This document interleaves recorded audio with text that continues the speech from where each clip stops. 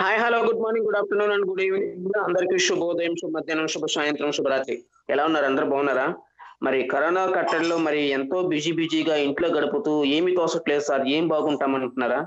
ఏం పర్లేదు. కొంచెం రోజులు ఊపి పట్టండి అంతా సెట్ అయిపోతుంది. సో మరి ఈనాటి పరమట సందేహం కార్యక్రమం మనం ప్రారంభించుకుంటున్నాం. మరి మనతో పాటు ఒక ఆత్మీయులు ఉన్నారు. మరి తను ఎవరు ఎవరు అని మీరు చాలా టెన్షన్ పడుతూ ఉన్నట్టున్నారు ఏం పర్లేదు. మరి అతను ఎవరు అనేది మేము చెప్తాము. సరే ఈ రోజు మరి ఈ కార్యక్రమానికి మరి ఆ గెస్ట్తో కూడా మీరు మాట్లాడాలి అంటే మరి మీరు ఫోన్ చేయాల్సిన మా నెంబర్స్ ఇండియా ఆత్మీయులు అయితే nine seven zero five triple two double zero five ఇదే నెంబర్కు వాట్సాప్ కాల్ కూడా ఉంది. మరి యూకే నుంచి ఆత్మీయులు చేయాలనుకుంటే double one five triple eight two double zero five call చేయాలి. మరి అమెరికా నుంచి ఆత్మీయులు అంటే nine one nine seven zero one two double zero five call చేయొచ్చు. స్కైప్ నుంచి అయితే తెలుగు ఎన్ఆర్ఐ రేడియో అని స్కైప్ నుంచి కనెక్ట్ అవ్వచ్చు. మరి ఆ గెస్ట్ ఎవరండి ఏంటి అంటే మన శ్రీకాకుళం నుంచి సునీల్ గారు మరి తను ఏమేం చేస్తారు తను పరిస్థితి తను ఏం చేస్తుంటారు ఎట్లా ఏంటి అనేది తనను తనే ఇంట్రడ్యూస్ చేసుకుంటారు. మరి తన మాటల్లోనే మనం వినేద్దాం. మరి మనం సునీల్ గారిని ఆహ్వానిద్దామా? సునీల్ గారు స్వాగతం సుస్వాగతం అండి. తెలుగన్నారా రేడియో తరపున మీకు. Thank you sir thank you very much చాలా సంతోషంగా ఉంది. ఆత్మీయులందరికీ సంతోషం. శుభాకాంక్షలు శుభోదయం. నా పేరు సునీల్. నేను శ్రీకాకుళం నుంచి మాట్లాడుతున్నాను. మాది హెల్పింగ్ హ్యాండ్స్ అసోసియేషన్ ఆర్గనైజేషన్ దాంట్లో సెక్రటరీగా ఉంటున్నానండి. మేము child rights child right activities చేస్తూ ఉంటాం. చెప్పండి శేషు గారు. సునీల్ గారు మరి చెప్పండి మరి మీరు విద్యాభ్యాసాలు ఫస్ట్ మీ పుట్టిన ప్లేస్ ఎక్కడ ఏంటి? నాది శ్రీకాకుళమేనండి. నేను పుట్టింది కూడాను శ్రీకాకుళంలోనే. నాది యాక్చువల్గా మా అమ్మ నాన్నగారు ఇద్దరు కూడా సోషల్ యాక్టివిటీ యాక్టివిస్ట్లే. సోషల్ సర్వీస్ చేస్తూ ఉండేవారు పెళ్ళికి ముందు నుంచి పెళ్ళి తర్వాత పెళ్ళి తర్వాత కూడా. సో మా ఇంట్లో అదే వాతావరణం ఉండేది ఎప్పుడు కూడా. మా అమ్మ వాళ్ళ నాన్నగారు స్వతంత్ర పార్టీకి అంటే స్వతంత్ర సమరయోధులు ఫ్రీడమ్ ఫైటర్. అలాగే స్వతంత్ర పార్టీ తరపున రెండు సార్లు ఎమ్మెల్యేగా కూడా ఎన్నికై ఎన్నికై కాబట్టి వర్క్ చేశారు స్వతంత్ర పార్టీకి. తర్వాత పౌర హక్కుల సంఘాల్లో పనిచేస్తూ శ్రీశ్రీ గారితో సమకాలీనంగా పనిచేస్తూ వర్క్ చేశారు సార్. ఓపిడిఆర్ ఆర్గనైజేషన్లో ఆ తర్వాత మా అమ్మ వాళ్ళు తర్వాత వాళ్ళ అంటే మా తాతయ్య గారి పిల్లలు అందరూ కూడా వివిధ రాజకీయ పార్టీలు ఉన్నప్పటికీ ప్రజాసేవకి దగ్గరలో ఉంటూ వర్క్ చేసేవారు మరి. నా అంటే నేను కూడా పూర్తి స్థాయిలో అంటే చదువు నా చదువు పూర్తయిన తర్వాత కూడా నేను ఈ సోషల్ యాక్టివిటీస్ అంటే నాకు ఇంట్రెస్ట్ ఎక్కువ ఉండేది. ఇంట్రెస్ట్ ఉంటూ ఈ విధంగా నేను రెండు వేల పదకొండులో యాక్చువల్గా నేను బెంగళూరులో వర్క్ చేసేవాడిని. సాఫ్ట్వేర్ ఇంజనీర్గా తర్వాత నాకు అది నచ్చక నేను మళ్ళీ శ్రీకాకుళం వచ్చేసి హెల్పింగ్ హ్యాండ్స్ అసోసియేషన్లో నార్మల్ మెంబర్గా జాయిన్ అయ్యానండి. అంటే వాళ్ళ తాలూకా యాక్టివిటీస్ నచ్చి. తర్వాత. ఇప్పుడు నేను సెక్రటరీగా ఉన్నాను. అది చాలా డెమోక్రటిక్గా ఉన్న ఆర్గనైజేషన్ అది. సో నాకు సెక్రటరీగా కొద్దిగా హార్డ్ వర్క్ చేసినందుకు గాను నన్ను గుర్తించి సెక్రటరీగా మిగిలిన మెంబర్స్ అందరూ కలిపి ఎన్నుకోవడం జరిగింది. ప్రస్తుతానికి నేను సెక్రటరీగా పనిచేస్తున్నాను. మేము చైల్డ్ రైట్ యాక్టివిటీస్ ఎక్కువగా చేస్తూ ఉంటాం అనమాట సార్ షెల్డ్ యాక్టివిటీస్ అంటే ఏమేమి చేస్తుంటారు అందులో? అంటే యాక్చువల్గా మేము రెండు వేల నేను రెండు వేల పన్నెండు నుంచి హెల్పింగ్ హ్యాండ్స్ అసోసియేషన్తో అసోసియేట్ రెండు వేల పదకొండు నుంచి అసోసియేట్ అవుతూ వస్తున్నాను. రెండు వేల పన్నెండులో మెంబర్గా జాయిన్ అయిన తర్వాత జాయిన్ అయిన కొత్తలో. కొత్తలో అంతవరకు ఏంటి ఆర్గనైజేషన్ ఎలా ఉండేదంటే రిలీఫ్ బేస్డ్ యాక్టివిటీస్ చేస్తూ ఇన్స్టి ఇన్స్టిట్యూషనల్ ప్రోగ్రామ్స్ మాత్రమే చేస్తూ గవర్నమెంట్ యాక్టివిటీస్ ఏమైనా వచ్చేటప్పుడు చేస్తూ ఉండేవాళ్ళం అనమాట అంటే ఫర్ ఎగ్జాంపుల్ ఎక్కడైనా ఇల్లు కాలిపోయింది అనుకోండి వాళ్ళకి అంటే రెగ్యులర్ వాళ్ళకి ఓ పాత్రలు ఇవ్వడం అలాగే బియ్యం ఇవ్వడం అలానే అంటే వాళ్ళకి బట్టలు పిల్లలకి ఏమైనా ఇవ్వడం అని ఇలా ఇలా చేసేవాళ్ళం. ఓకే. తర్వాత తర్వాత తర్వాత లేకపోతే ఇన్స్టిట్యూషనల్ ప్రోగ్రామ్స్ అంటే ఎన్సిఎల్పి స్కూల్స్ కానీ అదే స్కిల్ డెవలప్మెంట్ సెంటర్స్ కానీ ఇవి ఇవి రన్ చేస్తూ ఉండేవాళ్ళమే హాస్టల్స్. ఆ తర్వాత గవర్నమెంట్ యాక్టివిటీస్ ఇవన్నీ చేస్తూ ఉండేవాళ్ళం. రెండు వేల పన్నెండులో యాక్చువల్గా మాకు ఒక మైల్ స్టోన్ లా అనమాట అంటే మాకు చైల్డ్ రైట్స్ అండ్ యూ అని మీరు కూడా వినే ఉంటారు. చాలా దేశాల్లో కూడా ఉంది. క్రై అనే. ఆర్గనైజేషన్. ఆర్గనైజేషన్ తోని మేము అసోసియేట్ అయ్యాం. అంటే వాళ్ళు మాతోని అసోసియేట్ అయ్యి వర్క్ చేయడానికి ఇష్టపడ్డారు. ఆర్గనైజేషన్ తాలూకా విధి విధానాలు కానీ మా అకౌంటింగ్ సిస్టమ్ కానీ మా ఆర్గనైజేషన్ తాలూకా మెంబర్స్ ఇండివిజువల్ అంటే ఎక్కడ మాకు బ్లడ్ రిలేషన్ కానీ ఏమి ఉండదు అనమాట మా ఆర్గనైజేషన్లో మెంబర్స్లో ఎగ్జిక్యూటివ్. బాడీలో కానీ దీంట్లో కానీ అప్పుడు. ఏమైందంటే ఆ మెం ఆ- సిస్టమ్ అంతా వాళ్ళకి నచ్చి మాతో అసోసియేట్ అయ్యి వర్క్ చేయాలని ప్లాన్ చేశారు. అప్పుడు మేము వాళ్ళతో అసోసియేట్ అయిన తర్వాత చైల్డ్ రైట్స్ అనేది మాకు ఇంట్రడ్యూస్ అయింది అంటే మనం ఒక ఆర్గనైజేషన్ ఏ విధంగా పనిచేయాల్సి ఉంటది? ఒక ఆర్గనైజేషన్ అంటే ఏ ఆబ్జెక్టివ్స్తో వర్క్ చేస్తే మనకి ఒక పర్మనెంట్ సొల్యూషన్ సొసైటీకి ఇవ్వగలుగుతాం అనేది వాళ్ళ వ్యూస్ అనేది మాకు పెట్టారనమాట మా మైండ్లో అంటే ఎలా. అంటే రిలీఫ్ బేస్డ్ యాక్టివిటీస్ ఏమైనా మనం వర్క్ చేసేటప్పుడు. రిలీఫ్ బేస్డ్ యాక్టివిటీస్ మనం చేసేటప్పుడు రిలీఫ్ అనేది ఎప్పుడూ కావాలి? అది పర్మనెంట్ సొల్యూషన్ కాదు టెంపరీ సొల్యూషన్ అవుతుంది.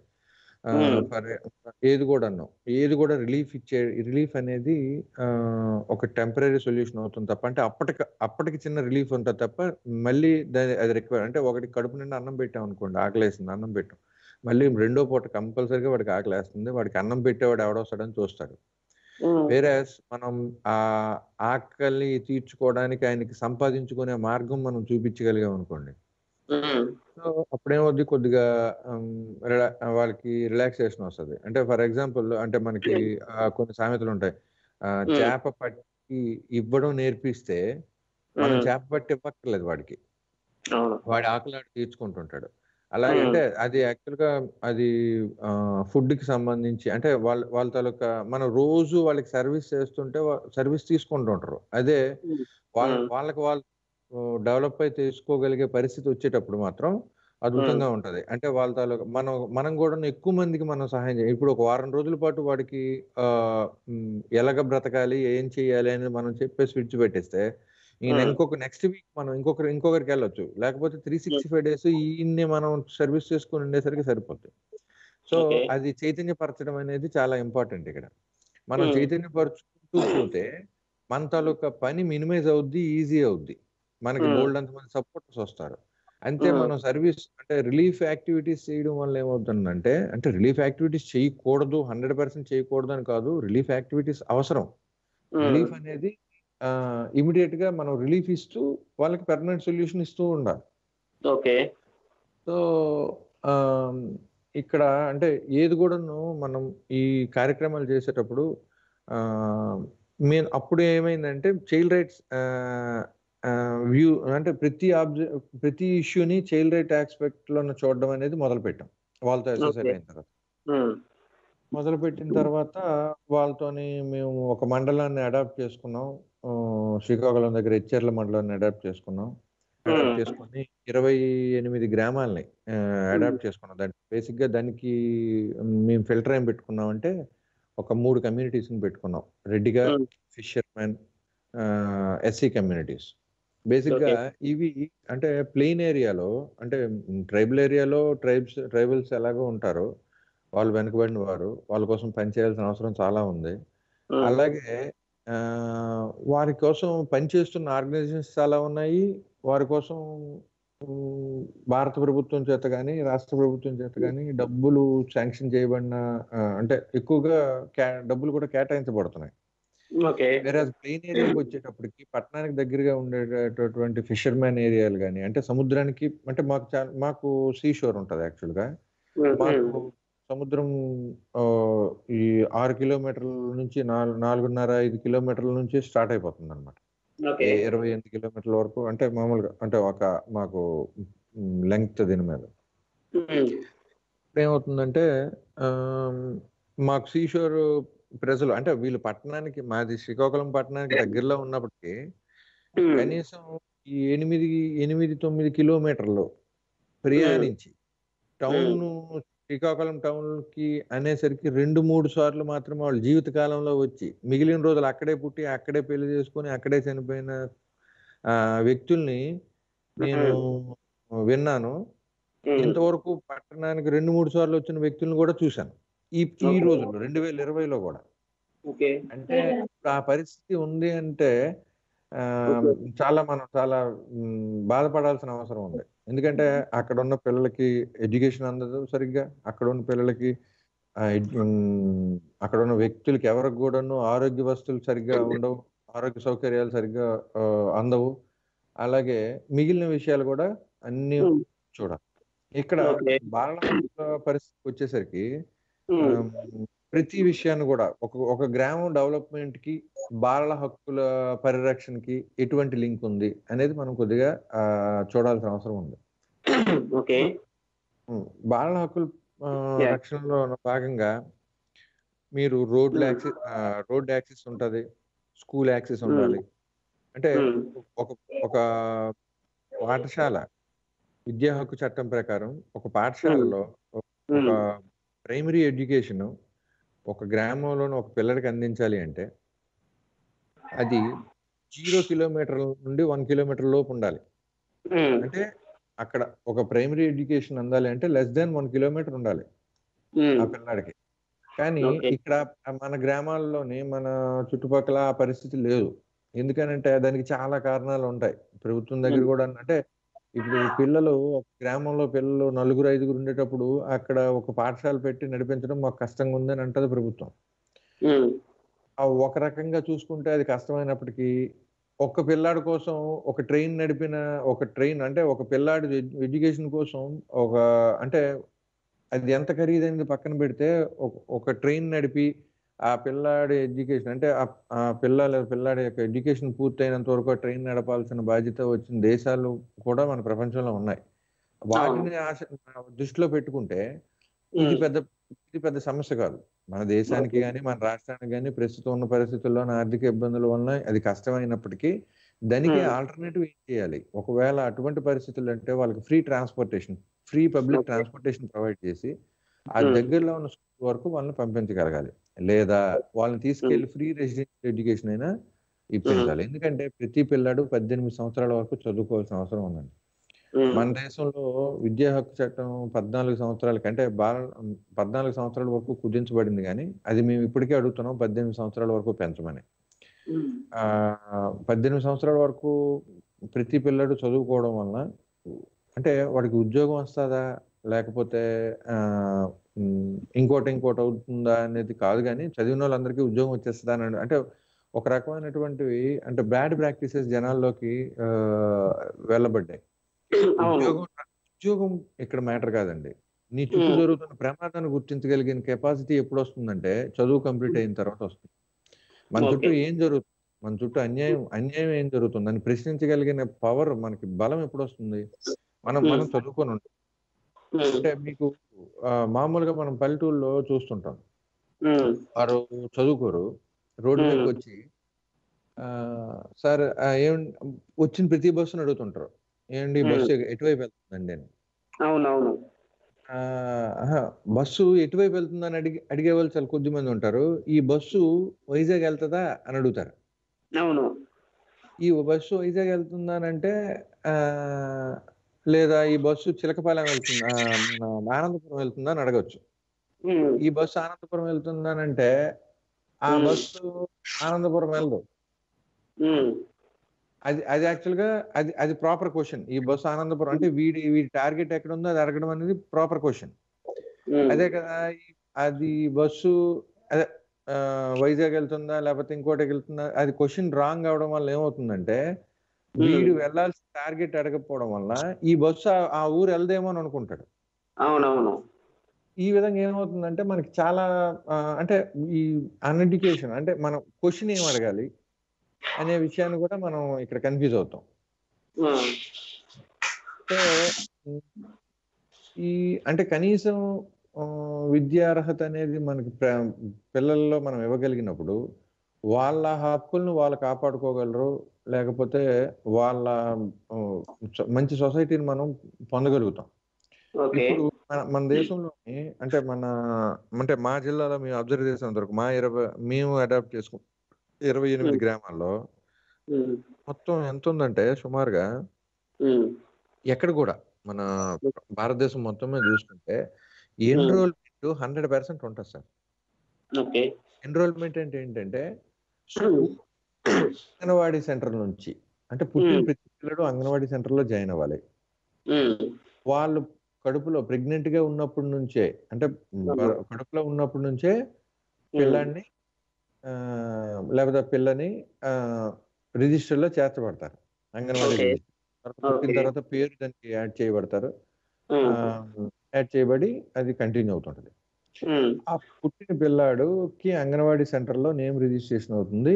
ఆ వాడు మూడు సంవత్సరాల పాటు అంగన్వాడీ ఇంటికి రేషన్ ఇవ్వబడుతుంది. మూడు నుంచి ఐదు సంవత్సరాల వరకు ప్రీ స్కూల్ ఎడ్యుకేషన్ కింద అంగన్వాడీ సెంటర్స్లోకి పిల్లల్ని తీసుకొని అంగన్వాడీ. సెంటర్లో వాళ్ళకి అంటే స్కూల్ ఎన్వైరన్మెంట్ అలవాటు చేయాలి. ప్రీ స్కూల్ ఎడ్యుకేషన్ అనేది మాంటిసరీ సిస్టమ్ అనేది అలవాటు చేయడానికి ఉద్దేశం మీద అది ఇంట్రడ్యూస్ చేయబడింది. అది బాల హక్కుల పరిరక్షణలో భాగంగానే అంగన్వాడీ సిస్టమ్ అనేది ఒకటి మనకి ఇంట్రడ్యూస్ చేయబడింది మన దేశంలో.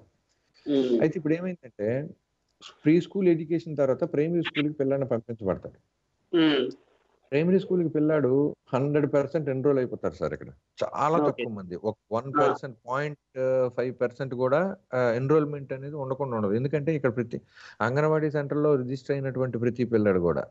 కొంతమంది అమ్మమ్మ వాళ్ళ ఇంటి దగ్గర రిజిస్టర్ అవుతారు. మళ్ళీ. వాళ్ళు ఆ, వాళ్ళ నాన్న అమ్మ వాళ్ళ ఇంటికి అంటే వచ్చే వచ్చినప్పుడు అక్కడ. అంగన్వాడీ సెంటర్లో కొత్తగా రిజిస్టర్ చేయబడతా చేయబడాలి ఎందుకంటే. వాళ్ళకి రేషన్ ఉంది ఐదు సంవత్సరాల వరకు కాబట్టి అక్కడికి తీసుకొస్తారు తీసుకొచ్చిన తర్వాత అంగన్వాడీ సెంటర్లో రిజిస్టర్ అయిన ప్రతి పిల్లాడిని తీసుకెళ్ళి అంగన్వాడీ టీచర్ను టీచరు కలిసి ఆ. పిల్లాన్ని స్కూల్లో ఎన్రోల్ చేసుకుంటారు టీచర్ అంటే. అంగన్వాడీ వర్కర్ వెళ్ళి అంగన్వాడీ సెంటర్లోని అంగన్వాడీ సెంటర్ నుంచి స్కూల్కి ఆ, స్కూల్కి తీసుకెళ్తారు. స్కూల్కి తీసుకెళ్ళడం. జరుగుతుంది. ప్రమోట్ చేయడం జరుగుతుంది. స్కూల్లో ఎన్రోల్మెంట్ జరుగుతుంది. స్కూల్లో అడ్మిషన్ నెంబర్ ఇవ్వబడుతుంది. అక్కడ ఐదు ఐదు తరగతుల వరకు ప్రైమరీ స్కూల్ ఊర్లో ప్రైమరీ స్కూల్ ఉంటే ఐదో ఐదో తరగతి వరకు అక్కడ చదువుతారు. అక్కడ. నుంచి ఎక్కడికి కనెక్ట్ అవుతారంటే మళ్ళీ fifth class to UP school. Sixth standard UP స్కూల్కి అప్పర్ ప్రైమరీ స్కూల్కి ప్రమోట్ అవుతున్నప్పుడు ఈ. రిటెన్షన్ అనేది చాలా ఇంపార్టెంట్. ఇక్కడ ten to fifteen percent drop out అయిపోతారు.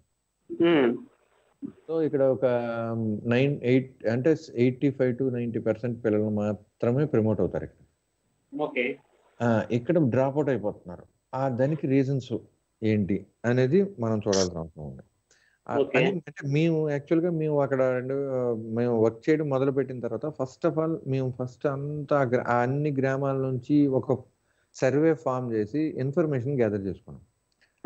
వాళ్ళ పరిస్థితి ఏంటి? అంటే మాకు ఒక అనాలిసిస్ కావాలి. అంటే మాకు రెగ్యులర్గా అక్కడ ఉన్న ఇబ్బందులు ఏంటి? అక్కడ ఏముంటాయి? చైల్డ్ చైల్డ్ మ్యారేజ్ ఉన్నాయి. డ్రాప్ అవుట్స్ ఉన్నాయి. చైల్డ్. లేబర్ చైల్డ్ ట్రాఫికింగ్ జరుగుతుంది. సో ఈ విధంగా ఇంత వలనబుల్ వలనరబుల్ సిచ్యువేషన్స్ అక్కడ డెవలప్ అవుతున్నప్పుడు సొల్యూషన్ ఏ విధంగా ఇవ్వాలి అనేది తెలుసుకోవాలనుకునేటప్పుడు అసలు అంత వలనరబుల్ సిచ్యువేషన్లో ఉన్నటువంటి కుటుంబాల పూర్తి వివరాలు మాకు కావాల్సిన అవసరం ఉంది. అప్పుడు ఏం చేసామంటే మేము ఒక ఫార్మెట్ తయారు చేసుకొని ఒక నాలుగు పేజీల ఫార్మెట్ ఒకటి తయారు చేసుకొని వాళ్ళ ఆర్థిక పరిస్థితులు కానీ వాళ్ళ స్థితిగతులు వాళ్ళ అలవాట్లు వాళ్ళ సోషల్ సెక్యూరిటీ వాళ్ళ. పేరు రేషన్ ఇవి ఎవ్రీథింగ్ మేము కలెక్ట్ చేసుకున్నాం. వాళ్ళకి ఎంతమంది పిల్లలు ఏ వయసులో ఉన్నారు వాళ్ళకి ఏంటి సంగతి అని. కలెక్ట్ చేసుకున్న తర్వాత నెమ్మదిగా ఆ, డేటాని ఎనాలిసిస్ చేయడం మొదలు పెట్టాం అంటే వాళ్ళ వాళ్ళు ఏ పరిస్థితుల్లో ఉన్నారు ఏ పరిస్థితులు దానికి కారణాలు అయ్యాయి ఎంతమంది చైల్డ్ లేబర్ ఉన్నారు ఆ చైల్డ్ లేబర్ రీజన్స్ ఏంటి? సో ఇవన్నీ మేము కలెక్ట్ చేసుకొని ఒక అనాలిసిస్కి వచ్చిన తర్వాత మాకు అర్థమైంది ఏంటంటే అక్కడ అంగన్వాడీ సిస్టమ్ కానీ హెల్త్ వర్కర్లు కానీ ఎవరు కూడా ప్రాపర్గా పనిచేయలేని పరిస్థితి వచ్చింది. ఎందుకు పని చేయలేని పరిస్థితి? అంటే వాళ్ళకి అందట్లా. పని చేయట్లేదు అని అంటే అక్కడ ఎన్ని రీజన్స్ ఏంటి వాళ్ళకి అవి అందకపోవడం వలన వాళ్ళకి ఆ పరిస్థితి ఉంది. ఎడ్యుకేషన్ సరిగ్గా అందట్లేదు. ప్రాపర్గా రావట్లేదు సో వీటిని అనలైజ్ చేస్తున్న తరుణంలో గ్రామాల్లో వెళ్ళి మాట్లాడితే తల్లిదండ్రులు కానీ అంగన్వాడీ సిస్టంలో తర్వాత మిగిలిన వ్యవస్థలోనే ఇది కానీ అంటే ఒక పిల్లాడు ఒక గర్భిణీ స్త్రీకి పద్దెనిమిది గుడ్లు ఇమ్మని చెప్పి ప్రభుత్వం వారు సూచిస్తే పద్దెనిమిది గుడ్లు వారానికి అందలేని పరిస్థితిలో పిల్లడు అంటే ఆ ఫ్యామిలీ అంటే ఆ ప్రెగ్నెంట్ లేడీ. లేదా బాలింత ఉంది అంటే ఏం జరుగుతుందన్న విషయాన్ని మనం అబ్జర్వ్ చేసాం అక్కడ. పరిస్థితుల్లోనూ పద్దెనిమిది గుడ్లు అందట్లేదు పిల్లడికి అందకపోతుంటే మేమేం చేసాం అంగన్వాడీ సెంటర్లోకి వెళ్ళి అది ఎలా అమ్మా అందాలి కదా పద్దెనిమిది గుడ్లు ఇలా. అందకపోతే కష్టం కదా అని చెప్పి మేము సెంటర్స్లో మాట్లాడడం జరిగింది. మాట్లాడితే లేదు సార్ మాకు ఎన్ని వస్తే పిల్లడికి ఎన్ని ఇవ్వమని వస్తే మేము అన్నీ ఇవ్వగలం కానీ మేము మేము ఎక్కడి నుంచి తీసుకొచ్చి ఇవ్వగలం అని చెప్పేసి వాళ్ళ బాధలు చెప్పడం మొదలు పెట్టారు ఓకే. అది మనకి ప్రాక్టికల్గా అక్కడికి వెళ్ళేటప్పుడు అడిగేటప్పుడు కరెక్టే కదా పాపం వీళ్ళు మాత్రం ఏం చేస్తారు అనుకునేవాళ్ళం. సో మేము అదే రాసుకొని మిగిలిన పిల్లలకి మీకు అందరికి ఇన్ని గుడ్లు తినాలి అది ఇది అని అంటే మీరు ఎలాగే చెప్తారండి? మేము తినాలి అని అంటే మా పరిస్థితి మాకు సపోర్ట్ చేయాలి కదా. అంటే మీ గవర్నమెంట్ కొంత సపోర్ట్ చేస్తుంది కదమ్మా. మీరు కూడా కొంతగా డబ్బులు పెట్టుకొని మీరు కొద్దిగా సప్లిమెంటరీ ఫుడ్ తినండి. పిల్లడు బలంగా పుట్టాడంటే బేబీ బలంగా పుట్టిందంటే మీకు చాలా.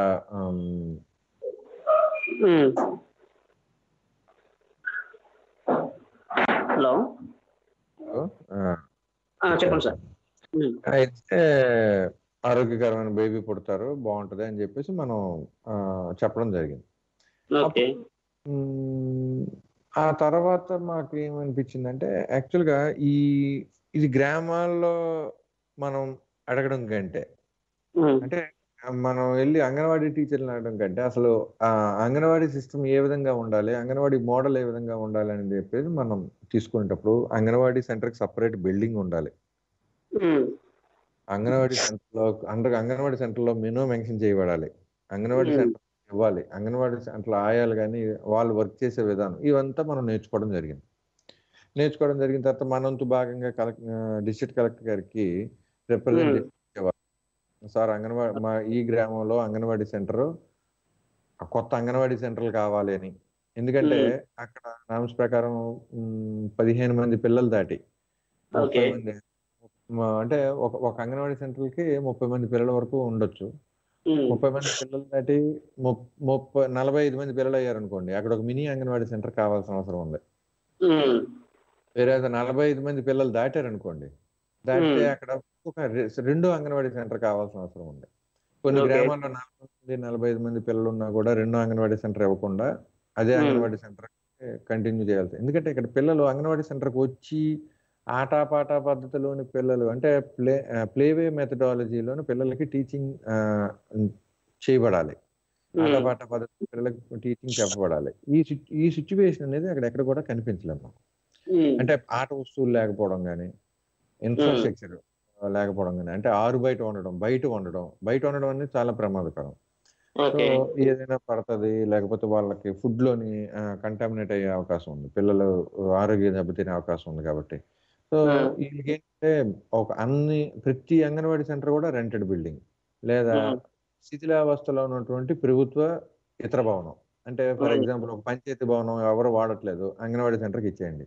ఒక పాఠశాల బిల్డింగ్ పట్టుకొచ్చింది అది అంగన్వాడీ సెంటర్కి ఇచ్చేసేయండి. లేదా ఏదైనా పాకలోనో లేకపోతే ఇంకొకరు ఎవరైనా అంటే పల్లెటూళ్ళల్లో ఎలా ఉంటది? ఎవరైనా ఇల్లు కట్టుకొని అద్దెకి ఇచ్చే పరిస్థితి చాలా తక్కువ ఉంటాయి సార్. ఇల్లు కట్టుకొని అద్- అద్దెకి ఇవ్వాల్సిన పరిస్థితి పల్లె అంటే ఎవరో వలస వెళ్ళిపోయిన కుటుంబాల్లోని పిల్లలు తప్ప ఇల్లు తప్ప మళ్ళీ వాళ్ళు కూడా ఎప్పుడైనా వస్తారు. సో ఒక గది చిన్నదేదో రెంట్కి తీసుకొని లేకపోతే ఒక వరండాలోని అంగన్వాడీ సెంటర్ నడిపాల్సిన పరిస్థితిలోనే ఉంటే మనం ఎటువైపు వెళ్తున్నాం అనేది మేము ఆలోచించుకొని కలెక్టర్ గారికి రిప్రజెంటేషన్ ఇవ్వడం జరిగింది. కంపల్సరిగా మాకు ఇక్కడ రెండో అంగన్వాడీ సెంటర్ కావాలి. లేకపోతే ఇక్కడ అంగన్వాడీ ఆయా కావాలి. లేకపోతే ఇక్కడ అంగన్వాడీ వర్కర్ కావాలి. అంగన్వాడీ సెంటర్లో గ్యాప్స్ అనేది ఐడెంటిఫై చేసాం. అలాగే Hmm. పాఠశాలలో గ్యాప్స్ అనేవి ఐడెంటిఫై చేసాం. ఆరోగ్య హెల్త్ సెంటర్లో గ్యాప్స్ అనేవి ఐడెంటిఫై చేసాం. ఆరోగ్య కేంద్రాల అంటే సబ్ Hmm. సెంటర్ ఉంటది. అదే ఉప కేంద్రం ఆరోగ్య ఉప కేంద్రం ఉంటది. అలాగే హెల్త్ సెంటర్ కూడా ఉంటది.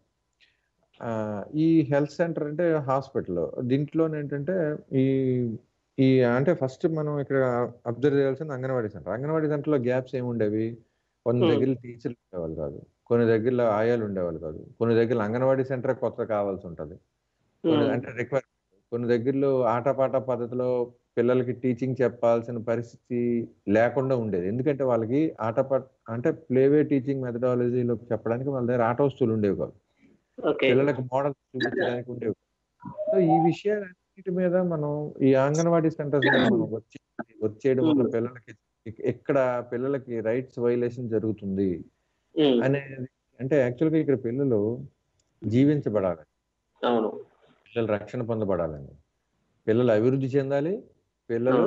పాల్గొనాలి సో.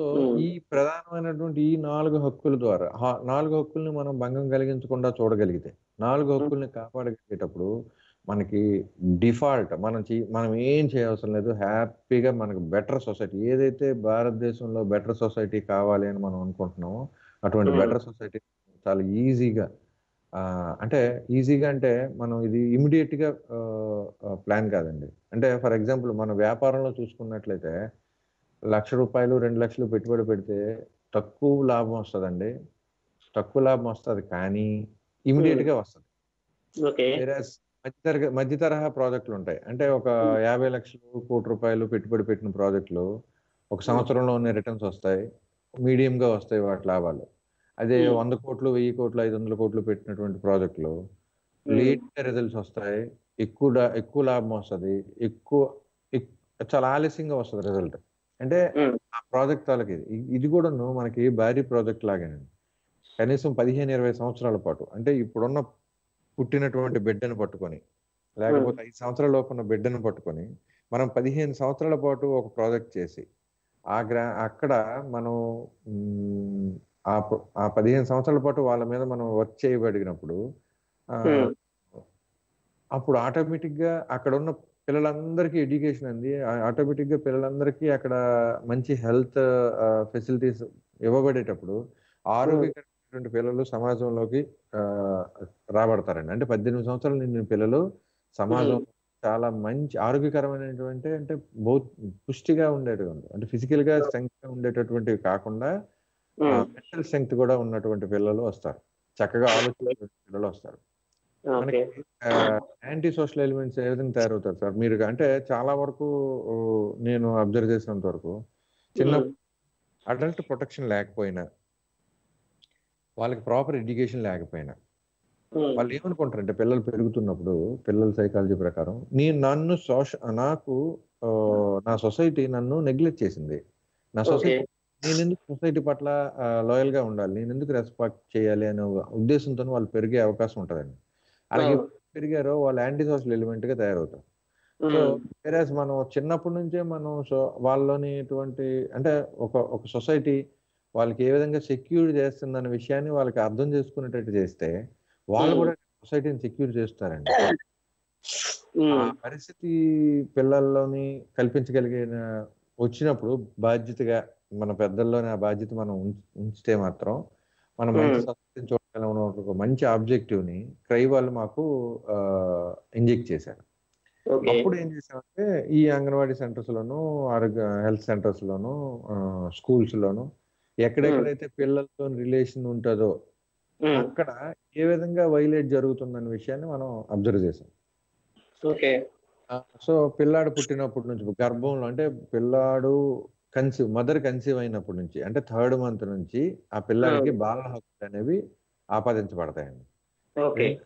అప్- అక్కడి నుంచి పద్దెనిమిది సంవత్సరాల వరకు వాడు బాలుడే. వాడికి. హక్కులు ఇవ్వబడతాయి హండ్రెడ్ పర్సెంట్.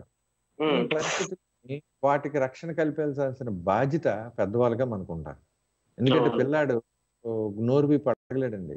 లేకపోతే కడుపులో ఉన్న పిల్లాడు అమ్మ నాకు గుడ్డు పెట్టు అమ్మ నాకు చేప పెట్టు అమ్మ నాకు పాలు తాగు అని చెప్పి బలవం అది చెప్పలేడండి. వాటికి బాధ్యతగా మనం చేయాల్సి వాటికి బాధ్యతగా వాళ్ళు పెరగాలి కాబట్టి వా- అంటే ఇప్పుడు మనం మనకి పద్దెనిమిది సంవత్సరాల తర్వాత మనం పని మొదలు పెట్టాం అనుకోండి. ఎవరి కోసం పని మొదలు పెడతామండి? మన కోసం పని మొదలు పెడతాం. పెళ్ళైన తర్వాత తర్వాత ఎవరి కోసం పని పని చేస్తుంటాం అంటే పిల్లల కోసం పని చేస్తాం. అంటే ఎక్కువ మన జీవితంలో ఎక్కువ సమయం పిల్లల. కోసమే పని చేస్తాం. అలాంటప్పుడు అటువంటి పిల్లల్ని మనం ఎంత జాగ్రత్తగా కాపాడుకోవాల్సిన బాధ్యత ఉంది? అనేది మనం ఇక్కడ అర్థం చేసుకోవాలి. ఇక్కడ ఏంటంటే పిల్లల్ని ఎక్కువ మందిని అంటే ఉమ్, పిల్లల్ని ఎక్కువగా మనం ప్రేమిస్తాం కాబట్టి ఆ, కనీసం మన పిల్లల కోసం మనం ఏం చేస్తున్నాం అనేది మన బాధ్యత ఎంతవరకు ఉందనేది మనం చూడాలి. అలాగే ప్రభుత్వం దగ్గర ప్రభుత్వం చాలా చట్టాలు చేసింది. చాలా చాలా ఫెసిలిటీస్ పెట్టింది మన రాజ్యాంగం కానీ మన చట్టాలు కానీ పిల్లలకి చాలా రక్షణ పొందినటువంటి ఆరోగ్యకరమైనటువంటి ఆన్ పేపర్ సిచ్యువేషన్ అయితే ఉంది. దాన్ని మనం ఏ విధంగా అడిగి ఫైట్ చేసి. ప్రశ్నించి. మనం సంపాదించుకోగలగాలి అనేది ఒకటి మనం చూడాల్సిన అవసరం ఉంది. అంటే. ప్రతిది కూడా ఏం చేస్తాం మామూలుగా? ఏది అడగకుండా ఏది. చేయకుండా మనం కొన్నిసార్లు మనకి రాకపోవచ్చు. మన మన ఇబ్బంది ఏంటనేది మనం తెలియజేయాలి ప్రభుత్వానికి కానీ ఎవరికి కానీ అందుకే ఈ గ్రీవెన్సల్ కానీ మిగిలిన చాలా అంటే ఆ యాక్సెస్ మనకి డెవలప్ చేసుకోగలగాలి. అంటే. ఇది అడుగుదాం. చాలా మంది కూడా ఏమో అడిగితే ఏమవుద్దేమో వాళ్ళు పెద్దలు కదా కలెక్టర్ గారికి మనం. ఇవ్వచ్చా? ఎలాగివ్వాలి ఏమని అంటే ఇవ్వాలి? రెస్పాండ్ కాదు కదా సార్ ఒక్కోసారి. అంటే ఒకవేళ ఇవ్వాలి అనుకున్న వాళ్ళు ఉంటా కూడా కలెక్టర్ గారు కానీ అసలు జాయింట్ కలెక్టర్ కానీ ఎవరైనా రెస్పాండ్ అవ్వరు కదా. మనం పట్టించుకోని పరిస్థితిలో ఉంటారు. అప్పుడు పరిస్థితి ఎట్లా? Hundred percent. యాక్చువల్గా మనకు కూడా అంటే వీళ్ళు అంటే ప్రభుత్వ అధికారులని మనం ప్రశ్నించే విధంగా ప్రశ్నించాల్సిన అవసరం ఉంటే మాత్రం ఆ పరిస్థితి ఉంటే మాత్రం తప్పకుండా వాళ్ళు రెస్పాండ్ అవుతారండి. అవ్వాలి. అది అది వాళ్ళ వాళ్ళ బాధ్యత మన హక్కు. ఎలా అంటే ఇప్పుడు నువ్వు మనం ఫస్ట్ ఎవరు కూడా ఎస్కేపింగ్ కోసం ప్లాన్ చేశారనుకోండి. ప్లాన్ చేసేటప్పుడు అంటే ఇక్కడ అదే యాక్చువల్గా డే బై డే మన తాలూకా పాలసీస్ డెవలప్ అవడం వల్ల అకౌంటబిలిటీ మీద ఎక్కువగా ప్రభుత్వాలు కాన్సన్ట్రేట్ చేయడం మొదలుపెట్టాయి. ఇప్పుడు గ్రీవెన్స్లో ఒక కంప్లైంట్ మనం ఇచ్చామనుకోండి మండల స్థాయిలో కానీ జిల్లా స్థాయిలో కానీ ఒక కంప్లైంట్ మనం ఇచ్చేటప్పుడు దానికి ఒక అంటే మన ఆధార్ కార్డు తోనే ఒక రిజిస్టర్ అవుతాం. ఫస్ట్. రిజిస్టర్ అయ్యి ఆ కంప్లైంట్ తాలూకు వివరాలు దాంట్లో మెన్షన్ చేయబడతాయి. దాన్ని ఫాలో అప్కి ఫాలో అప్ చేయబడుతుంది కూడా. మనకి గ్రీవెన్స్లోని మీ సమస్య పరిష్కారం అవుతుంది. దాని స్టేటస్ ఎంత అని స్టేటస్ ఏంటని మనం చెక్ చేసుకోవచ్చు. అలాగే. స్టేటస్ ఏంటి అని చెప్పి మనకి అప్డేట్స్ కూడా వస్తుంటాయి. సమస్య పరిష్కారం అయినంత వరకు వాళ్ళు కూడా వాళ్ళు కేర్ తీసుకోవాలి. అది రూల్ సార్. ఓకే. కానీ ఆ రూల్ ఎంతమంది పాటిస్తున్నారు అనేది ఇక్కడ మనం అబ్జర్వ్ చేయాలి. మనం. కంప్లైంట్ ఇచ్చాం కదా అని చెప్పి మనం ఊరుకుంటే పని అవ్వదు. మనం అంటే ఒకటి ఇక్కడ ఇక్కడ వచ్చేటప్పటికి ఏమంటున్నారంటే ఒకవేళ ఇన్ కేస్ కంప్లైంట్ ఇచ్చినా కూడా ఈ కంప్లైంట్కి సంబంధించి ఎలాంటి రిస్ట్రిక్షన్ ఇవ్వకపోగా ఈ దీన్ని మేము చూస్తామని చెప్పేసి ఏదో ఒక చిన్న తాత్కాలిక లెటర్ వాళ్ళ చేతిలో పెట్టి పలానా వాళ్ళని కలవండి అని చెప్తున్నారు. కానీ ఆ సమస్య పరిష్కారం అవ్వక ఇప్పుడు కూడా చాలా మంది నిరుత్సాహపడి ఆఫీసుల చుట్టూ తిరిగి తిరిగి అలసిపోయిన వాళ్ళు చాలా మంది ఉన్నారండి అంటే ఇక్కడ ఏంటంటే ఇప్పుడు మేము కంప్లైంట్ ఇస్తున్నాం. మేము మేము గ్రీవెన్సెల్కి మా మా మా గ్రామంలోని హెల్త్ సెంటర్ కా ఒక నర్సుని ఎక్స్ట్రా మాకు కావాలి మా తాలూకా కెపాసిటీ ఉంటే. లేకపోతే మా గ్రామంలోని యూపీ స్కూల్లోని సోషల్. టీచర్ లేదు మాకు సోషల్ టీచర్ కావాలి అనేది ఒకటి మనం అప్లికేషన్ పెట్టేటప్పుడు కలెక్టర్ గారు ఏం చేస్తారంటే ఇమీడియట్గా అక్కడ ఎడ్యుకేషన్ డిపార్ట్మెంట్కి ఆ లెటర్ని ఫార్వర్డ్ చేస్తారు. ఫార్వర్డ్ చేసిన తర్వాత దానికి ఆ దానికి ఆ సొల్యూషన్కి కొంత టైం మెన్షన్ చేయబడుతుంది. ఓకే. ఏమని? ఇది పదిహేను రోజుల్లో ఇరవై రోజుల్లోనూ దీనికి. దీని టైం పీరియడ్ అని. ఆ పీరియడ్ అయిపోయిన తర్వాత మళ్ళీ మనం కలెక్టర్ గారి దగ్గరికి వెళ్ళాలి. సార్ మీరు అంటే పాత లెటర్ని కోట్ చేస్తూ అయ్యా మీరు సో అండ్ సో డేట్ను మేము అప్లై చేసాము మాకు పదిహేను రోజుల్లో మీ సమస్య పరిష్కారం అవుద్దని చెప్పారు. ఇప్పటికీ పరిష్కారం కాలేదు. దయచేసి దీని మీద శ్రద్ధ చూపించండి. ఇది మా రెండో ఉత్తరం అని చెప్పి మనం యా మనకు ఒక ఆత్మీయులు వచ్చారండి. మాట్లాడదామండి. ఓకే. హలో గుడ్ మార్నింగ్ అండి. హలో అండి శుభోదయం అండి. గారు గారు సార్ ఏ టాపిక్ ఏం జరుగుతుందండి? నేను ఇప్పుడే ట్యూన్ ఇన్ అయ్యాను. టాపిక్ కాదండి మనతో పాటు సునీల్ కుమార్ గారు గెస్ట్ ఉన్నారు. ఆ, అదే అండి మాట్లాడండి సునీల్ గారితో. హలో అండి నమస్కారం సార్. నమస్తే అండి. సో. మీరు ఇందాక క్రీవెన్ సెల్ గురించి మాట్లాడుతున్నట్లున్నారు. అవును అవును సార్ అవును సార్. అంటే నేను యాక్చువల్గా మీన్ అది మాది ఎన్జిఓ అండి శ్రీకాకుళంలో. మేము చైల్డ్ రైట్స్ కోసం వర్క్ చేస్తూ ఉంటాం. ఈ దీంట్లో అంటే కంప్లైంట్స్ అంటే ఏ విధంగా మనం పెర్మనెంట్ సొల్యూషన్స్ కోసం పిల్లల హక్కులు రక్షించడం రక్షించడంలో రక్షించడం ఎంత ఉపయోగం అనేది ఆ, మాట్లాడుతున్న టైంలో కలెక్టర్ గారికి అంటే ఒక గ్రామంలోని బాలల హక్కులు భంగం కలిగేటప్పుడు మనం కలెక్టర్ గారి దగ్గర కలెక్టర్కి కలెక్టర్ గారికి కానీ మండల స్థాయిలో కానీ జిల్లా స్థాయిలో కానీ గ్రీవెన్స్లు ఇవ్వడం వలన వాటికి శాశ్వత పరిష్కారం. ఎందుకంటే ప్రభుత్వం మనం రిలీఫ్ అనేది పెర్మనెంట్ సొల్యూషన్ అవుతుంది. ప్రభుత్వం పెద్ద సంస్థ కాబట్టి ప్రభుత్వం దగ్గర నుంచి ఆ హక్కులు కల్పించాల్సిన బాధ్యతగా ప్రభుత్వం చేత కల్పించుకోగలిగితే ఆ ఫెసిలిటీస్ ఇప్పించుకోగలిగినప్పుడు వాళ్ళకి పెర్మనెంట్ సొల్యూషన్ వస్తుంది. బాధ్యత పెరుగుతుందనే విషయాన్ని మాట్లాడుతున్నప్పుడు ఇలాగా కలెక్టర్ గారికి రిప్రజెంటేషన్ కోసం మాట్లాడుతున్నాం ఆ, సార్ అదే సార్. ఇప్పుడు నేను కూడా మా ప్రాంతంలో కూడా చాలా మంది ఈ సంచార జీవనం గడుపుతూ ఉంటారు కదా సార్ వేరే నుంచి అనంతపురం అండి. Very very good very good చెప్పండి సార్. మా ప్రాంతంలో కూడా మా ఇంటి దగ్గర ఎక్కడ చెప్పండి విశ్వనాథ్ గారు. సో ఇక్కడే అంటే సంచార జీవితం గడిపే వాళ్ళు చాలా ఏళ్ళ నుంచి ఉన్నారు సార్. వాళ్ళ ఇంట్లో పిల్లల్ని స్కూల్ కూడా పంపించట్లేదండి నేను చాలా. సార్లు వాళ్ళని అడిగాను. So six. సెవెన్ ఇయర్స్ వచ్చాయి ఎయిట్ ఇయర్స్ వచ్చాయి. సో మీ పిల్లల్ని అట్లీస్ట్ ఇక్కడ స్కూల్కి పంపించవచ్చు కదా అంటే వాళ్ళు చెప్పండి. మీ క్వశ్చన్ ఇంకొకసారి అడగరా? అదే పిల్లల్ని అంటే పంపించచ్చు కదా సంచార జీవులు కొంతమంది ఉన్నారు కదా. వాళ్ళు స్కూల్కి పిల్లలు పంపించడం లేదు. ఇన్నిసార్లు నేను చెప్పాను కదా. కానీ వాళ్ళు పిల్లల్ని ఏదో సాగు చెప్పి ఇట్లా పెట్టుకుంటున్నారు అంటారు అంతేనా విశ్వనాథ్ గారు? అవునండి. సో దీని మీద ఒకవేళ చైల్డ్ కేర్ హెల్ప్ లైన్కి ఫోన్ చేస్తే వాళ్ళు రెస్పాండ్ అవుతారా అండి? హండ్రెడ్ పర్సెంట్ అవుతారు సార్. అవ్వాలి. యాక్చువల్గా అవుతారా అనేది మనం ఇక్కడ అదే సార్ ఇక్కడ మనం ఇక్కడ అక్కడ సిచ్యువేషన్ హండ్రెడ్ పర్సెంట్ అవ్వాలి సార్. అనే విషయాన్ని మనం తెలుసుకోవాలి ఫస్ట్. ఎందుకు అవ్వరని మనం ప్రశ్నించవచ్చు సార్. అవ్వాల్సిన బాధ్యత వాళ్ళకు ఉంది వీఆర్ పేయింగ్ అంటే మీరు నేను మనం పన్నులు కట్టినటువంటి అంటే పన్నులు అంటే డైరెక్ట్గా ఇన్కమ్ ట్యాక్స్ కడితేనే పన్ను కాదండి. మనం పెన్న కొన్నా కూడా మనం పన్ను కడుతున్నట్టే. రోడ్ ఎక్కిన రోడ్ ఎక్కి పెట్రోల్ తీసుకున్నా కూడా మనం పన్ను కడుతున్నట్టే. కాబట్టి ప్రతి ఒక్కరిది అంటే మీరు చైల్డ్ లైన్కి మీరు ఎవ్రీ మంత్ మీరు ఒక ఫిఫ్టీన్ థౌసండ్ వరకు మీరు పన్నుల రూపాయన చైల్డ్ లైన్ అంటే గవర్నమెంట్కి పే చేస్తున్నారు దాంట్లోని ఒక. Hundred five ten rupees child line కూడా ఖర్చు పెడుతుంది గవర్నమెంట్.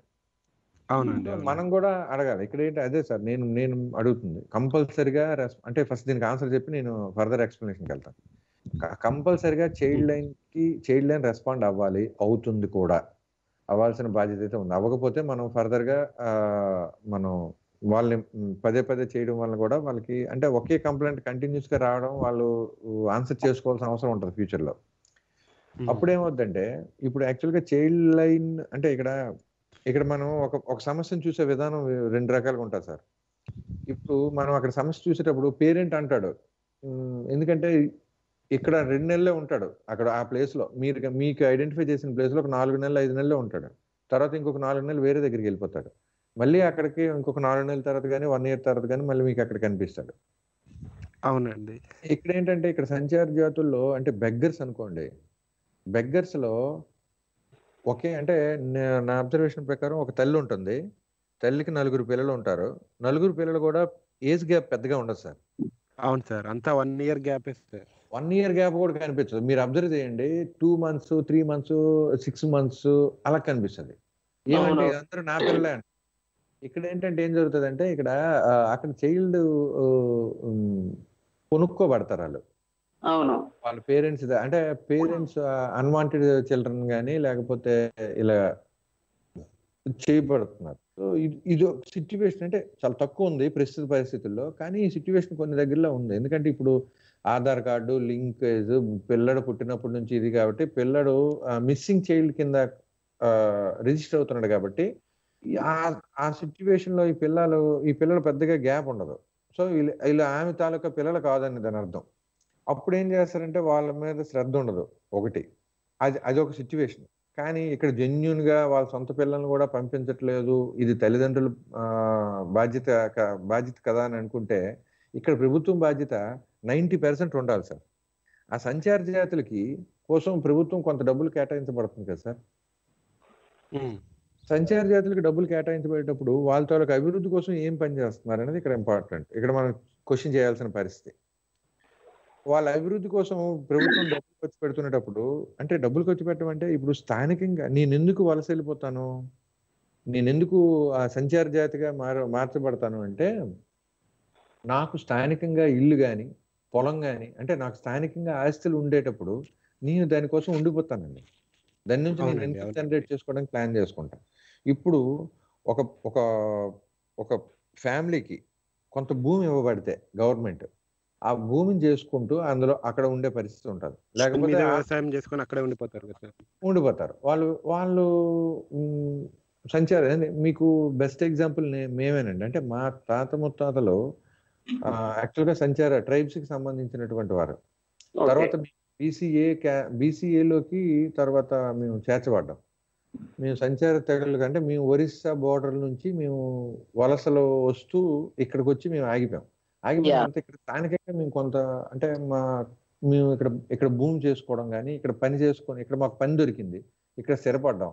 ఇక్కడ ఇల్లు కట్టుకున్నాం. మాకు ఇల్లు కట్టుకున్న తర్వాత ఇక్కడ పిల్లల్ని చదివించుకున్నాం. సో ఈ విధంగా మాకు ఇక్కడ ప్రాపర్ అయ్యింది. అంటే మా అదేవిధంగా సంచార జాతులను కూడా ఒక దగ్గర నిలువరించి వాళ్ళకి భూమి ఇల్లు కేటాయించబడితే వాళ్ళు సంచారం చేయడం అనేది వాళ్ళకి వాళ్ళకి కూడా ప్రమాదకర సిచ్యువేషన్లో వాళ్ళు పని చేయ తిరగడం అనేది వాళ్ళకి నచ్చదండి. ఏ తల్లిదండ్రులు కూడా. పిల్లల్ని చదివించుకోను పిల్లల్ని పిల్లల్ని అభివృద్ధి చెందించడం అనే ఉద్దేశంలో ఉండరు. కానీ వాళ్ళ పరిస్థితులు అవి చేయబడతాయి. ఆ పరిస్థితులను మనం ప్రభుత్వం ద్వారా సక్రమంగా చేయగలిగినప్పుడు కంపల్సరీగా అది పర్మనెంట్ సొల్యూషన్ అవుతుందండి. లేకపోతే మనం అంటే టెంపరీ రిలీఫ్ అంటే ఏంటంటే ఆ పిల్లల్ని తీసుకొచ్చి మన హాస్టల్లో పెట్టి ఆ పిల్ల తల్లిదండ్రులను తీసుకెళ్ళి ఒక షెల్టర్లో పెడితే అది పర్మనెంట్ సొల్యూషన్ కాదు. వాళ్ళకి ఒక రోజుకి విసుగు పడుతుంది. ఎన్ని రోజులు మనం ఇక్కడ ఉంటాం ఏం చేస్తాం అనే పరిస్థితి వస్తుంది అవును. అది సార్. సో ఇప్పుడు ఏం చేయాలంటే దానికోసం చైల్డ్ లైన్కి మీరు విశ్వనాథ్ గారు చైల్డ్ లైన్కి కంపల్సరీగా మీరు కంప్లైంట్ చేయొచ్చు. చైల్డ్ లైన్కి మీరు విషయం చెప్తే వాళ్ళు యాక్షన్ తీసుకుంటారు. ఆ పిల్లల్ని తీసుకెళ్ళి యాక్చువల్గా వాళ్ళు చైల్డ్ లైన్ వాళ్ళు ఏం చేస్తారంటే పిల్లల్ని తీసుకెళ్ళి సిడబ్ల్యూసి ముందు ప్రొడ్యూస్ చేస్తారు. అంటే వాళ్ళు వాళ్ళ హక్కులు భంగం కలుగుతుంది దానికి రక్షణ కల్పించమని చెప్పి చైల్డ్ వెల్ఫేర్ కమిటీస్ జిల్లా స్థాయి చైల్డ్ వెల్ఫేర్ కమిటీస్ ఉంటాయి. వాళ్ళని వాళ్ళ ముందు వాళ్ళని ప్రొడ్యూస్ చేస్తారు. ప్రొడ్యూస్ చేసినప్పుడు చైల్డ్ వెల్ఫేర్ కమిటీ వాళ్ళు వాళ్ళని విచారించి వాళ్ళని తీసుకు ఆ పిల్లల్ని తీసుకెళ్ళి పిల్లలకి పద్దెనిమిది సంవత్సరాల వరకు రక్షణ కల్పించాల్సిన బాధ్యత చైల్డ్ వెల్ఫేర్ కమిటీకి ఉంటుంది కాబట్టి ఆ చైల్డ్ వెల్ఫేర్ కమిటీ వాళ్ళు తీసుకెళ్ళి ఆ, ఇక్కడ నియరెస్ట్ హాస్టల్స్లోని వాళ్ళని వాళ్ళ రక్షణ గృహాల్లోని వాళ్ళ పిల్లల్ని పెట్టి పద్దెనిమిది సంవత్సరాల వరకు వాళ్ళ రక్షణ దీంట్లోని వాళ్ళని ఉంచుతారండి. ఓకే అండి. ఓకే అండి. అదే నేను నాకు చాలా రోజుల నుంచి డౌట్ ఉంది సార్. వీళ్ళని ఏం చేయొచ్చు? ఒక సాధారణ పౌరుడుగా మనం అవును వాళ్ళకి చెప్పానండి నేను. మీ పిల్లలకి రైట్ టు ఎడ్యుకేషన్ యాక్ట్ కింద వాళ్ళు తప్పనిసరిగా బడికి వెళ్ళాలి అని చెప్తే అంత రెస్పాండ్ కాలేదు సార్. ఒకసారి మిమ్మల్ని అడిగి చెప్దాం. ఏ, లేదు లేదు. యాక్చువల్గా వాళ్ళు అవ్వరు. అంటే వాళ్ళు అయ్యే ఆలోచన ఉండట్లేదు రా బాబు అని అంటే నువ్వు ఎడ్యుకేషన్ అంటే వాళ్ళ బాధలు వాళ్ళు చెప్తున్నారు సార్. చెప్తాడు అది అది అది చెప్తున్నాడు అది మనం అక్కడికి వెళ్ళి వాళ్ళతో మాట్లాడేటప్పుడు కరెక్టే కదా ఇది కరెక్టే కదా మనం ఎందుకు అయ్యో కరెక్టే. దీనికి ఏంటి సొల్యూషన్ అనేది అంటే మీకు అదే చెప్తున్నాను. ఇక్కడ మేము గ్రామాల్లో ఫస్ట్ పనిచేసేటప్పుడు చైల్డ్ మ్యారేజ్ కోసం పనిచేసేటప్పుడు మాకు ప్రతి దగ్గర కూడా తల్లిదండ్రులు పెళ్ళి చేసేస్తున్నారనే పరిస్థితికి వచ్చేది. తల్లిదండ్రులు కరెక్టే కదా తల్లిదండ్రులే కదా పిల్లల్ని పెళ్ళి చేస్తారు. కరెక్టే. ఏముంది? దాంట్లో దాంట్లో దాంట్లో ఇంకా ఫర్దర్ ఇంకో క్వశ్చనే లేదు. ఇంకో- ఇంకొకటి మనం మనం ఇక్కడ సంస్కరించాల్సింది ఒక తల్లిదండ్రులనే ఆలోచనకు వచ్చేసింది. మేము కూడా. మా ప్రాజెక్ట్ అప్పుడు చేస్తుంటే ఎప్పటికి కూడా ప్రాపర్ రిజల్ట్ రావట్లే. అసలు. దానికి ఏంటి అసలు? మన అప్పుడు దాని తర్వాత మనకి డాక్యుమెంటేషన్ అంటే క్రై నుంచి వచ్చిన వివిధ కేస్ స్టోరీస్ అంటే క్రై అనేది త్రూ అవుట్ ఇండియా వర్క్ చేస్తుందండి వి- అన్ని రాష్ట్రాల్లోనూ. వాళ్ళు చేసేటప్పుడు ఏం చేస్తారంటే వాళ్ళ కేస్ స్టోరీస్ మాకు పంపిస్తారు. సో దీనికి ఎగ్జాక్ట్ రీజన్ అనేది మనం ఐడెంటిఫై చేయాల్సిన బాధ్యత అవసరం అయితే ఇప్పుడు ఉంది. ఇలా తల్లిదండ్రులు కాదు. ఇంకొద్దిగా వెనక్కి వెళ్దాం. తల్లిదండ్రులు ఎందుకు ఎలాగ ఆలోచిస్తారు? ఇంకొద్ది వెనక్కి వాళ్ళకి ఎడ్యుకేషన్ లేదు. Okay. వెనక్కి వెళ్తాం ఆ విధంగా వెనక్కి వెళ్ళి వెనక్కి వెళ్తే మాకు వచ్చినది ఏంటంటే తల్లిదండ్రులు వలస వెళ్ళిపోతూ అంటే ఇక్కడ ప్రతి ఒక్కరికి పని కల్పించాల్సిన బాధ్యత ప్రభుత్వానికి ఉందండి. స్థానికంగా కల్పించ అంటే యాక్చువల్గా పని ఇప్పుడు మీరు ఒకటి అబ్జర్వ్ చేసే పని అయితే ప్రతి ఒక్కరికి పని కల్పించాల్సిన బాధ్యతలోనే నిరుద్యోగ వృత్తి ఒకటి వచ్చింది. అవును. ఎన్ఆర్ఈజిఎస్ యాక్ట్ ఒకటి వచ్చింది. అదే విధంగా ఉపాధి హామీ పనులు వచ్చినాయి. ఆ, అదే ఎన్ఆర్జీఎస్ యాక్ట్ ఉపాధి హామీ పనులు ఇవన్నీ కూడాను ఒక వ్యక్తికి కల్పించబడ్డది ఒక నిరుద్యోగికి డబ్బులు ఇవ్వ డబ్బులు ఇవ్వడం అనేది జరుగుతుంది అనేది జరుగుతుందంటే అంటే నిరు నిరుద్యోగ వృత్తి అనేది ఆల్మోస్ట్ అభివృద్ధి చెందిన దేశాల్లో చాలా దేశాల్లో ఉందండి ఇది. అంటే అన్ఎంప్లాయ్మెంట్కి కొంత వాళ్ళు కూడా బతకాలి కదా. అవును. కాబట్టి అన్ఎంప్లాయ్మెంట్ అనేది ఒక సమస్యగానే గవర్నమెంట్ ఉమ్, చూడాల్సిన అవసరం ఉంది. ఈ ఈ సమస్యని పరిష్కారం టెంపరీ సొల్యూషన్స్ ఇస్తూ అంటే నిరుద్యోగ వృత్తి అనేది టెంపరీ సొల్యూషన్ ఇస్తూ పర్మనెంట్ సొల్యూషన్ వైపు ఏం చేయాలనేది ఆలోచిస్తుంది ప్రభుత్వం. ఆలోచించాలి. అయితే ఇక్కడ ఏంటంటే ఈ నిరుద్యోగ వృత్తి కానీ ఎన్ఆర్జిఎస్ యాక్ట్ కానీ ఇవన్నీ వచ్చినప్పుడు వాళ్ళ అవి ఎందుకు వచ్చాయంటే వలసలను నివారించడానికి ఒక ప్రయోగంగా అంటే వలసలు నివారించడానికి ఒక మార్గంగా ఒక సొల్యూషన్గా అవి వాటిని తీసుకురాబడిందండి. ఇప్పుడు. నాకు ఇక్కడ నాకు పద్దెనిమిది సంవత్సరాలు నిండిపోయేవి నేను పనికి ఎలిజిబుల్ అయ్యాను. నాకు నాకు ఒక స్కిల్ ఉంది. దాన్ని నేను నేను దాని ద్వారా నేను ఇన్కమ్ జనరేట్ చేసుకోవాలి. నా స్కిల్కి తగ్గట్టు నాకున్న నాలెడ్జ్కి తగ్గట్టు నా చుట్టుపక్కల పని లేదు. పని లేనప్పుడు ఏం చేస్తాను నేను? నాకు ఎక్కడైతే పని దొరుకుతుందో అక్కడికి మైగ్రేట్ అయిపోతా. మైగ్రేట్ అయినప్పుడు నాకు ఇక్కడ ప్రాపర్టీస్ ఏం లేవు అనుకోండి. నేను అక్కడికి వెళ్ళిపోయి అక్కడ సెటిల్ అవుతాను. వేరే నాకు ప్రాపర్టీస్ ఇక్కడ ఉన్నాయి అనుకోండి. టెంపరీ అంటే ఫుల్ టైం మైగ్రేషన్ కాకుండా పర్మనెంట్ మైగ్రేషన్ కాకుండా సీజనల్ మైగ్రేషన్ అవుతుంటాను. ఈ సిచ్యువేషన్ ఫిషర్మెన్ ఏరియాలోను రెడికా కమ్యూనిటీస్ లోను ఎక్కువ అవుతుంటది. ఎలా అంటే ఫిషర్మెన్ ఏరియాలో చేపలు పట్టడానికి ఇన్లాండ్ ఫిషింగ్ ఇక్కడ ఉంటది కానీ ఆ, బయట ఈ గుజరాత్లో వేరే వాళ్ళ ఏరియాలోని. పెద్ద ఫిషింగ్ ఇండస్ట్రీస్ ముంబైలో వాటిలోని ఈ ఫిషింగ్ ఇండస్ట్రీస్లో ఫిషింగ్ కోసం వీళ్ళకి స్కిల్డ్ పర్సన్స్ కావాలి. ఈ డ్రైవర్స్ కానీ వీళ్ళు కానీ అప్పుడు ఏమవుతుందంటే అక్కడికి వీళ్ళు మైగ్రేట్ అయిపోతారు. మీరు చెప్తే నమ్మరు మేము రెండు వేల పన్నెండులో విలేజ్ గ్రామ అంటే ఫిషర్మెన్ ఏరియాలోకి వెళ్ళేసరికి ఒక ఆరు నెలల పాటు అండి అంటే మార్చి నుంచి ఆరు నెలల పాటు పిల్లలు అంటే గ్రామంలో ఒక్క ఒక్క మగవాడు కూడా ఉన్నాడండి అందరు కూడా మైగ్రేట్ అయిపోతారు. అంటే చూడండి ఏ సిచ్యువేషన్లో సో. ఇక్కడ ఏమవుతుందంటే అందరు కూడాను ఈ ఫిషర్ అంటే యాక్చువల్గా అక్కడ అక్కడ సిచ్యువేషన్ మేము వెళ్ళేసరికి అక్కడ సిచ్యువేషన్స్. హెచ్ఐవి పాజిటివ్ పీపుల్ ఎక్కువ మంది ఉండేవాళ్ళు లేకపోతే. వీటన్నిటి కారణం అబ్జర్వ్ చేసుకునేటప్పుడు ఏమవుతుందంటే వీళ్ళు ఆ, ఈ గుజరాత్ లాంటి ప్రాంతాలకు వెళ్ళిపోయి ఇరవై ఇరవై ఐదు రోజుల పాటు ఆ పడవల్లోని సముద్రంలో ఉండాల్సిన అవసరం వచ్చి తర్వాత. ఒడ్డుకు వచ్చేటప్పుడు వీళ్ళు. రకరకాలైనటువంటి యాక్టివిటీస్ అంటే మందుకు ఆల్కహాల్కి అలవాటు పడడం మిగిలిన బ్యాడ్ హ్యాబిట్స్ కొన్ని తీసుకోవడం వీటి. వల్ల మళ్ళీ రోడ్ మళ్ళీ వీళ్ళు విలేజ్కి వచ్చేటప్పుడుకి దాన్ని క్యారియర్ చేయడం ఆ వాళ్ళకి వచ్చిన డిసీజెస్ని ఇక్కడ క్యారీ చేయడం ఇక్కడ ఇక్కడ దాన్ని స్ప్రెడ్ చేయడం ఇవన్నీ జరుగుతుండే వాళ్ళకి వచ్చిన డబ్బులు కూడాను ఎందుకంటే ఇరవై రోజుల పాటు అంటే వీళ్ళకి డబ్బులు ఎక్కువగా వచ్చినా కూడా వాళ్ళు జల్సాలకు అయిపోవడం అలాగే ఈ సిచ్యువేషన్ అంతా అంటే వాళ్ళు ఇన్కమ్ సోర్స్ అంటే డబ్బులు వస్తున్నప్పటికి కూడాను వాళ్ళు ఎందుకు డెవలప్ అవ్వట్లేదు? డబ్బులు ఇక్కడ సమస్య కాదు వాళ్ళ తాలూకా థింకింగ్ అనేది మార్చాలి. ప్రభుత్వం తాలూకా కాన్సన్ట్రేషన్ అనేది పెరగాలి అనేది మేము అబ్జర్వ్ చేసాం అప్పుడు? స్థానికంగా జట్టీలు పెడితే స్థానికంగా మనం కోల్డ్ స్టోరేజ్లు పెడితే అంటే ఇక్కడ స్థానికంగా దొరికిన ఫిష్ ఉంటదండి. రోజు ఈ గ్రామాలకి సరిపడా ఫిష్ అయితే వీళ్ళు పట్టుకోగలరు. అంటే ఒక ఆ, పది ఎనిమిది తొమ్మిది కిలోమీటర్ల వరకు సముద్రంలో ప్రయాణించి ఆ. చేప ఉదయాన్నే వెళ్ళి మూడు రెండున్నర మూడు గంటలకు వెళ్తారండి సముద్రంలో. ఎందుకంటే ఆ టైంలో ఈజీగా యాక్సెస్ ఉంటుంది సముద్రం లోపలికి వెళ్ళడానికి. కెరటాలు కొద్దిగా హైట్ తగ్గుద్ది. వెళ్ళి పన్నెండు గంటల వరకు బయటకు మళ్ళీ ఒడ్డుకు చేరుతారు. చేరి అప్పుడు వరకు పట్టిన చేపలను తీసుకెళ్ళి అమ్ముకుంటారండి. ఓకే. తప్పనిసరిగా అమ్ముకోవాలని పరిస్థితి అండి అక్కడ. ఎందుకంటే. వాళ్ళు ఒక రోజు ఉంచుకుంటే రెండు రెండు రకాల అంటే ఒక రోజు ఒక ఒక ఇరవై ముప్పై నలభై చేపలు వచ్చాయి అనుకుందాం సార్. రెండో Hmm. రోజు అయితే ఎనభై చేపలు అవుతాయి కదా ఒక్కసారి మనం విశాఖపట్నం ఎక్కడికో పంపిస్తే డబ్బులు ఎక్కువ వస్తాయి కదా అని అను- అనుకునే పరిస్థితి లేదు సార్ ఇక్కడ. ఎందుకంటే Okay. రెండు రోజులు చేపలు స్టోర్ చేయడానికి కోల్డ్ స్టోరేజ్ ఇక్కడ లేదు. సో ఒక కోల్డ్ స్టోరేజ్ ఫామ్ చేస్తే ఒక రెండు మూడు పంచాయతీలు కలిపి ఒక కోల్డ్ స్టోరేజ్ ఒక మంచి కోల్డ్ స్టోరేజ్ పెట్టుకోగలిగారు అనుకోండి దాని బాధ్యత అక్కడ గ్రామస్తులకి అప్పచెప్పారు అనుకోండి ప్రభుత్వం వారు.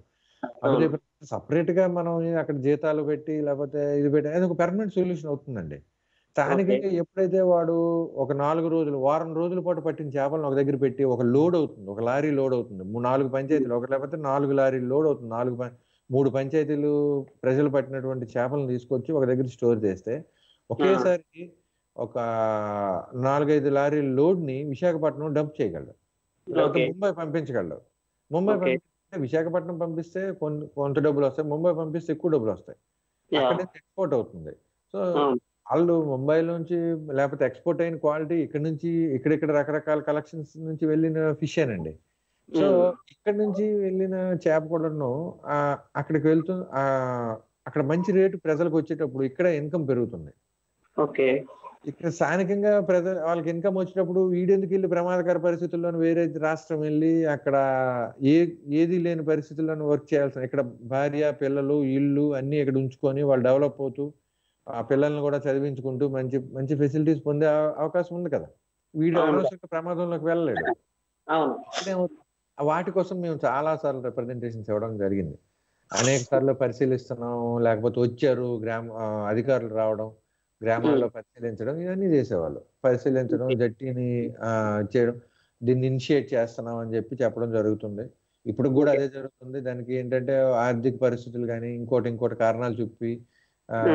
వెనకబడి కానీ సార్ ఇక్కడ మనం మనకు అవసరమైతే అప్పు చేసి మనం ఏ విధంగా అయితే బ్రతక బియ్యం కొనుక్కుంటున్నామో అలాగే అప్పు చేసైనా చెప్పి ప్రభుత్వం ఏం చేయాలంటే ఈ వీటికి పెర్మనెంట్ సొల్యూషన్స్ ఇస్తే ఎక్కడో దగ్గర మనం ఒక దగ్గర కామ పెట్టి తర్వాత అక్కడ నుంచి మనం దాన్ని రెక్టిఫై చేయడానికి ప్రయత్నించాలి.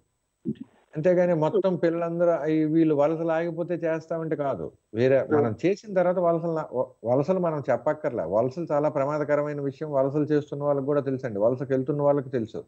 కానీ తప్పనిసరి పరిస్థితుల్లో వలసకి వెళ్తున్నారు. ప్రయాణం అంటే ఆకలితో చనిపోతామా? ప్రమాదంలో చనిపోతాం. ప్రమాదం అనేది ఇప్పుడు జరుగుద్ది. అవును. ఆకలి అనేది ఇప్పుడే వస్తుంది. అవును. ఏమవుతుందంటే ఈ ప్రమాదం అనేది ప్రమాదం అనేది చిన్నదైపోతుంది ఆకలి మరణం దగ్గర. వాళ్ళు వలస వెళ్ళిపోతారు. ఈ వలస వెళ్ళిపోతూ పిల్లల్ని ఏం చేస్తున్నారంటే పద్నాలుగు పదిహేను సంవత్సరాలు పదహారు సంవత్సరాలు వచ్చిన పిల్లల్ని ఆడపిల్లలైతే మనం అక్కడికి ఈ అమ్మాయి మెచ్యూర్ అయిపోయి ఇంటి దగ్గర ఉంది. ఇప్పుడు రకరకాలైన సిచ్యువేషన్స్ ఉంటాయి. ఈ. పరిస్థితుల్లో మనం ఒక్క ఆడపిల్లని ఆ అమ్మమ్మ దగ్గర నాన్నమ్మ దగ్గర ముసలి దగ్గర విడిచిపెట్టి మనం వెళ్ళలేము. ఒకవేళ అలాగ వెళ్ళాల్సి వస్తే ఇక్కడ అమ్మాయి పరిస్థితి ఏమైనా అయితే మన అమ్మాయికి మళ్ళీ మన మనం బాధపడాలి. అందుకని. చెప్పి ఏదో ఎవరికో పెళ్ళి చేసేసి ఎవరో చేతిలో పెట్టేస్తే మనం ఆ బాధ్యత నుండి పక్కకి వెళ్తే వాళ్ళు వాళ్ళు చూసుకుంటారు కదా అనే ఉద్దేశం మీద పద్నాలుగు పదం పదిహేను సంవత్సరాలకు పిల్లలకి పెళ్ళి చేసేయడం మొదలు పెట్టారు బాల్య వివాహం చేస్తున్నారు. బాల్య వివాహం చేసేస్తున్నారు. అంటే ఇక్కడ సిచ్యువేషన్ ఏంటి సార్? ఇక్కడ చూడండి. ఇక్కడ ఒక బాల్య వివాహం ఒక చైల్డ్ రైట్ వైలేషన్ జరగడానికి బాధ్యత అంటే తల్లిదండ్రులదే. అవును. తల్లిదండ్రులు తల్లిదండ్రులు వలస వెళ్ళిపోవడం వలన వాళ్ళు చేసేస్తున్నారు బాధ్యత వదిలించుకోవడానికని. కానీ తల్లిదండ్రులు వలస వెళ్ళిపోవడానికి ఇక్కడ మనం అక్కడతో మనం ఆపేస్తున్నాం. తల్లిదండ్రుల బాధ్యత. కానీ తల్లిదండ్రులు వలస వెళ్ళిపోవడానికి గల కారణాలు ఏంటి ఇక్కడ. స్థానికంగా పని లేదు. ఇక్కడ స్థానికంగా పని లేకపోవడానికి కారణాలు ఏంటి వనరులను వినియోగించుకోబడడం లేదు. వనరులు ఎవరు వినియోగించుకోవాలండి? ప్రభుత్వం వారు వినియోగించుకొని చేయాల్సిన బాధ్యత సో ఇక్కడ. ఫైనల్గా రీజన్ వచ్చేసరికి ఫైనల్ డెస్టినేషన్ వచ్చే రీజన్ సోర్స్ మనం ఖచ్చితంగా కొద్దిగా డిగ్ చేస్తూ డిగ్ చేస్తూ చూస్తే మాత్రం ఇక్కడ. మళ్ళీ ప్రభుత్వం వరకు వస్తుంది. ఓకే. ప్రతి దగ్గర ప్రతి సమస్య కూడా. అయితే ఈ ఈ బాల్య వివాహాలు ఆ విధంగా బాల్య వివాహాలు జరుగుతున్నాయి. అబ్బాయిలు అయితే ఏం చేస్తున్నారు? అరే నువ్వు చదివించాలు మనం వెళ్ళిపోదాం మనం నువ్వు మూడు నెలల్లో ఏం చదువుతావు నువ్వు? అంటే మూడు నెలలే వాడు ఊర్లో ఉంటాడు సంవత్సరంలో. పన్నెండు. నెలల్లో మూడు నుంచి నాలుగు నెలలు మాత్రం వాడు ఊర్లో ఉంటాడు మిగిలిన నెలలు మైగ్రేషన్లో ఉంటాడు మైగ్రేషన్. ఎక్కడ చదువుతాడు అప్పుడు ఏం చేశారు? మైగ్రేటెడ్ ఏరియాలో కూడా అంటే అది టెంపరీ సొల్యూషన్ మైగ్రేటెడ్ ఏరియా కూడా హాస్టల్స్ పెట్టి వర్క్ సైట్ హాస్టల్స్ అని పెట్టడం మొదలు పెట్టారు అక్కడ. ఎడ్యుకేషన్ అంటే ఇక్కడ ఇక్కడ మూడో తరగతి ఒక పిల్లడు జాయిన్ అయ్యాడు నాలుగు. నెలలు చదివాడు ఇక్కడ నుంచి వాళ్ళ పేరెంట్స్ ఒక ఇటుక బట్టీలో పనిచేయడానికి వెళ్ళారు వెళ్ళిపోయారు పిల్లల్ని. తీసుకుని అక్కడ ఇటుక బట్టీల దగ్గర వర్క్ సైట్ హాస్ స్కూల్స్ అని పెట్టడం జరిగింది. ఆ స్కూల్స్లో మిగిలిన ఎడ్యుకేషన్ అక్కడ కంటిన్యూ చేస్తాడు. మళ్ళీ ఇక్కడికి వచ్చినప్పుడు ఇక్కడ చదువుతాడు. సో ఇది ఒక సొల్యూషన్ కింద పెట్టడం జరిగింది. అయితే ఇక్కడ? ఈ ఈ మెంబర్ ఈ పిల్లాడు యాక్చువల్గా పిల్లాడు చైల్డ్ లేబర్ కిందకి ఏ విధంగా కన్వర్ట్ అవుతాడు అనేది ఒక వెరీ సెన్సిటివ్ విషయం అండి. పిల్లాడు ఎలా కన్వర్ట్ అవుతాడంటే పిల్లగాని పిల్లాడు కానీ సిబ్లింగ్ కేర్ ఒకటి ఉంటుందండి. ఇది ఒకటి ఇంపార్టెంట్ పిల్లలు వలస వెళ్ళిపోతూ ఆ, పిల్లలు బాగా పదకొండు సంవత్సరాలు తొమ్మిది పది సంవత్సరాలు ఆడపిల్ల పెద్ద పిల్ల ఉండి ఒక ఐదు ఆరు సంవత్సరాల పిల్లాడు చిన్న పిల్లాడు ఉంటే వాళ్ళ నానమ్మ తాతయ్య దగ్గర ఆ పిల్లల్ని పెడితే పిల్లాడు అంటే అబ్బాయిని చూడడం కోసం అమ్మాయిని లేకపోతే అమ్మాయిని చూడడం కోసం అబ్బాయిని కానీ ఇంట్లో ఉంచేస్తారు. ఆ. సిబ్లింగ్ కేర్ అంటే వాళ్ళ అంటే ఆ అబ్బాయికి పరిచర్యలు చేస్తూ అంటే అబ్బాయి ఆ యొక్క తల్లిదండ్రులు చేయాల్సిన పని వాళ్ళు చేస్తూ పిల్లల్ని స్కూల్కి పంపిస్తూ వీళ్ళు స్కూల్కి వెళ్ళే సిచ్యువేషన్ ఉంటుంది. స్కూల్కి వెళ్ళలేని పరిస్థితుల్లో మళ్ళీ తొందరగా వచ్చి మళ్ళీ వంట చేయాలి నానమ్మ తాతయ్యకి కూడా వంట చేయాలి అనే బాధ్యత అనేది ఈ పదకొండు సంవత్సరాలు పద- పది సంవత్సరాల పిల్ల మీద పడుతుందండి. ఈ పడేటప్పుడు ఈ వంట చేయ దీని మీద శ్రద్ధ పెరిగి దీని మీద ఆ కాన్సన్ట్రేషన్ పెరగడం వల్ల ఎడ్యుకేషన్ అనేది ఆ పిల్లకి తీసుకోవడం అనేది ఇబ్బంది కష్టం అవుతుంది అంటే ఎడ్యుకేషన్ తీసుకోవాల్సిన పరిస్థితులు ఓన్లీ ఎడ్యుకేషన్ తీసుకోవాలి. లేదా. ఆ గ్రామంలో స్థానికంగా వాళ్ళు ఏదైనా నర్సరీలో తల్లిదండ్రులు ఏదైనా నర్సరీలో కానీ ఇటుక బట్టీలో కానీ ఎక్కడైనా పనిచేశారు అనుకోండి మిగిలిన. టైంలో ఇంటి దగ్గర ఇంటి దగ్గర వాళ్ళకి హెల్ప్ చేయాలి. తల్లిదండ్రులు. హెల్ప్ చేయాల్సిన వచ్చిన పరిస్థితి వచ్చేటప్పుడు కరెక్టే కదా తల్లిదండ్రులకు హెల్ప్ చేయాల్సిన బాధ్యత ఉంది కదా అని అంటే ఎస్ తల్లిదండ్రులకు హెల్ప్ చేయాల్సిన బాధ్యత పిల్లలకు కూడా ఉంది. తల్లిదండ్రులు ఇద్దరు కష్టపడేటప్పుడు పిల్లలకు కూడా దానికి హెల్ప్ చేస్తారు. ఎంతవరకు అది ఇన్కమ్ జనరేటెడ్ హెల్ప్ అయ్యి ఉండకూడదు. అది. ఇన్కమ్ జనరేటెడ్ హెల్ప్ అయితే అది చైల్డ్ లేబర్ కింద చైల్డ్ లేబర్ యాక్ట్ కిందకి వచ్చి వాళ్ళని శిక్షించబడాలి. అంటే విషయం ఏంటంటే ఇప్పుడు ఇప్పుడు పిల్లాడు స్కూల్ నుంచి వచ్చిన తర్వాత ఆ పిల్లాడు ఆట ఆటలు పాటలు చేసిన తర్వాత వాడికి బలమైన ఆహారం తీసుకొని వాడు ఆ పీరియడ్ ఇంక్యుబేషన్ పీరియడ్ అండి. అంటే పిల్లాడు ట్రైనింగ్ చేసుకోవాల్సిన పీరియడ్ పద్దెనిమిది సంవత్సరాల లోపు. వేరే దానికి డైవర్ట్ చేయకూడదు. చేయి-. చేయకపోవడం వల్ల పిల్లాడు డెవలప్ అవుతాడు. పిల్లాడు రక్షించబడతాడు. ప్రమాదకర పరిస్థితుల్లోని పిల్లాడు పెంచబడడు. వాడికి సోషల్ సెక్యూరిటీ అనేది కల్పించబడాలి. కల్పించేటప్పుడు వాడు పెరిగి పెద్ద అయిన తర్వాత మనకు ఉపయోగపడతాడు. కుటుంబానికి ఉపయోగపడతాడు. వేరే చిన్నప్పుడే నువ్వు పనికి కల్పించేసి చిన్నప్పుడే నువ్వు పెళ్ళి చేసేస్తే ఆ పిల్ల కానీ పిల్లాడు కానీ వాళ్ళ మనకు ఉపయోగపడ కుటుంబానికి ఉపయోగపడడం సరికాదు కదా వాళ్ళకి కూడా వాళ్ళు ఉపయోగపడలేని పరిస్థితి వచ్చేస్తుంది. అవును ఇప్పుడు చిన్న పిల్లకి పద్నా పద పదమూడు సంవత్సరాలు పద్నాలుగు సంవత్సరాల పిల్లకి పెళ్ళి చేసేసి ఆ. అమ్మాయి పద్దెనిమిది సంవత్సరాలు వచ్చేసరికి అంతా సవ్యంగా ఉండే ఆరోగ్యం అంతా బాగుంటే ఇద్దరు పిల్లల్ని పట్టుకొని తిరిగే పరిస్థితుల్లోని అంటే ఒక డెసిషన్ మేకింగ్ చేసుకోలేని పరిస్థితులు. అంటే మనం ఓటు కూడా డెసిషన్ ఓటు పద్దెనిమిది సంవత్సరాలు ఎందుకు పెట్టారంటే ఒక ఒక నాయకుడిని మనల్ని పరిపాలించే నాయకుడిని ఎన్నుకోవడానికి కూడా కనీసం ఆలోచించుకోవాలి. ఒక లైసెన్స్ ఒక అంటే ఒక రోడ్ సెన్స్ తెలుసుకోవడానికి పద్దెనిమిది. సంవత్సరాలు ఉండాలి ఆలోచన ఉండాలి అని చెప్పి లైసెన్స్ కూడా ఒక పీరియడ్ పెట్టారు కానీ ఇప్పుడు ఏమైందంటే ఆ ఆ పెళ్ళికి మాత్రం పెళ్ళికి అంటే పెళ్ళికి పీరియడ్ పెట్టారు కానీ ఆ పరిస్థితి లేదని అనడానికి కారణం ఏంటంటే ఆ ఆ పద్దెనిమిది సంవత్సరాల్లో పెళ్ళి అయిపోయి ఒక నిర్ణయం తీసుకోలేని పరిస్థితులు ఒక ఆడుకోవాల్సిన వయసులోని పెళ్ళి అయిపోయి ఆ. ఇంట్లోని ఆ చేతిలోని ఇద్దరు పిల్లలు ఉండే పరిస్థితి వచ్చేటప్పుడు ఆమె ఆరోగ్యం తొందరగా పోతుంది అలాగే ఆమె పిల్లల్ని కూడా సరిగ్గా పెంచుకోలేని పరిస్థితికి వస్తుంది అవును. నాది ఇదే పరిస్థితి కదా నేను ఇంకా నా పిల్లలు ఇది- అంటే వాళ్ళు థింకింగ్ అనేది డెవలప్ అవుతుంది ఎడ్యుకేషన్ ఉండేటప్పుడు వాళ్ళ ఎబిలిటీస్ డెవలప్ అవుతాయి. అయితే వలస వెళ్ళిపోతున్న పరిస్థితుల్లో మేము అది అబ్జర్వ్ చేసి గవర్నమెంట్కి చాలా సార్లు మేము రిప్రజెంటేషన్స్ ఇవ్వడం జరిగింది. వలస వెళ్ళిపోతున్నారు పిల్లలు. పెద్దలు వలస వెళ్ళిపోతున్నారు. తద్వారా పిల్లలు డ్రాప్ అవుట్ అయిపోతున్నారు. పిల్లలు చైల్డ్ చైల్డ్ మ్యారేజ్ చేయబడతాయి. పిల్లల్ని పనిలో పెట్టబడుతున్నారు. దయచేసి దీన్ని దృష్టిలో పెట్టుకొని ఇక్కడ స్థానికంగా పిల్ల ప్రజలను ఉంచాల్సిన బాధ్యత ఉంది కాబట్టి ఇక్కడ. స్థానికంగా భూములు ఇప్పించండి. ఒక యాభై సెంట్లో ఎకరో ఒక రెండు ఫ్యామిలీస్కి ఇప్పించి దాన్ని చేసుకోవడం వల్ల దాని నుంచి ఇన్కమ్ వాళ్ళు చూసుకుంటారు వాళ్ళు. అంటే ఇన్లాండ్ ఫిషింగ్ చేసుకున్న వాళ్ళు చూస్తారు. ఫిషింగ్ లేనప్పుడు అంటే ఫిషింగ్ హాఫ్ పీరియడ్ అంటే వేట నిషేధ సమయం కూడా ఉంటదండి. అంటే ఈ సమయంలో ఏంటంటే చేపలు గుడ్లు పెట్టి పొదిగే. సమయం. ఈ టైంలో ఈ మనకి అంటే వేరే సోర్స్ లేక కంపల్సరిగా వీళ్ళు వేటకి వెళ్ళిపోతారు. ఎందుకు. చిన్న చేప దొరికినా నా కడుపు నిండుతుంది కదా అంటే నేను దానికి రూపాయికి రెండుకో అమ్మితే నా కడుపు నిండుతుంది నా పిల్లం పిల్లలు బ్రతుకుతారనే ఉద్దేశం మీద వెళ్తారు తప్ప వాళ్ళకేమి మంచి సంపద అంటే అది గుడ్లు పెట్టే టైంలో వెళ్ళిపోతే ఎల్ల ఎల్లకుండా ఉంటే నాకు తర్వాత పెద్ద గుడ్లు వస్తాయనే విషయం వాడికి తెలుసు. పెద్ద చేపలు వస్తాయనే విషయం వాడికి తెలుసు. కానీ జాతీయ ఆ సంపద ఫిషింగ్ అంటే చా మత్స్య సంపద నష్టం అయిపోతుంది ఆ విధంగా తగ్గిపోద్ది అన్న విషయం వాడికి తెలుసు. కానీ ఇక్కడ ఆకలి అనేది. దాన్ని డామినేట్ చేస్తుంది దాన్ని. అంటే ఆ అవేర్నెస్ అది లేకుండా చేసి వెళ్ళాల్సిన పరిస్థితి వస్తుంది. అప్పుడు ఏం. చేశారంటే ప్రభుత్వం వారికి రిప్రజెంటేషన్స్ ఇవ్వడం వల్ల అంటే ఇక్కడ ఒక్క హెల్పింగ్ హ్యాండ్స్ అసోసియేషన్ రిప్రజెంటేషన్ ఇవ్వడం వల్ల రెస్పాండ్ అయ్యడం కాదు కానీ ఇది భారతదేశం మొత్తం ఈ ఫిషింగ్ ఏరియాలో ఉన్నటువంటి సేమ్ ప్రాబ్లం మా మా ఛానల్ ఆర్గనైజేషన్స్ చాలా కూడా అంటే మేము peoples voice for child rights అని తెలంగాణ ఆంధ్రప్రదేశ్లో మాకు ఒక చైన్ ఒక అంటే ఒక మేము కొంత కొన్ని ఎన్జిఓలను కలిపి పెట్టు- అంటే ఒక సమస్యని. ఒక ఎన్జిఓ ఒక జిల్లాలోని లేకపోతే ఒక మండలంలో అడగడం వేరు. ఒక సమస్యను రాష్ట్ర స్థాయిలో దానికి రిప్రజెంటేషన్ ఇవ్వడం వేరు.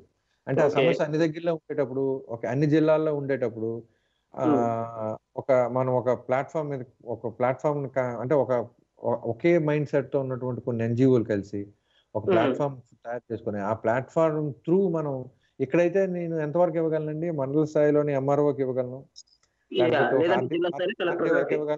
మాక్సిమం కలెక్టర్ గారికి. ఇవ్వగలను లేకపోతే ఎమ్మెల్యే గారికి ఇవ్వగలను. నా మా జిల్లాలో మినిస్టర్ ఉంటే మినిస్టర్ గారికి వరకు ఇవ్వగలను సార్. అది కూడా హై ఇన్ఫ్లుయెన్స్ ఉపయోగించుకోండి. అన్ని జిల్లాల్లోని ఒక స్టేట్ లెవెల్ ఒక ప్లాట్ఫామ్ తయారు చేసుకొని ఉమ్, చేసుకొని మనం చేసేటప్పుడు మేము డైరెక్ట్గా సీఎం గారికి ఇవ్వగలం సార్. ఉమ్, సో ఇక్కడ కలెక్టర్ గారికి ఇచ్చింది కూడా పాలసీ మేకింగ్లో కన్సిడర్ చేస్తారు. ఎమ్మెల్యే గారికి ఇచ్చింది కూడా పాలసీ మేకింగ్లో కన్సిడర్ చేసే అవకాశం ఉంది మినిస్టర్ గారికి Hmm. ఇచ్చింది కూడా పాలసీ మేకింగ్లో అంటే పాలసీస్ చేంజెస్లో కన్సిడర్ చేసే అవకాశం ఉంది కానీ Hmm. చాలా తక్కువ సార్ వేరే. మనం డైరెక్ట్గా ఒక సెక్రటేరియట్ లెవెల్లో అంటే ఒక స్టేట్ లెవెల్లో ఒక సీఎం లెవెల్లో మనం ఇచ్చినప్పుడు ఒక స్టేట్ Hmm. మినిస్టర్ లెవెల్ ఇచ్చినప్పుడు డైరెక్ట్గా ఎడ్యుకేషన్ మినిస్టర్కి మనం ఇవ్వగలిగినప్పుడు లేకపోతే హెల్త్ మినిస్టర్కి మనం రిప్రజెంటేషన్ ఇవ్వగలిగినప్పుడు మన అబ్జర్వేషన్స్ మనం ప్రొడ్యూస్ చేయగలిగినప్పుడు వాళ్ళు పాలసీ చేసేటప్పుడు మన తాలూకా అభ్యర్థనల్ని కన్సిడర్ చేస్తారండి. ఓకే. అలా కన్సిడర్ చేసినటువంటి చేసిన తర్వాత తయారు చేయబడిన యాక్ట్లే ఇవన్నీ sir. Child right act child right ప్రొటెక్షన్కి సంబంధించి విద్యా హక్కు Hmm. చట్టం కానీ లేకపోతే Hmm. ఇంకో రకమైన రకమైన చట్టాలు కానీ ఇవన్నీ కూడాను ఆ, చాలా వరకు చేస్తారు. ఒకటి ఇప్పుడు బాల్య వివాహం అని ఇందాక మనం ఒకటి మాట్లాడుకున్నాం కదండి. బాల్య. వివాహము అంటే మీ దృష్టికి ఏదైనా బాల్య వివాహం ఇట్లా జరుగుతుంది పలానా ఏరియాలో అని మీ కంప్లైంట్స్ వస్తే మరి మీరు ఎలా రెస్పాండ్ అవుతారు వాళ్ళ మీద? మంచి ప్రశ్న అండి. యాక్చువల్గా మేము అంటే మాకు మాకున్న గ్రామాల్లోని బాల్య ఒక్క నిమిషం అండి మనకు ఒక లైన్ కలర్ ఇచ్చారు. అక్కడ హలో గుడ్ మార్నింగ్ అండి. Sir good morning sir good morning అండి. నమస్తే ఎవరు మాట్లాడుతున్నారు? సార్ నా పేరు దిలీప్ కుమార్ సార్ నేను కర్నూలు నుంచి మాట్లాడుతున్నా. యా, కర్నూలు నుంచి దిలీప్ కుమార్ గారు. దిలీప్ మన సునీల్ గారు ఉన్నారు మాట్లాడండి. దిలీప్ కుమార్ గారు నమస్తే. సార్ నమస్తే సార్. చెప్పండి సార్. ఆ, చాలా విషయాలు చాలా చాలా చక్కగా చెప్తున్నారు సార్. చాలా బాగున్నాయి. మీరు మాట్లాడే విధానం చాలా బాగుంది. ఇందాక నుంచే వింటున్నాను. ఇందాకే రేడియో ఆన్ చేశాను ఇప్పటి నుంచే వింటున్నాను. అదే మత్స్యకారుల గురించి కానీ బాల్య వివాహాల గురించి కానీ చాలా బాగా చెప్తున్నారు సార్.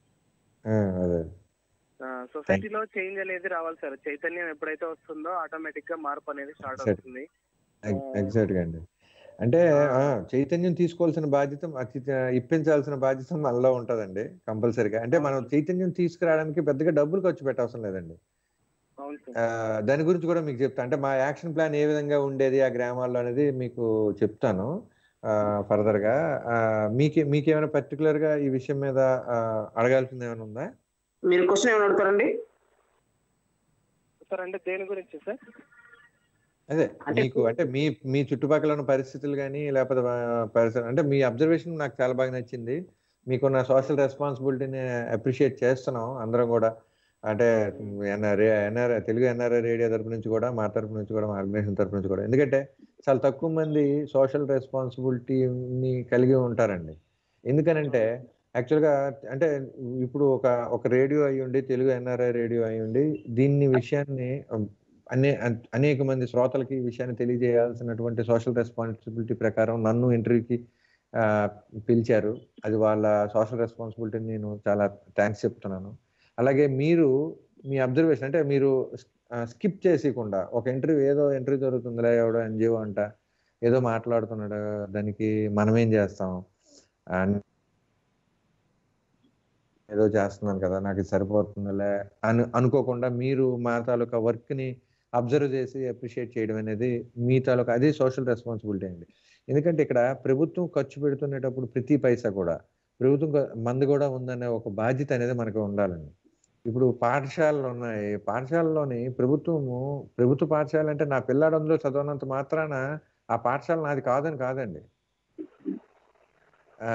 సో అంటే దీంట్లో ఏంటంటే మన రేపు మన పిల్లాడు పిల్ల లేదా పిల్లాడు బయటికి వెళ్ళి సేఫ్గా మన ఇంటికి రావడానికి మన పిల్లలు సేఫ్గా మన ఇంటికి రావాలి అంటే చుట్టూ సొసైటీ కూడా బాగుండాలండి. అంటే దీనికి ఒక చిన్న మీకు ఎగ్జాంపుల్ చెప్తాను. ఒక గ్రామంలోని కొన్ని కుటుంబాలు అడవి అడవికి వెళ్ళి కట్టెలు తెచ్చుకోవడం మొదలు పెడతాయండి మొదలు పెట్టేటప్పుడు దాంట్లో ఒక మోతుబరి ఉంటాడు. మోతుబరి అంటే మీకు ఐడియా ఉందా? అంటే ఒక కొద్దిగా అందరిని. డామినేట్. చేసే క్యారెక్టర్ అన్నమాట. అదే ఆ character ఏం చేస్తాడు? ఆయన ఏం చేస్తాడంటే కొద్దిగా ఎక్కువ అందరిని దమాయించి ఎవరికి ఏం దొరకకుండా వాడు తీసుకొచ్చి కర్రలన్నీ తీసుకొచ్చి వాడు ఇంటి వెనకాల కుచ్చి పెట్టు కుచ్చి అంటే తెలుసు కదా? ఒక పోగులా పెట్టుకుంటాడు. అలాగే అందరూ ఎవ- ఎవరి ఇంటి వెనకాతలు వాళ్ళు పోగులు పెట్టుకుంటారు. వాళ్ళ వంట చెరుకు. పంట వంట చేసుకోవడానికి. అయితే ఏమైందంటే వాడు చుట్టుపక్కల వాళ్ళు వంట చెరుకు అయినంత వరకు వాడి వంట చెరుకు చాలా స్లోగా అవుతుంది. వాడు అక్కడే వాడుకుంటాడు. వేరే వాళ్ళ వంట చెరుకు ఎప్పుడైతే అయిపోయిందో వీడి వంట చెరుకు స్పీడ్గా అయిపోతుంటది. ఎందుకంటే వాడు వీడికంటే ఒక అరగంట ముందు తెలిసి వాడు వంట చెరుకు తీసుకుంటాడు ఈ ఇంటి ఈ పక్క చుట్టుపక్కల వాళ్ళు. సో ఇక్కడ ఏంటంటే ఇది అదే సేమ్ ఇక్కడ అప్లికబుల్ ఉంటుందండి. ఇక్కడ సొసైటీలో కూడా నా మన పిల్లలు చదవాలి మన చుట్టుపక్కల పిల్లలు కూడా చదవాలి. లేకపోతే వాళ్ళు యాంటీ సోషల్ ఎలిమెంట్స్ అవుతారు. మన పిల్లలకి ప్రమాదకరమైన సిచ్యువేషన్లో మనమే తోసినట్టు అవుతాం. కాబట్టి వాళ్ళు చదువుకోకపోయినా కూడా మనం ప్రశ్నించాల్సిన బాధ్యత అయితే మనకు ఉండాలి. సో మీరు కూడా అటువంటి బాధ్యతని కలిగి ఉన్నారని నేను నమ్ముతున్నానండి. చాలా చాలా థ్యాంక్స్ అండి. మీరు కాల్ చేసి మమ్మల్ని అప్రిషియేట్ చేసినందుకు. మీరు ఇదే మీరు ఇది వింటూ ఉండండి. మిగిలిన విషయాలు కూడా నేను మీతో పంచుకుంటాను మేము అక్కడ ఏ విధంగా యాక్షన్ ప్లాన్ చేసుకున్నాం ఎలా చేస్తాం.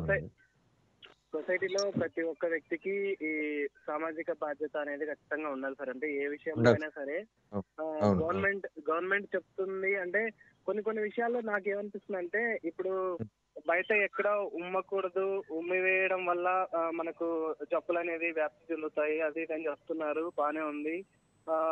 అంటే చెప్పడం వరకే కాదండి వాళ్ళ బాధ్యత మనం పాటించడం మన బాధ్యత ఒకటైతే రెండోది వాటిని మనకు సొసైటీలోకి అందుబాటులోకి రాకుండా చేయడం కూడా వాళ్ళ బాధ్యత అండి. ఇప్పుడు ఆ, ఏవైతే ఉన్నాయో బీడీలు సిగరెట్లు కానీ పాన్ పరాకు గుట్కా ఇలాంటివి ఇలాంటివి మనకు బయటికి ఆ, మనకు కొనడానికి అవైలబుల్ లేకుండా మనకు అది ఎక్కడైతే మనకు ఉత్పత్తి అనేది జరుగుతుందో అక్కడ ఉత్పత్తి అనేది ఆపేసి సరఫరా అనేది ఆపేస్తే అది బయటికి రావడం అనేది తగ్గిపోతుంది సరే వాళ్ళకి వాళ్ళకు ఏదైనా ఒక ఉపాధి అనేది కల్పిస్తే ఆల్టర్నేటివ్గా వాళ్ళు దీని మీద ఆధారపడి బతికే వాళ్ళు కొంతమంది ఉంటారు కదా వాళ్ళకు. ఉపాధి కోల్పోయి వాళ్ళు వాళ్ళ ఇబ్బందుల పాలు కాకుండా వాళ్ళ కోసం ఏదైనా ఒక ఉపాధి అనేది కల్పిస్తే ఆల్టర్నేటివ్గా ఏదైనా ప్రత్యామ్నాయంగా ఏదైనా ఉపాధి కల్పిస్తే వాళ్ళు దాని. నుంచి బయటికి రావడానికి సరిపోతుంది అట్లా ఏ విషయంలో అయినా సరే ఇప్పుడు సొసైటీలో మనకి సా- సామాజిక బాధ్యతలు బొచ్చడు ఉన్నాయి ప్రతి ఒక్కరు. కొందరు ప్రభుత్వాలు అవును. చెప్పి వదిలేస్తుంది. మనం సొంతంగా మనం తెలుసుకొని మనం వాటిలో ఆచరించడం కానీ ప్రజలకు వాళ్ళని చైతన్యపరచడం కానీ ఇలాంటి చెప్తూ ఉన్నాం. వాటిలో వేదికగానే తెలుగు ఎన్ఆర్ఐ రేడియోలో మీలాంటి వాళ్ళని పిలిపించి సామాజిక బాధ్యత గురించి చెప్పిస్తున్నారు. ఆ, తెలుగు ఎన్ఆర్ఐ రేడియో వారికి మనస్ఫూర్తిగా ధన్యవాదాలు నా తరపున. మీరు చెప్తున్నందుకు మీలాంటి వాళ్ళు మాకు అతిథులుగా వచ్చినందుకు శేషు గారు పిలిపించినందుకు శేషు గారికి కూడా మనస్ఫూర్తిగా ధన్యవాదాలు తెలియజేస్తున్నాను. మీకు కూడా మనస్ఫూర్తిగా ధన్యవాదాలు తెలియజేస్తున్నాను sir. Ya thank you sir thank you for the calling Dilip garu okay nice thank you అండి థ్యాంక్ యూ సో యా మా ఓకే సునీల్ గారు మనం సరే. బాల్య వివాహాల గురించి మాట్లాడుకుంటున్నాం. బాల్య వివాహాలు జరుగుతున్నాయని మీ కంప్లైంట్స్ వచ్చినప్పుడు. సో మరి మీరు ఎలాంటి రెస్పాన్స్ అవుతారు? యాక్చువల్గా ఇక్కడ మనం బాల్య వివాహాల కోసం కంప్లైంట్ ఇవ్వడం అనేది చాలా రేర్ సిచ్యువేషన్ ఎందుకంటే అది చాలా. థ్రెటనింగ్ ఇష్యూ అండి. సెన్సిటివ్. ఇష్యూ. ఎందుకంటే ఒక కుటుంబం ఒక పిల్ల ఒక ఒక ఒక పాపకు వివాహం చేస్తుందంటే ఆ గ్రామ స్థాయిలో ఎలా ఉంటదంటే వాళ్ళు. జరగక చేస్తున్నారులే అని చెప్పి ఒకటి ఉంటది లేదా ఈ పెళ్ళి కొడుకు ఎవరైతే వస్తారో ఆ కుటుంబం ఆ పిల్లని చేసుకోవడానికి వాళ్ళతో ఒక ఇన్ఫ్లుయెన్స్ ఎక్కువ ఉంటదండి. అబ్బాయి ఎందుకంటే అబ్బాయి వాళ్ళు కొద్దిగా డామినేటింగ్ ఉంటది ఇక్కడ. ఆ. గ్రామ స్థాయిలో కానీ లేకపోతే ఏంటి కానీ అక్కడ ఒక సంబంధం ఉంది అని చెప్పి సంబంధం చూడడానికి కానీ పిల్ల అమ్మాయిని చూడడానికి కానీ ఒకళ్ళు వచ్చేటప్పుడు అక్కడే ఒక గ్రామ స్థాయిలో గ్రామ స్థాయిలో ఎవరైతే సర్పంచ్ కానీ లేకపోతే మిగిలిన గ్రామ పెద్దలు ఉంటారో వాళ్ళందరూ వాళ్ళే వచ్చి పిల్లని చూ పెళ్ళి చూపులు చూపించాల్సిన చూపించిన పరిస్థితి అక్కడ ఉంటది. అప్పుడు ఆ విషయాన్ని ఎవరు బయటికి చెప్తారు? ఎవరికంత మ్మ్. ధైర్యం ఉంటది గ్రామ గ్రామ గ్రామ పెద్దల్ని ఎదిరించి చెప్పగలిగినటువంటి ధైర్యం ఎవరికి ఉంటది రేపు వాళ్ళ మొహాలు చూడాలి వాళ్ళ అవసరాలు తీసుకోవాలి లేకపోతే. సర్పంచ్ రేపు మనకు కావాల్సిన మనకి స్కీములు అందించడేమో ఈ భయం వల్ల ఉంటది. దానికోసమే మ్మ్. సార్ ఇప్పుడు యాక్చువల్గా చట్టం ప్రకారం ఒక ఒక గ్రామంలో ఒక బాల్య వివాహం జరిగితే అక్కడ అంగన్వాడీ టీచర్ శిక్షించబడుతుంది అక్కడ. టీచర్ అక్కడ ప్రభుత్వ పాఠశాల టీచర్ శిక్షించబడతాడు అక్కడ మ్మ్. విఆర్ఓ శిక్షించబడతాడు. అంటే ఎంఆర్ఓ వరకు శిక్షించబడతారు సార్ ఆ మండలం అంటే ఇక్కడ ఏంటంటే ఆ, ఒక బాల్య వివాహం అంత సీరియస్ ఇష్యూ ఆన్ పేపర్. చట్ట ప్రకారం భారతదేశంలో ఉన్నటువంటి చట్టం ప్రకారం ఒక బాల్య వివాహం అనేది అంత సీరియస్ ఇష్యూ. కానీ చాలా అవలీలగా జరిగిపోతుంటాయి గ్రామ స్థాయిలో. ఎలాగంటే దానికి కంప్లైంట్ ఉండదు. అంటే అందుకే మేము ఏం చేసామంటే గ్రామ స్థాయిలో మేము ఆ వివాహాల రిజిస్ట్రేషన్లు అనేవి పెట్టమని చెప్పాం. ఓకే. మీరు ఇది అబ్జర్వ్ చేస్తే వివాహాల రిజిస్ట్రేషన్లు అనేవి వన్స్ పెడితే అప్పుడు ఏమవుతుందండి? వివాహాలు వివ- పెళ్ళి అయిన వెంటనే రిజిస్టర్ చేయాలి. అవును. రిజిస్టర్ చేస్తే ఫర్దర్ స్కీమ్స్ వాళ్ళకి అప్లికబుల్ అవుతాయి. ఓకే. రిజిస్టర్ చేయాలంటే వాళ్ళకి కనీస వయసు ఉండాలి. కనీస వయసు తప్పే తప్పేయడానికి అవకాశం లేదు. ఆధార్ కార్డు ఉంది మన దగ్గర. ఓకే. సో ఇది ఒక రకంగా బా వివాహ బాల్య వివాహాలని తగ్గించేటువంటి పర్మనెంట్ సొల్యూషన్లో ఒక మార్గం అవుతుంది అనేసి ఒక చిన్న అభిప్రాయంకి వచ్చి మేము వివాహాల రిజిస్ట్రేషన్ కంపల్సరీ అంటే వివాహాల రిజిస్ట్రేషన్ రిజిస్టర్ ఉండొచ్చు ఏవో మనకు నచ్చినప్పుడు చేయొచ్చు లేకపోతే ఏం చేయొచ్చు కానీ ఉమ్, ఒక ఒక పుట్టిన పిల్లాడికి ఒక పుట్టిన పిల్లాడు అంగన్వాడీ సెంటర్లో చేర్చుకోవాలంటే ఒక లేకపోతే ఒక గర్భిణీ స్త్రీకి ఆ, రేషన్ ఇవ్వాలి అంటే గర్భిణీ స్త్రీకి వివాహం అయి ఉంటది కదండి? ఈ. వివాహం రిజిస్టర్ నెంబర్ కంపల్సరీ కావాలి. లేదా ఒక అబ్బాయిని స్కూల్లో జాయిన్ అయ్యాలంటే తల్లిదండ్రుల తాలూకా వివాహ రిజిస్ట్రేషన్ నెంబర్ కంపల్సరీగా అడగగలగాలి. మ్యాండేటరీ చేయాలి. చేసేటప్పుడు వివాహాల రిజిస్ట్రేషన్ అనేది మ్యాండేటరీ అవుతాయి కంపల్సరీ అవుతాయి.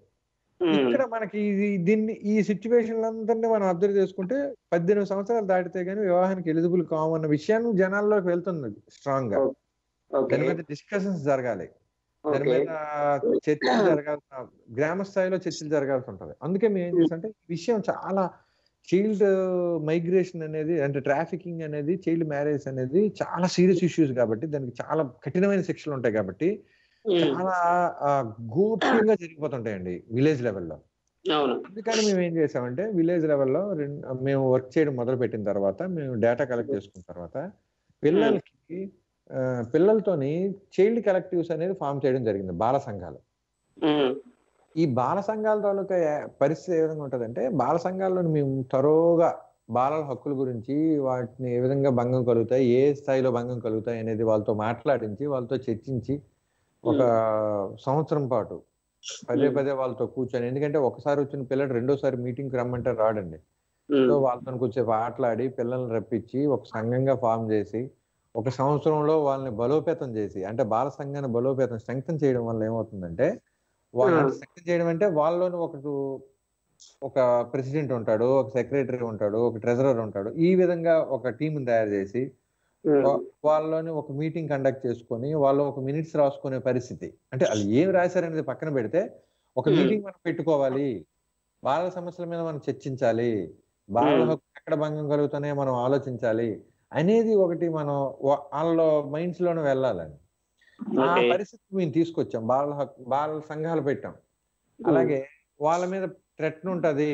వాళ్ళ పెద్దలు వాళ్ళని మందలిస్తారు. మీరు మీ సంఘాలు ఎటరా అది అని తిడతారని చెప్పి గ్రామ స్థాయిలో కూడా యువతతోని గ్రామ పెద్దలతోని గ్రామ సంఘాలు అనేది పెట్టడం జరిగింది. ఇంకొకటి ఏంటంటే మూఢాచారాలని ఒకటి పట్టుకొని ఆ దేవుడు పసిపిల్లల్ని దేవుడికి ఇచ్చి పెళ్ళి చేసి తర్వాత వారిని ఊరి మీద వదిలేసి ఆ పచ్చబొట్లని తర్వాత వాళ్ళని మాతంగులుగాను ఇట్లా రకరకాలుగా తీర్చిదిద్దుతున్నారు కదా.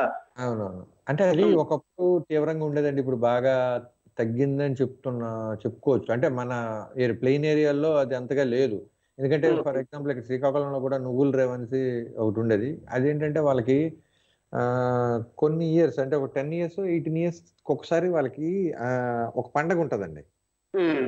ఆ పండగ జరిగినప్పుడు మాత్రమే అంటే ఫైవ్ ఇయర్స్గా సంథింగ్ నాకు ఎగ్జాక్ట్గా ఐడియా లేదు. ఆ పండగ జరిగింది ఆ ఆ పండగ జరిగినప్పుడు మాత్రమే పెళ్ళిళ్ళు చేసుకుంటారు.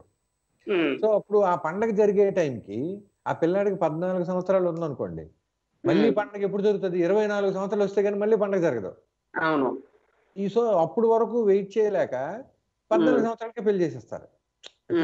పెళ్ళి పెళ్ళి చేసాం అనుకుని తర్వాత వాళ్ళు కలిసి ఉండడం అది పక్కన పెడితే వాళ్ళ తర్వాత సిచ్యువేషన్ అయితే ఇది అదొక అది మూఢాచారం కిందకి వస్తుందండి. అంటే అటువంటి ఆచారం అనేది పెళ్ళి పెళ్ళి విషయం అనేది అది ఎందుకు వచ్చింది అనేది మనం దాని అబ్జర్వేషన్లోకి నేనైతే వెళ్ళలేదు కానీ విషయం ఏంటంటే అది ఒక ఆచారాన్ని లేకపోతే గ్రామంలో చాలా గ్రామాలు కూడా ఏముంటది మన ఇంటి పండుగ చేస్తారు ఒక ఐదు సంవత్సరాలకో ఏడు సంవత్సరాలకో అప్పుడే పెళ్ళి చేసుకుంటే అంటే. పెళ్ళి పెళ్ళైన దంపతులు మాత్రమే ఆ పండుగ చేయాలి ఉందనుకోండి వాడికి. పెళ్ళి చేసి అప్పుడు ఆ పండుగ చేస్తారు అంటే ఇక్కడ ఇక్కడ చూసారా ఇక్కడ అంటే ఒక ఐదు సంవత్సరాలకు ఆరు సంవత్సరాలకు చేయాల్సిన పెళ్ళి కోసం. ఒక పద్నాలుగు ఒక బాలి ఒక బాలికకి ఒక బాలుడికి. లేదా బాలుడు పద్దెనిమిది సంవత్సరాలు అంటే ఇరవై ఒక్క సంవత్సరాల అబ్బాయికి దాటిపోయి ఉండొచ్చు కాక కానీ. బాలిక పిల్ల పాపకు మాత్రం పద్దెనిమిది సంవత్సరాలపై పెళ్ళి అయిపోతుంది ఓకే. సో ఇప్పుడు ఏదైతే ఆ సిచ్యువేషన్లోని అంటే ఒక ఒక పండగ చేయడానికి వంకాయ సాకుగా పెట్టుకొని Hmm. ఇలాంటి సిచ్యువేషన్స్ అంటే ఇది చాలా ఇప్పుడు యాక్చువల్గా ఇది పెద్ద క్రైమ్గా కనిపించి దీన్ని ఎరాడికేట్ చేశారు చాలా వరకు తగ్గించారు కానీ ఇంకా బాల్య వివాహాలు గుట్టుగా చాలా రకంగా చాలా అంటే ఒక స్కామ్ లాగా అంటే ఒక. ఒక లేయర్ ఉంటదండి ఆ లేయర్ ఏం. చేస్తుందంటే ఆ ఒక వర్గానికి ఒక వల్నరబుల్ సిచ్యువేషన్స్ క్రియేట్ చేసి ఆ. సిచ్యువేషన్లో దానికి ఇంకా లోపలికి నెట్టవేయబడుతుంది అంటే. మీకు ఎగ్జాంపుల్ చెప్తాను ఒక అబ్బ ఒక అమ్మాయికి పెళ్ళి అవుతుందండి అంటే పెళ్ళి. చూపులకు వచ్చాడు అమ్మాయికి పెళ్ళి ఇష్టం లేదు. తల్లిదండ్రులకు కూడా ఇష్టం లేదు. అమ్మాయిని తొందరగా పెళ్ళి చేయాల్సిన బా- ఇది లేదు అంటే మీకు. ఒక కేస్ స్టడీ లాగా అయితే అప్పుడు. ఏం చేశారంటే ఆ అమ్మాయికి సరే నాకు పెళ్ళి ఇష్టం లేదు కదా అంటే ఆ గ్రామ్ పెద్దొచ్చి అంటాడు చూడమ్మా చూడండి అయ్యా మీకు పెళ్ళి పెళ్ళి సంబంధాలు మంచి మంచివి రావు. మొదటి వచ్చిన సంబంధం కాదనకూడదు. కాదంటే చూసావా మొన్న దానికి ఆ పిల్లకి ఇంకా పెళ్ళి చేసుకోలే చేయలేపారు మూడు. సంబంధాలు వచ్చి కాదన్నారు ఇంకా పెళ్ళి చేసుకోలేకపోయారు చేసుకోలేకపోయింది వాళ్ళ అమ్మ నాన్న అని చెప్పి ఏదో ఒక సాక్ చూపిస్తారు. వాళ్ళకు వాళ్ళకి కేస్ స్టోరీస్ కేస్ స్టోరీస్ కొన్ని ఉంటాయి. వాటిని చూపిస్తారు. చూపించడం వల్ల వీళ్ళు మోటివ్ డి అంటే వీళ్ళు మోటివేషన్ ఏ విధంగా అవుతుందంటే ఈ విధంగా మోటివేట్ అయిపోతారు. నిజమే కావాలా పెళ్ళి కాదు కావాలా మొదటి వచ్చిన సంబంధం కా అంటే అదొక సామెత లాగా అదొక. కట్టడి లాగా అదొక ఆచారం లాగా దాన్ని డెవలప్. చేయబడుతుందండి అంటే ఒక. మూఢాచారం అనేది ఈ విధంగా డెవలప్ చేయబడుతుంది మొదటి వచ్చిన. సంబంధం కాదనకూడదు అని అంటే అంటే ఆ పిల్లాడు కూడా మొదటిసారి వెళ్ళిన సంబంధాన్ని చేసుకుంటున్నాడా. వాడు నాలుగు ఇల్లు చూసుకుంటున్నారు కదా అంటే ఇంకొక ముగ్గురు నలుగురు ఎవరో రిజెక్ట్ చేశారు కదా వాళ్ళలాగా మనం ఎందుకు ఉండకూడదు అన్న ఆలోచన వెళ్ళని కల్పించరు.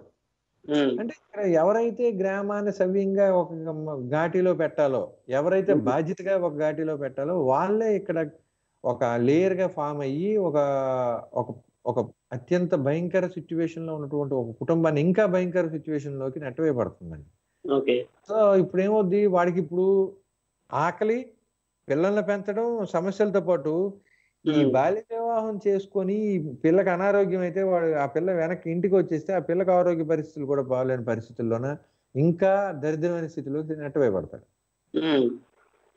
అలాగే ఒక పిల్లాడు ఉన్నాడు పిల్లాడిని ఒక చిన్నప్పుడే పనిలో నాకు ఆర్థిక పరిస్థితి బాగాలేదని చిన్న చిన్న పిల్లాడిని పనిలో పెట్టేస్తారు పనిలో. పెట్టి ఆ పిల్లాడు పద్నాలుగు సంవత్సరాల నుంచి పని చేసి చేసి చేసి వాడికి డబ్బులు వస్తాయి డబ్బులు వచ్చేసరికి పది పదిహేడు పద్దెనిమిది సంవత్సరాలు వచ్చేసరికి ఆల్కహాల్కి అలవాటు పడతాడు ఆల్కహాల్కి అలవాటు పడినాడు ఒక సిక్స్ ఇయర్స్ గట్టిగా పని చేయగలడు. తర్వాత ఇంకా పని చేయలేడు. పని. చేయలేని పరిస్థితులు అప్పటికే ఈ పిల్లలు ఒక పది సంవత్సరాలు పిల్లలు వీడికి రెడీ అవుతారు. వాళ్ళకి ఇరవై ఎనిమిది సంవత్సరాలు వచ్చేసరికి పది పది పదకొండు సంవత్సరాల పిల్లల్ని వీడికి ఉంటారు. ఇప్పుడు ఏం. చేస్తాడంటే వీడు తాగుడికి అలవాటు పడిపోయి ఏం చేస్తాడు? ఆ ఇంట్లో మరి పనికి వెళ్ళలేక పనికి పనికి ఇంకా పనికిరాడు. వాడు తీసుకోడు. ఎందుకంటే నీకు బలంగా ఉన్నవాడు మాత్రం పనిలో తీసుకుంటున్నాడు. ఎప్పుడైతే నీకు పనిలోకి వెళ్ళకపోయినా ఈ పిల్లాన్ని మళ్ళీ పని వీడి వీడి సొంత పిల్లాన్ని మళ్ళీ డ్రాప్ అవుట్ చేయించి వీడిని పనిలో పెట్టి ఆ డబ్బుల ద్వారా వీడు తాగి మిగిలిన కుటుంబాన్ని పోషించాలనే ఆలోచనలోకి వస్తది. సో ఇక్కడ ఒక ఒక వరస్ట్ సిచ్యువేషన్. ఒక అంటే ఒక స్వార్థం ఏం చేసిందంటే ఒక కుటుంబాన్ని తరతరాలుగా ఒక వ్యక్తి తాలూకా స్వార్థం కుటుంబ కుటుంబాన్ని తరతరాలుగా వెనక్కి నెట్టివేయని పరిస్థితి. అంటే ఒక తరం తరం తరం వాళ్ళకి వెనక్కి వెళ్ళిపోతుంది తప్ప అభివృద్ధి చెందట్లా. ఓకే. సో ఈ విధంగా ఆ విధంగా ఒక మూఢాచారం అనేది ఒక ఒక వ్యక్తి తాలూకా స్వార్థం వల్ల ఒక ఆచారం అనేది మొదలవుతుంది అనేది నేను గట్టిగా నమ్ముతున్నాను. ఆ విధంగా వాళ్ళకి వెనక్కి వస్తుంది అయితే ఈ బాల్య వివాహాల తాలూకా సిచ్యువేషన్ మనం మాట్లాడుతున్నప్పుడు ఈ బాల్య వివాహాల తాలూకు ఇన్ఫర్మేషన్ బయటికి రాదు. అవును. అప్పుడు మేము ఏం చేస్తామంటే ఈ ఉమ్, బాల్య వివాహాల తాలూకా కానీ చైల్డ్ ట్రాఫికింగ్ విషయం కానీ అంటే ఒక పిల్లాడిని పనిలో పెడుతున్నారన్న విషయం కానీ తల్లిదండ్రులు ఎవరికి చెప్పరు. ఎందుకంటే దాని చట్టం వాళ్ళకి శిక్షించే శిక్షిస్తుంది కాబట్టి. పిల్లలకి మాత్రం తెలుసు అరే నేను నాకు సంబంధం నాకు సంబంధం వచ్చింది అని చెప్పి వాళ్ళ ఫ్రెండ్స్కి చెప్తారు పలానా ఊరంట వాళ్ళది వాళ్ళకి బోల్డ్ అంత పెద్ద ఇల్లు ఉందంట లేకపోతే ఆయన. సీమెన్ అంట అని చెప్పి. ఈ విధంగా పిల్లలకు పిల్లల్లోనే మాట్లాడుకుంటారు పలానా. సంబంధం ఎప్పుడైతే ఆ ఇది అప్పుడు బాల్య వివాహం ఇది ఆ దీనికి పద్దెనిమిది సంవత్సరాలు నిండలేదు ఈ పాపకి సో ఈ. పాప పద్దెనిమిది సంవత్సరాలు ఇది బాల్య వివాహం బాల్య వివాహం అంటే చైల్డ్ రైట్ వైలేషన్ అవుతుంది ఎక్కడైతే రైట్ భంగం కలిగింది కాబట్టి మనం ఏం చేయాలి? మన మీటింగ్లో మాట్లాడుకోవాలి. అని చెప్పి. మీటింగ్లో మాట్లాడుకొని రాసుకొని మేము వెళ్ళేటప్పుడు మాకు ఆ రిపోర్ట్స్ ఇవ్వడం అనేది జరుగుతుంది. అప్పుడు ఏం. చేస్తాం అప్పుడు ఏం చేస్తాం? మేము పిల్లల్ని అడగమని చెప్తాం. మీరు వెళ్ళి తల్లిదండ్రుల దగ్గర ఆ అమ్మాయి తాలూకు పిల్లల దగ్గర, ఈ అన్న దగ్గర మాట్లాడండి. మీ ఫ్రెండే కదా! వాళ్ళకి మ్మ్. పెళ్ళి అయితే మనకి ఎటువంటి నష్టాలు ఉంటాయో మీరు ఎక్స్ప్లెయిన్ చేయండి అంటే వీళ్ళు చెప్తారు. చెప్తే వాళ్ళు నెగ్లెక్ట్ చేస్తారు పిల్లల్ని. మీరు. నోరు మూసుకోండి. తర్వాత.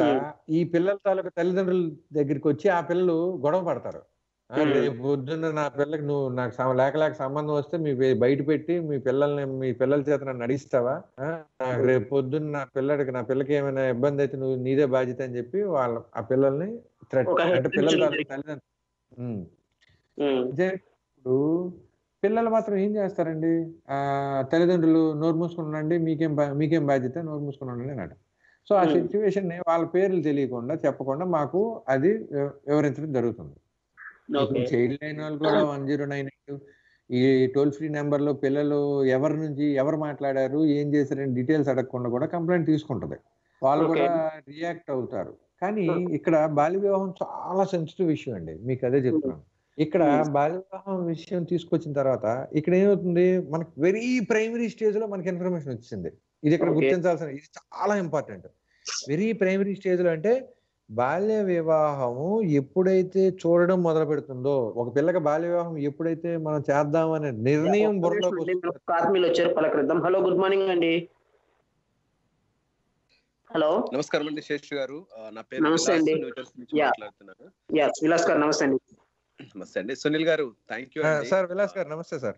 నమస్తే అండి. మీది అప్పటి నుంచి వింటున్నామండి. అందుకే. మధ్యలో కాల్ చేయొద్దు డిస్టర్బ్ చేయొద్దని. చాలా హ్యాపీగా ఉందండి.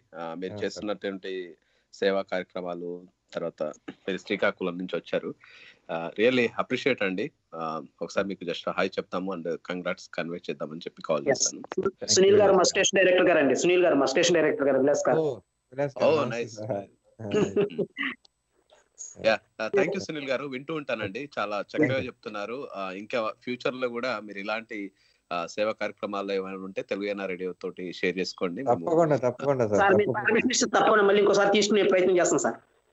తప్పకుండా అండి. యా థ్యాంక్ యూ అండి. Thank you so much thank you so much sir thank you so much for calling ya అయితే ఈ బాల్య వివాహం గురించి మాట్లాడుకుంటున్నాం కదా సార్.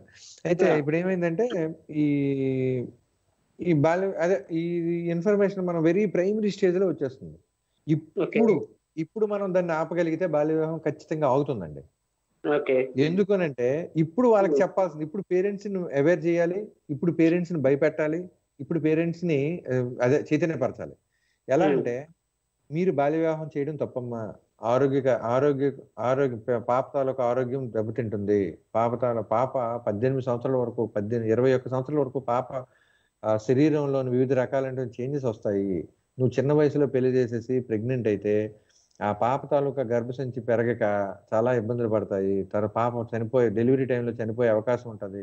నీ పిల్లని నువ్వు చంపుకు చంపుకోవడానికి పిల్లని కంటావు అని చెప్పి ఈ విధంగా అంటే. రకరకాల ఎమోషన్స్ తోని లేకపోతే చట్టం పేరు చెప్పి ఇది చాలా చాలా సున్నితమైంది. ఈ చట్ట ప్రకారం చాలా శిక్ష ఉంటది. బెయిల్ దొరకదు. ఈ సిచ్యువేషన్స్ చెప్పి అక్కడ అనేక రకాల భయపెట్టి లేకపోతే ఎమోషన్స్ తోని వాళ్ళకి అవేర్నెస్ తీసుకొచ్చి ఈ విధంగా అంటే వాళ్ళకి ఏ సిచ్యువేషన్స్ అయితే వాళ్ళని బాల్య వివాహం వైపు దారి తీసిందో ఆ సిచ్యువేషన్ మనం డామినేట్ చేయాలి అని అంటే అయితే భయపెట్టాలి చైతన్యపరచాలంటే భయపెట్టడం ద్వారా కానీ లేకపోతే వాళ్ళని ఆ నిర్ణయానికి గురి చేసినటువంటి ఎమోషన్స్ని మనం నుంచి గానీ మనం వాళ్ళని చైతన్యపరచగలగాలి. ఓకే. అప్పుడు ఏం చేయాలంటే మనం అప్పుడు తల్లిదండ్రులు కన్విన్స్ చేయాలి. వాళ్ళు కన్విన్స్ అవ్వలేదు అనుకో మాకు ఇది ఇబ్బంది ఉంది అనుకోండి దానికి సొల్యూషన్ మనం ఇవ్వాలి. ఇదిగో సరే మీ పిల్లని ఇదిగో మేము. పెట్టడం వల్ల ఏమవుతుందంటే మీ పిల్లల్ని హాస్టల్లో మీరు మీరు పిల్లల్ని పెట్టండి పెట్టి మీరు సాధారణంగా కంటిన్యూ చేయండి అని చెప్పేసి అనొచ్చు. మీ దినచర్య కార్యక్రమ పనులు కంటిన్యూ చేసుకోండి. చేసుకోండి. మీరు వలసలు వెళ్తారా లేకపోతే ఏం చేస్తారో చేసుకోండి. అప్పుడు మీకు ఇబ్బంది ఉండదు కదా మీకు పెళ్ళి చేయాల్సిన అవసరం లేదని చెప్పి మనం చేస్తాం. సో. అదొక మనం వాళ్ళ వాళ్ళని వెల్ఫేర్ హాస్టల్స్లోని జాయిన్ చేయాల్సిన బాధ్యత మేము తీసుకునే వాళ్ళం. అలాగే చాలా మ్యారేజెస్ చాలా ప్రైమరీ స్టేజ్ అంటే ఇవి రిజిస్టర్ అవ్వవు. అంటే ఒక కేసు కింద రిజిస్టర్ అవ్వవు. ఇలాంటివి ఎక్కువ కొరలు ఉంటాయి. యాక్చువల్గా చైల్డ్ లైన్కి ఏ ఇన్ఫర్మేషన్ వెళ్తుందంటే అండి చైల్డ్ లైన్ సిస్టమ్ ప్రకారం ఏదైనా బాల్య వివాహం జరుగుతునేటప్పుడు పెళ్ళి కార్డు ఫామ్ పెళ్ళి కార్డు వచ్చి ఆ పెళ్ళి కార్డు మీద సో అండ్ సో డేట్లో పెళ్ళి జరుగుతుంది అనుకునేటప్పుడు అక్కడ పిల్లలు ఆడ పెళ్ళి కూతురు కానీ పెళ్ళి కూతురు స్నేహితులు కానీ పెళ్ళి కూతురు గ్రామంలోని పిల్లలు కానీ లేకపోతే ఇంకెవరు కానీ సోషల్ రెస్పాన్సిబిలిటీస్ ఉన్న మా- మనలాంటి వ్యక్తులు కానీ ఎవరైనా ఫోన్ చేసి ఫోన్. చేస్తే పెళ్ళి పెళ్ళి ఎక్కడ జరుగుతుంది ఎప్పుడు జరుగుతుందో వాళ్ళు తెలుసుకొని పెళ్ళి జరిగిన ప్రాంతంలోకి వెళ్ళి పెళ్ళిని నిలుపుదల చేయడం అనేది జరుగుతుంది చైల్డ్ లైన్ వాళ్ళు ఓకే అది చాలా అంటే అంటే అది పెర్మనెంట్ టెంపరీగా అవుతుంది కానీ పెళ్ళి ఆగదు సార్. మరుసటి. రోజులు అని ప్లేస్ మార్చి కానీ లేకపోతే ఎవరికి చెప్పకుండా కానీ పెళ్ళి అయితే అయిపోతుంది. దానికి కారణం ఏంటో అబ్జర్వ్ చేస్తే సార్ మేము పిల్లలు ఆడపిల్ల గలవాళ్ళు అప్పటికే కట్నం ఇచ్చుకుంటారు. ఆడపిల్ల గలవాళ్ళు అప్పటికే భోజనాలు పెట్టుకుంటారు. అంటే కొంత డబ్బులు వాళ్ళు చేసిన అప్పు చేసి కొంత డబ్బులు ఖర్చు పెట్టేస్తారు సార్. ఖర్చు పెట్టాక వాళ్ళకి ఏమవుతుందంటే పెళ్ళి తప్పిపోతుందన్న ఆలోచనకు వస్తుంది తప్ప పెళ్ళి ఇంకొక పెళ్ళి జరుగుతుందన్న ఆలోచనలోకి ఉండరు వాళ్ళు. నష్టమే నష్టం కనిపిస్తుంది వాళ్ళకి ఇమీడియట్గా ఈ Hmm. ఆపిస్తే వాళ్ళకి నష్టం కనిపిస్తుంది. ఆ నష్టం దేన్ని? ఈ పిల్ల తాలూకా భవిష్యత్తున ఆ నష్టాన్ని డామినేట్ చేసేస్తుంది నష్టాన్ని. డామినేట్ చేసి ఏం చేస్తారు పిల్లని పెళ్ళి చేసేస్తాం ఓకే. ఈ పిల్లకి పెళ్ళి చేసేయడం అంటే పిల్లని వేరే దగ్గర దొంగచాటుగానే పెళ్ళి చేసేస్తారు. పెళ్ళి అయిపోయిన తర్వాత మళ్ళీ చైల్డ్ లైన్ కంప్లైంట్ వెళ్ళదండి ఇప్పుడు మనం అంటే ఎవరినైనా ఇప్పుడు ఒక చైల్డ్ లైన్ని ఇప్పుడు ఎంత ఎంతమంది పిల్లల్ని ఎన్ని ఎన్ని ఎన్ని బాల్యవాళ్ళు మీరు ఆపారు? ఇప్పటికీ అవి ఆగి ఉన్నాయా అనేది మనం అడిగితే మనకి ఇన్ఫర్మేషన్ అనేది తెలిసిపోతుంది. ఇప్పటికి అది ఆగి ఉండవు సార్. అవి. ఎప్పటికప్పుడు ఆగి ఎందుకనంటే ఇక్కడ మనం ఆపలేం కూడా. అది ఏంటంటే. అది సోషల్ అంటే మనం ఇక్కడ అక్కడ తల్లి తల్లిదండ్రుల తాలూకు సిచ్యువేషన్ బట్టి కూడా మనం అక్కడ అక్కడ తల్లిదండ్రులే క్రైమ్ చేసేస్తున్నారు. ఓకే. అంటే సిచ్యువేషన్ బట్టి మనకి ఏంటో ఏం తెలుస్తుంది అంటే పిల్లల్ని స్టేజ్ మనం ఆ బాల్య వివాహాన్ని గుర్తించి ఆపగలిగితే ఒక ఆడపిల్ల స్కూల్కి వస్తున్న అమ్మాయి పెళ్ళి చేయి స్కూల్కి రావట్లేదు అని అంటే పెళ్ళి పెళ్ళి పెళ్ళికి ఎదిగిన అమ్మాయి స్కూల్కి రావట్లేదు అని అంటే దాని అర్థం ఏంటి సార్?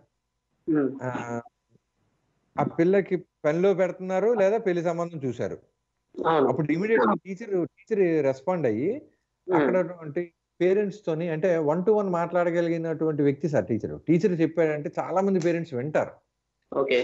టీచర్ రెస్పాన్సిబుల్గా తీసుకొని ఆ పిల్ల పిల్ల కుటుంబ సభ్యులతో మాట్లాడి ఈ తాలూకా చట్టం గురించి కానీ దీని గురించి కానీ మాట్లాడి పిల్లని పెళ్ళిని వాయిదా వేయడానికి ప్లాన్ చేయాలి. ఓకే. లేకపోతే అంగన్వాడీ టీచరు ఆ వీధిలో ఉన్నటువంటి అన్ని ఫ్యామిలీస్కి సంబంధించినటువంటి ఒక వ్యక్తి ఆ విలేజ్ సెక్రటరీ అన్ని ఫ్యామిలీస్కి సంబంధించినటువంటి ఒక వ్యక్తి ఈ విషయం వాళ్ళకి తెలిసిన వెంటనే వాళ్ళు బాల్య వివాహం చూస్తున్నారు సంబంధం చూస్తున్నారు అన్న విషయాన్ని ఎందుకు సార్ మేము ఇక్కడ ఒక ఎన్జిఓగా గ్రామ స్థాయిలో మేము ఒక కమ్యూనిటీ ఆర్గనైజర్ని పెట్టి ఒక బాల సంఘాన్ని ఏర్పాటు చేసి వాళ్ళకి ఒక ఏడు వేలు ఎనిమిది వేలు జీతం ఇచ్చి మేము ఒక ఒక ఐదు వందల కుటుంబాలకి ఒక వ్యక్తిని పెట్టుకో పెట్టగలిగి ఐదు వందల కుటుంబాల్లో ఏం జరుగుతుందని మేము అబ్జర్వ్ చేసుకునేటప్పుడు ఒక Hmm. గ్రామంలో ఉన్నటువంటి ఒక విఆర్ఓ నలుగురు టీచర్లు ఒక అంగన్వాడీ టీచరు ఒక ఆరోగ్య హెల్త్ ఒక నర్సు హెల్త్ వర్కర్ వీళ్ళందరూ పనిచేస్తున్నటువంటి ఒక విలేజ్లో ఆ విలేజ్లో పాపకి పెళ్ళి అవుతుందన్న విషయం వాళ్ళు అర్థం చేసుకోలే వాళ్ళకి తెలుసుకోలేరా సార్? తెలుసుకొని దాన్ని ఆపగలగాలి. Primary stage.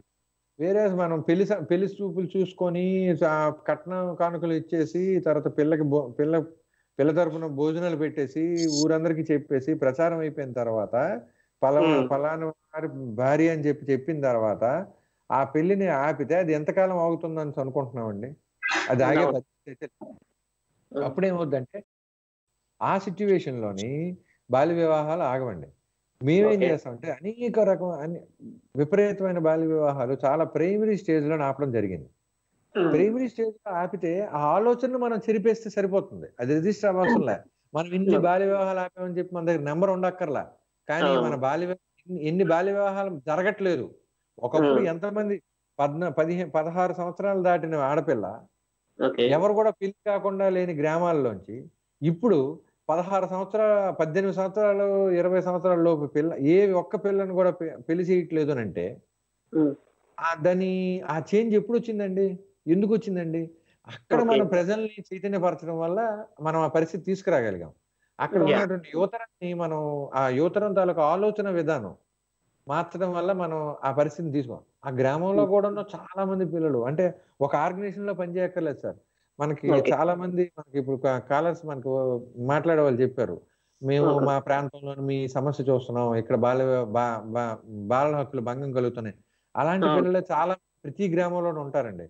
వాళ్ళలోని ఆ యాంగిల్ని మనం సృష్టించగలిగి వాళ్ళలోని ఆలోచన తీసుకురాగలిగి మనం పక్క. ఊరికి వెళ్ళిపోయి మళ్ళీ అక్కడ చైతన్య కార్యక్రమాలు చేసుకుంటే ఈ ఊరికి హండ్రెడ్ పర్సెంట్ మనం మళ్ళీ ఈ ఊరి వైపు చూడక్కర్లా ఈ ఊరు. పనిచేస్తూనే ఉంటాం ఆ అవును. ఆ విధానాలు ఆ విధా ఆ అంటే ఆ బాధ్యతగా పనిచే యువతరం నెక్స్ట్ ఆ జనరేషన్ నెక్స్ట్ జనరేషన్కి వాళ్ళు అందిస్తారు ఒరే మనం కూడా మీరు కూడా బాల్య నేను ఉద్యోగంకి వెళ్ళిపోతున్నాను లేకపోతే. నేను పనిలోకి వెళ్ళిపోతున్నాను నేను ఇంక పెద్ద ఈ బాధ్యతలు మీకు అప్పచెప్తున్నాను మీరు. పిల్లలుగా ఈ చదువుకున్న విద్యార్థులుగా ఎవరికి బాల్య వివాహం జరగకుండా చూడాల్సిన బాధ్యత ఉంది మీకు అని చెప్పి అంటే చూడండి సార్ ఒక ఒక గ్రామంలోని ఒక కమిటీ ఉంటది ఒక ఒక టెంపుల్కి ఒక కమిటీ ఉంటది.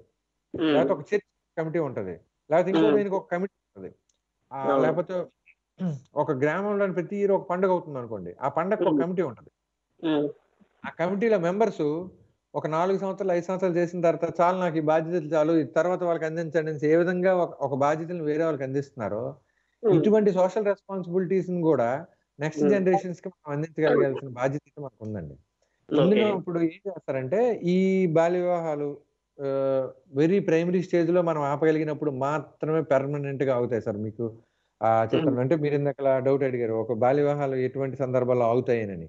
బాల్య వివాహాలు జరుగుతునేటప్పుడు అంటే ప్లాట్ఫామ్ అంతా రెడీ అయినప్పుడు పెళ్ళి కార్డులు కొట్టేసి ఇదంతా రెడీ అయినప్పుడు మాత్రం ఎట్టి పరిస్థితుల్లో బాల్య వివాహాలు అవి. ఆగో సార్ రోజుల తర్వాత అయినా అంటే ఒకటి నాలుగు రోజులు ఐదు రోజులు నెల రోజులు టెంపరీగా అవుతాయి తప్ప.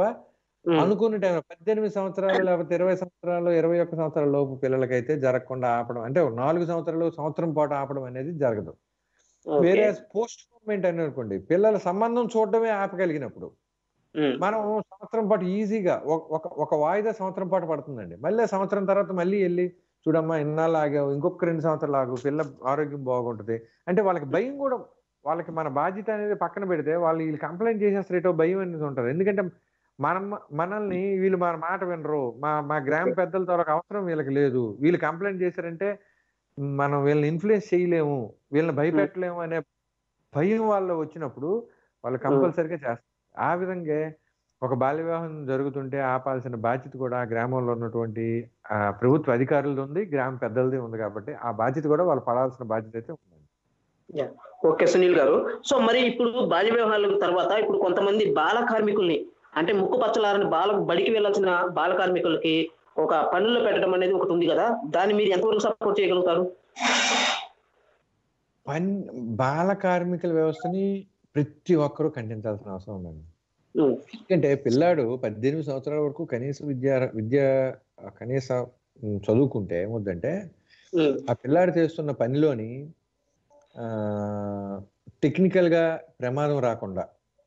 ఆ. పిల్లాడు ప్రమాదకర పరిస్థితుల్లో పనిచేస్తున్నాడా?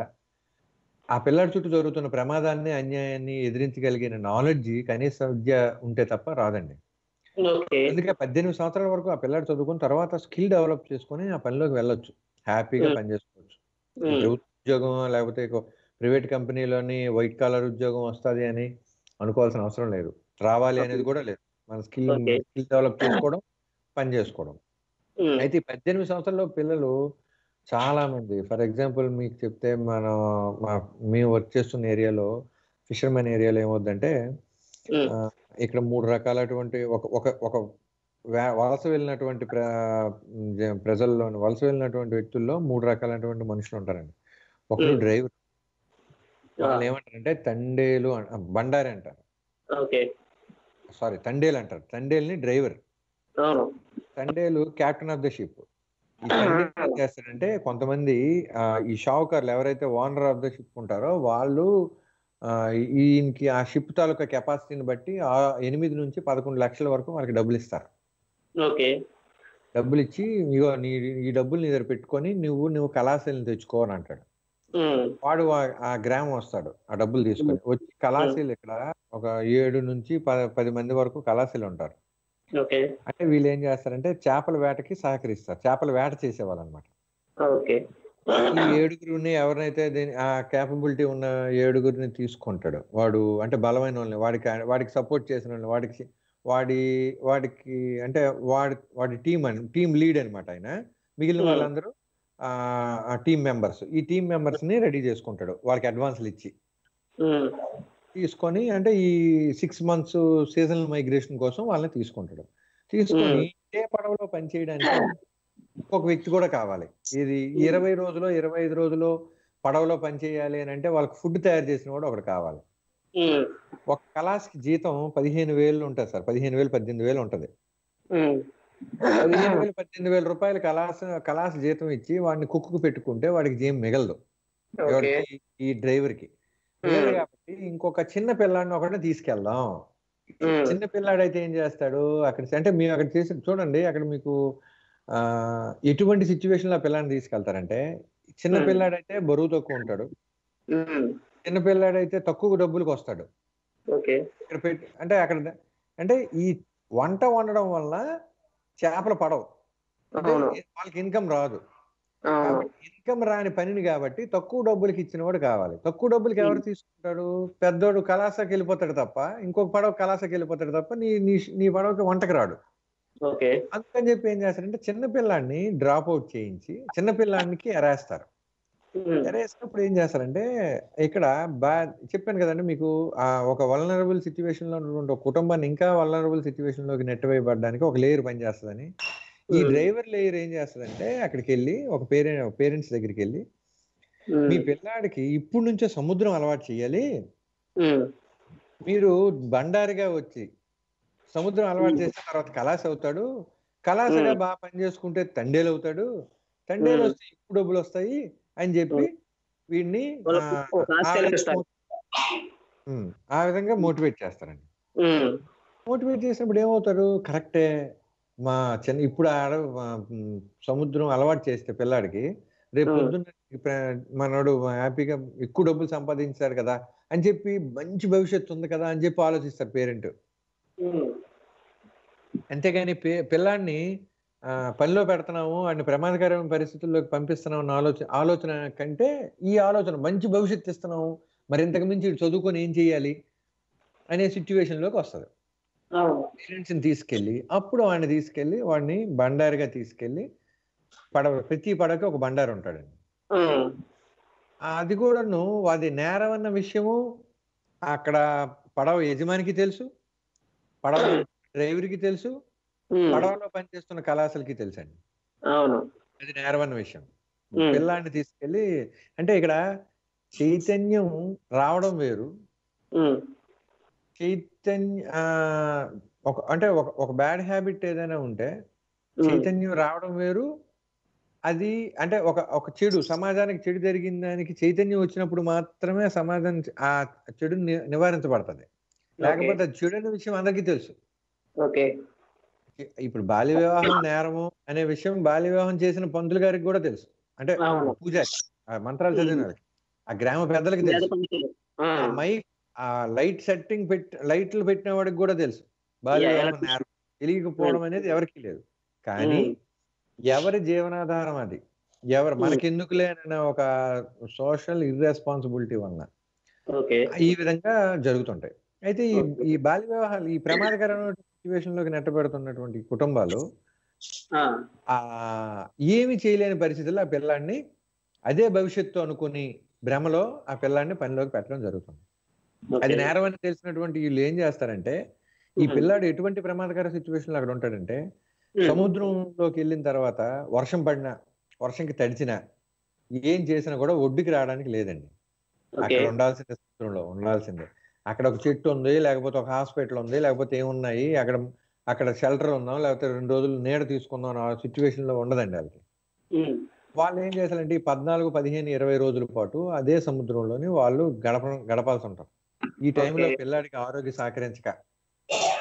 జ్వరం చేసినా ఏం చేసినా కూడా పిల్లాడు అక్కడ వాళ్ళు తీసుకెళ్ళిన మందులు వేసుకొని అక్కడ ఉండాలి తప్ప పిల్లాడికి ఎటువంటి అంటే ఇక్కడ ఏం పిల్లాడు జీవించే హక్కు కోల్పోతున్నాడు. పిల్లాడు రక్షణ పొందే హక్కు కోల్పోతున్నాడు తద్వారా. అభివృద్ధి చెందే హక్కును కూడా కోల్పోతున్నాడు ఈ మూడు హక్కులకి ఒకే దగ్గర భంగం కలుగుతుందండి. ఈ భంగం కలుగుతున్న పరిస్థితుల్లో నాకు ఏమవుతుందంటే ఆ సముద్రంలో చాలా ప్రమాదకరం. వాళ్ళు అంటే పాటి కూర్చోవలసినప్పుడు కూడా నడుంకి తాడు కొట్టుకొని పిల్లాన్ని ఆ పడవ తాలూకా ఎడ్జ్లో కూర్చొని సముద్రంలోకి ఆ విడిచిపెట్టాల్సిన పరిస్థితి వస్తుంది. తాడు తాడు ఒకటి పట్టుకొని హ్యాంగ్ అవుతూ. అది చాలా ప్రమాదకరమైందండి. ఆ పడవ తిరగబడినప్పుడు వాడికి ఈత రాకపోతే చనిపోయిన పరిస్థితులు ఉంటాయి. జ్వరం. వచ్చి ఒడ్డుకి రాకపోతే చనిపోయిన పరిస్థితులు ఉంటాయి. అంటే జ్వరం వస్తే ఒడ్డుకు వచ్చి కదా అని అనుకోవచ్చు. జ్వరం వచ్చినప్పుడు పిల్లాడికి ఆరోగ్యం పరిస్థితి బాగాలేనప్పుడు వాడు ఒడ్డుకు వచ్చేటప్పుడు వీడు ఒక నా- ముప్పై నలభై కిలోమీటర్ల అంటే ఒక పదిహేను పదమూడు పద్నాలుగు నాటికన్ మైల్ దూరంలో ఉంటాడు సముద్రంలో. వాడు వెనక్కి వచ్చినప్పుడు వీడు సెట్ అండ్ డీజిల్ ఇస్తాడు ఇన్వెస్ట్మెంట్. ఎవడు షావుకర్. అంటే ఎవరైతే ఈ ఓనర్ ఆఫ్ ద షిప్ ఉన్నాడో వాడు కొంత డీజిల్ ఇస్తాడు. ఆ డీజిల్ తోని ఇంత ఇన్కమ్ రావాలని వాడు పెట్టుకుంటాడు. ఇంత డబ్బులు డీజిల్ తోని ఇంత ఇన్కమ్ రావాలి. అంటే ఎన్ని రోజులు ఫిషింగ్ చేయాలి? ఎంత. రావాలి అనేది వాడు పెట్టుకుంటాడు. సో అన్ని రోజులు ఫిషింగ్ చేసి వాళ్ళు వెనక్కి రావాల్సిన అవసరం ఉంది. వాళ్ళు ఇరవై వేల రూపాయలు డీజిల్ ఖర్చు పెడితే రెండు లక్షల రూపాయలు ఫిషింగ్ చేసుకోవాల్సిన అవసరం ఉంది అనుకునేటప్పుడు రెండు లక్షలు ఫిషింగ్ అయినంత వరకు వాడు ఉండాల్సిందే. సో ఈ ఇరవై ఇది వెనక్కి వచ్చే పరిస్థితి లేదు. ఎందుకంటే వాడికి వాడి పెర్ఫార్మెన్స్ తగ్గిపోద్ది వీడికి నెక్స్ట్ వాడికి షావుకారు వీడికి ఇవ్వడు. అందుకని చెప్పి ఏం చేస్తారంటే ఆ పిల్లాడు ఆ పరిస్థితిలో ఉన్నా కూడా వెనక్కి రాని పరిస్థితి ఉంటుంది. వెనక్కి వస్తే డీజిల్ అయిపోద్ది. మళ్ళీ వెనక్కి వెళ్ళాలి మళ్ళీ సముద్రంలోకి రావాలంటే మన సొంత డబ్బులతో డీజిల్ పెట్టుకోవాలి. ఓకే. ఈ సిచ్యువేషన్లోనే వాడిని అలా ఉంచేస్తారు. అయితే ఈ. టైంలో కూడా కోస్టల్ గార్డ్స్ ఉంటారు. ఈ కోస్టల్ గార్డ్స్ వీళ్ళు మన ఇండియన్ వాటర్ బోర్డర్ దాటి బయటికి వెళ్ళిపోకుండా ఆ కోస్ట్ ఆ, పర్యవేక్షిస్తూ అలాగే ఇందులోని చైల్డ్ లేబర్ ఎవరైనా ఉన్నారో లేదో కూడా చెక్ చేస్తుంటారండి. చెక్ చేయడానికి వచ్చేటప్పుడు ఈ పిల్లల్ని ఏం చేస్తారంటే ఈ ఫిషింగ్ చేసిన ఫిషింగ్ చేసిన తర్వాత ఈ- చేపలు దాచినటువంటి ఐస్ బాక్సులు ఉంటాయి ప్రతి పడవలో. అవును. స్టోరేజ్ బాక్సులు. ఆ పిల్లల్ని దాచేస్తారు. ఆ పిల్లల్ని దాచేయడం వల్ల ఏమవుతుందంటే అత్యంత ప్రమాదకర సిచ్యువేషన్లో పిల్లలు దాచివేయబడతారు అక్కడ. ఏ, అది మంచు గడ్డలు కదండి? మంచుగడ్డలు ఉంటాయి. అవును. అక్కడ ఈ వీడు గంట రెండు గంటలు ఎంత టైం అయితే వీళ్ళ పడవ చుట్టూ వాడు తిరుగుతుంటాడు అన్ని అంతసేపు కూడా ఆ ఐస్ గడ్డల్లో వాడు ఉండాల్సిందే. ఒకవేళ ఈ లోపు ప్రాణం పోతే? ప్రాణం పోతే అంతే మరి. ప్రాణం పోతే అదే అంటున్నాను సార్. ఇప్పుడు ఫిషర్మెన్కి ఎవరు కూడా ఇన్సూరెన్స్ ఉండదు. లేకపోతే దానికి ఆ ఆ పడవ యజమానికి సంబంధం ఉండదు. ఎందుకంటే. నేను కాంట్రాక్ట్ ఇచ్చాను. నాకు ఈ అంటే ఇక్కడ ఎవరు మళ్ళీ ఈ ఆ గ్రామానికి సంబంధించిన డ్రైవరే రెస్పాన్సిబిలిటీ అయిపోతాడు. ఓకే. గ్రామ స్థాయిలోకి వచ్చేసరికి ఏమవుద్ది? ఈ గ్రామ డ్రైవర్ దగ్గర డబ్బులు ఉంటాయి ఈ డబ్బులు వలన గ్రామంలో ఈయనకి పలుకుబడి ఉంటది. ఇన్ఫ్లుయెన్స్ ఉంటది. ఎవరైతే పిల్లడు చనిపోయాడో ఈ పిల్లడి తాలూకా పేరెంట్స్ని ఆ గ్రామ పెద్దలు సర్లే మరి ఏం చేస్తాము? ప్రమాదం అనేది అన్నిసార్లు వస్తుందా? జరుగుతుంది మరి. బయటికి వెళ్ళి రోడ్డు యాక్సిడెంట్ చేసి చచ్చిపోయిన వాళ్ళు మనం ఏం చేస్తున్నాం? అలాంటిదేలే మరి. ఏంటి చేస్తాం? ఇదిగో ఈ పాతిక వేలు ఉంచు. ఈ ముప్పై వేలు ఉంచు అని చెప్పి వాళ్ళని డబ్బులతోని మూతు వాళ్ళ తాలూకా మూతు కట్టేయాల్సిన అవసరం పరిస్థితి అక్కడ ఏర్పడుతుంది. అంటే ఇక్కడ ఏంటంటే అంటే ఒక ఇవన్నిటికీ కారణం పరిస్థితులండి. వీళ్ళు వలస వెళ్ళకపోతే వలస వెళ్ళే. పరిస్థితి ఇక్కడ లేకపోతే ఆ పిల్లాడు చనిపోడు కదా. పాఠశాలలోని ఎప్పుడైతే నీ పిల్లాడిని పంపించావో పిల్ల పిల్లాడి తల్లిదండ్రుల మీద పిల్లాడిని పిల్లాడు వలస వెళ్ళిన వెంటనే లేడు పిల్లాడు పాఠశాలకు రావట్లేదు అనే విషయాన్ని గుర్తించినటువంటి టీచరు చర్యలు తీసుకుంటే. గ్రామ స్థాయిలో చర్యలు తీసుకుంటే తల్లిదండ్రులతో కౌన్సిలింగ్ చేసి పిల్లల్ని వెనక రప్పించడం తల్లిదండ్రులు వెళ్ళలేని పరిస్థితులు తల్లిదండ్రులు తల్లిదండ్రులు చేయలేని పరిస్థితిలో ఉండేటప్పుడు చట్టం ద్వారా వాళ్ళ మీద కేసులు పెట్టి వెనక్కి తెప్పించడం వలన ఆ. పిల్లాడు వెనక్కి వచ్చినప్పుడు ఏమవుద్దంటే ఆ, ఆ రెస్పాన్సిబిలిటీ టీచర్ కానీ ఆ గ్రామ స్థాయిలో అంగన్వాడీ టీచర్ కానీ విఆర్ఓ కానీ తీసుకునేటప్పుడు ఆ వలసలు ఆగుతాయండి. ఓకే సిచ్యువేషన్స్లోకి నెట్టవేయబడ్డాం ఉమ్, కానీ ఈ వీటన్నిటికీ కారణం మనం ఆలోచించేటప్పుడు మనకి బ్లడ్ బాయిల్ అయ్యి ఏంటిది ఏం జరుగుతుంది మన చుట్టూ మన ఆ. మనం ఇటువంటి సొసైటీలో అంటే ఎవరో ఒక ఒక స్వార్థం కోసం జనాల్లో ఇదవుతుందా అని చెప్పేసి మనం వెళ్తే మన ఆ. మీద అనేక రకాలటువంటి ఇబ్బందులు మన మీద గురి చేసే పరిస్థితి ఉందండి ఎందుకంటే. మేము రెండు వేల పదిహేడులో మేము ఒక కార్యక్రమం చేసాం. గ్రామ స్థాయిలో ఈ బాల్య ఈ చైల్డ్ ట్రాఫికింగ్ ఎక్కువగా జరుగుతుంది. బాల పిల్లల్ని ఈ వలస తీసుకెళ్ళిపోతున్నారు ఈ. డ్రాప్ అవుట్ చేస్తున్నారు అనేది ఒక ప్రధానమైనటువంటి ఇష్యూగా తీసుకురావాలన్న ఒక ఉద్దేశంతో మేము ఏం చేసాం? ఆ, ఒక ఈ వలస ఈ మా చైల్డ్ కలెక్టివ్స్ అన్ని దగ్గర నుంచి ఒక ఇన్ఫర్మేషన్ తీసుకున్నాం. నూట రెండు ఫ్యామ్ నూట రెండు మంది పిల్లల్ని సో అండ్ సో డేట్లో సో అండ్ సో ట్రైన్ మీద ట్రైన్ మీద వెళ్ళిపోతున్నారు. రిజర్వేషన్లు అయిపోయేవి. వాళ్ళ తాలూకా పేరెంట్స్ పేర్లు ఇవి వాళ్ళ తాలూకా రేషన్ కార్డులు ఇవి వాళ్ళ అడ్రస్ ఇది అని చెప్పి మేము నూట రెండు మంది పిల్లల్ని ఐడెంటిఫై చేసి వలస వెళ్ళిపోతున్నటువంటి పిల్లల్ని ఐడెంటిఫై చేసి స్థానిక పోలీస్ స్టేషన్లో కంప్లైంట్ చేసాం కంప్లైంట్ చేసి వన్ వీక్ ఎటువంటి యాక్షన్ లేదు. ఓకే. లేకపోతే మేము ఏం చేసామంటే కలెక్టర్ గారికి వన్ వీక్ తర్వాత రిప్రజెంటేషన్ ఇచ్చాం. కలెక్టర్ గారు ఏం చేశారంటే లక్ష్మీ నరసింహ గారు అని ఉండేవాళ్ళు. ఆయన ఏం చేశారు? చాలా సీరియస్గా ఇష్యూని తీసుకొని ఇదేంటిది? అవును. నూట రెండు మంది వలస వెళ్ళిపోతున్నారు. అంటే ఇప్పుడు ఏ గవర్నమెంట్ రికార్డ్లో కూడా ఎక్కువ నూట రెండు మంది అనేది చాలా సీరియస్ ఇష్యూ సార్ వలస అనేసరికి ఒకరు వెళ్ళిపోయారు ఇద్దరు వెళ్ళిపోయారు. అక్కడ వంద ఒక గ్రామం నుంచి ముప్పై మంది పిల్లలు వెళ్ళిపోయారు. యా గ్రామం నుంచి ముప్పై మంది పిల్లలు వెళ్ళిపోయారు. అంటే మీకు మొదట్లో చెప్పాను చూడండి ఎన్రోల్మెంట్ అనేది. ఎన్రోల్మెంట్ హండ్రెడ్ పర్సెంట్ జరుగుతుంది? రిటెన్షన్ మాత్రం హండ్రెడ్ పర్సెంట్ లేదండి. ఒక గ్రామంలో వంద మంది పిల్లలు ఉంటే వంద మంది పిల్లలు ఆ అంగన్వాడీ సెంటర్ నుంచి పాఠశాలకు వెళ్తే ఈ పాఠశాలలోని నుంచి ఎనభై మంది పిల్లలు మాత్రమే యూపీ స్కూల్కి వెళ్తే యూపీ. స్కూల్ నుంచి టెన్త్ క్లాస్ పాస్ అయ్యి బయటకు వెళ్ళిన వాళ్ళు ఎంతమంది ఉంటారండి? ముప్పై మంది ఉంటారండి. ఓకే. ఇంటర్మీడియట్కి వెళ్ళిన వాళ్ళు పది మందినండి. ఒక గ్రామంలోని పిల్లలు ఎంతమంది ప్రై జూనియర్ కాలేజీకి వెళ్తున్నారంటే పది మంది వెళ్తారు. ఈ. మిగిలిన తొంభై మంది ఏమైనట్టు so. Before school level before junior college ఆగిపోయారు అంటే పద్దెనిమిది. సంవత్సరాల పిల్లలు డ్రాప్ అవుట్ అయిపోయారు ఇక్కడ మనం డ్రాప్ అవుట్ లేవంటే ఎలా నమ్ముతాం నువ్వు. గ్రామంలో ఎంత మంది అయితే ఎన్రోల్మెంట్ అయ్యారో అంతమంది నీకు పాస్ అవుట్ అయ్యారా అంతమంది. నీకు జూనియర్ కాలేజీకి వెళ్తున్నారా అంతమంది. నీకు యూపీ కాలేజ్ యూపీ స్కూల్కి వచ్చారా అనేది ఒక చెకింగ్ అనేది జరగట్లేదండి ఓకే ఇక్కడ ఏమవుతుందంటే పేరెంట్స్తో వలస వెళ్ళిపోయారు కాబట్టి ఇక్కడ అటెండెన్స్ రిజిస్టర్లో పేరు తీసేసి ఒక పిల్లాన్ని ట్రాక్ చేయాలండి. ట్రాక్ చేసే సిస్టమ్ ఇప్పుడు వచ్చింది డెవలప్ అవుతుంది. ట్రాక్ చేసినప్పుడు పిల్లాడు ఆ స్కూల్లో ఉన్నాడా ఊర్లో ఉన్నాడా బయట ఉన్నాడా ప్రమాదకరం సిచ్యువేషన్లో నెట్టవే పడుతున్నాడా అనే విషయాన్ని మనం గమనించి అది తెలుస్తుంది. ఇప్పుడు సిస్టమ్ డెవలప్ అవుతున్న ఇండియాలో కూడా. ఇప్పుడు ఇంతవరకు బాగానే చట్టాలు ఇంప్లిమెంటేషన్ జరుగుతుంది. ఇంకా జరగాల్సిన అంటే చట్టం అనేది తయారు చేసేస్తారు సార్. పాలసీ మేకర్స్కి ఎప్పుడు కూడా మంచి ఆలోచన ఉంటది. మంచి పాలసీ తయారు చేస్తారు. దాని ఇంప్లిమెంటేషన్లో ఆ అధికారుల తాలూకా బాధ్యత అనేది కంపల్సరీగా ఉండాలి సార్. గ్రామ స్థాయిలోని గ్రామ గ్రామ పెద్దల తాలూకా బాధ్యత అనేది కంపల్సరీగా ఉండాలి ఉండాలండి. సో ఇక్కడ ఏంటంటే చట్టం ఇంప్లిమెంటేషన్ హండ్రెడ్ పర్సెంట్ జరగాలి అనేది మేము ఇప్పుడు కూడా డిమాండ్ చేస్తూనే ఉంటాం ప్రభుత్వాలకి. Right education hundred percent demand చట్ట ప్రకారం హండ్రెడ్ పర్సెంట్ ఇంప్లిమెంటేషన్ చేయాలి.